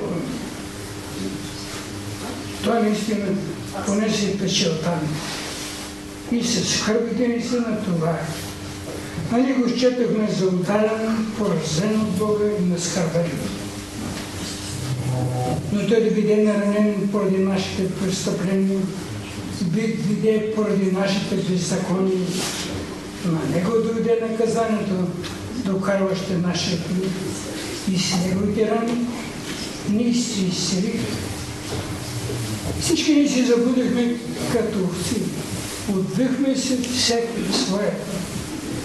И Господ възложи на него беззаконието на овците. Той бе угнетяван, но смири себе си и отвори устата си, като агне водено на клане и като овца, което пред стригачите си не издава глас. Така, той не отвори устата си. Чрез убедителен съд биде грабен. А кой от неговият род разсъждаваше? Ще биде отсечен от сред земята на живите, поради престъплението на моите люди, върху които трябваше да падне удар. И определиха гроба му между злодеите му, но по смъртта му при богати. Защото не беше извършил неправда. Нито имаше измама в устата му. Но Господ договори той да бъде бит. Предаде го на печала, когато направиш душата му принос за грех. Ще види потомството, ще продължи дните си. И това, в което Господ благоволи, ще успее в ръката. Ще види плодовете от труда на душата си и ще се насити.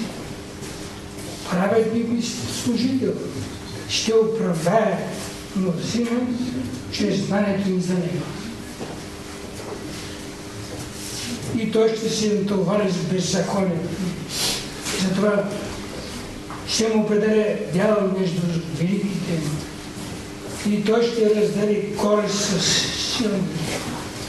Защото изляя душата си на смърт и към престъпници бъде причащен.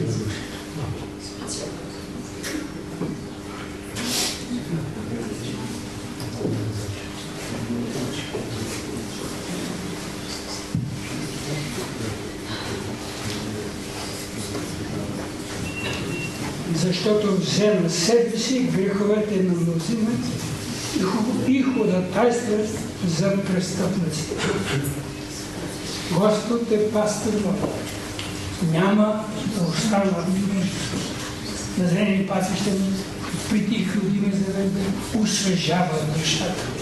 Водиме през правни пътеки заради да, и долината на смъртта сянка ходи, няма да се оплаче защото ти си сме, твоят жезъл и твоята тояга те ми успокоява. Приготвяш пред мене трапеза в присъствието на неприятел.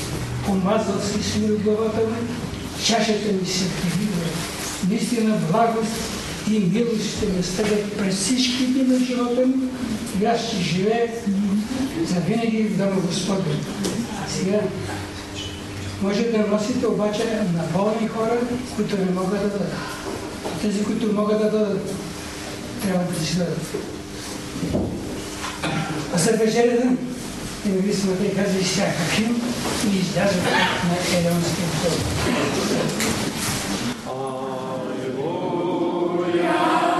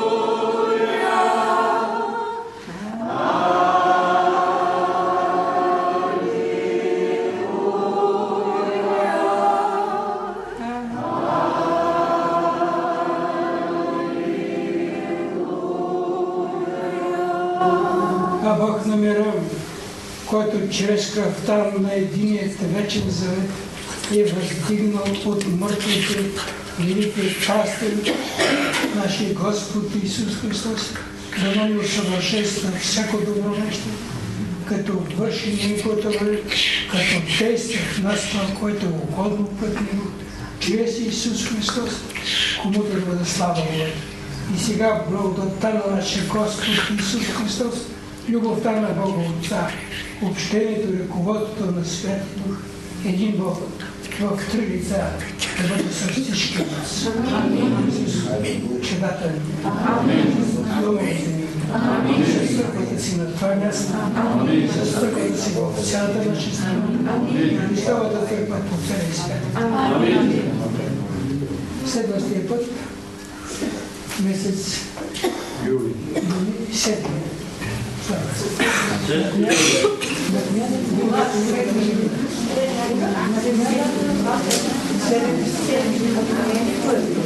Другата събота от 7 часа вечерта в зала България има концерт на Обединени български църкви от София и от Пловдив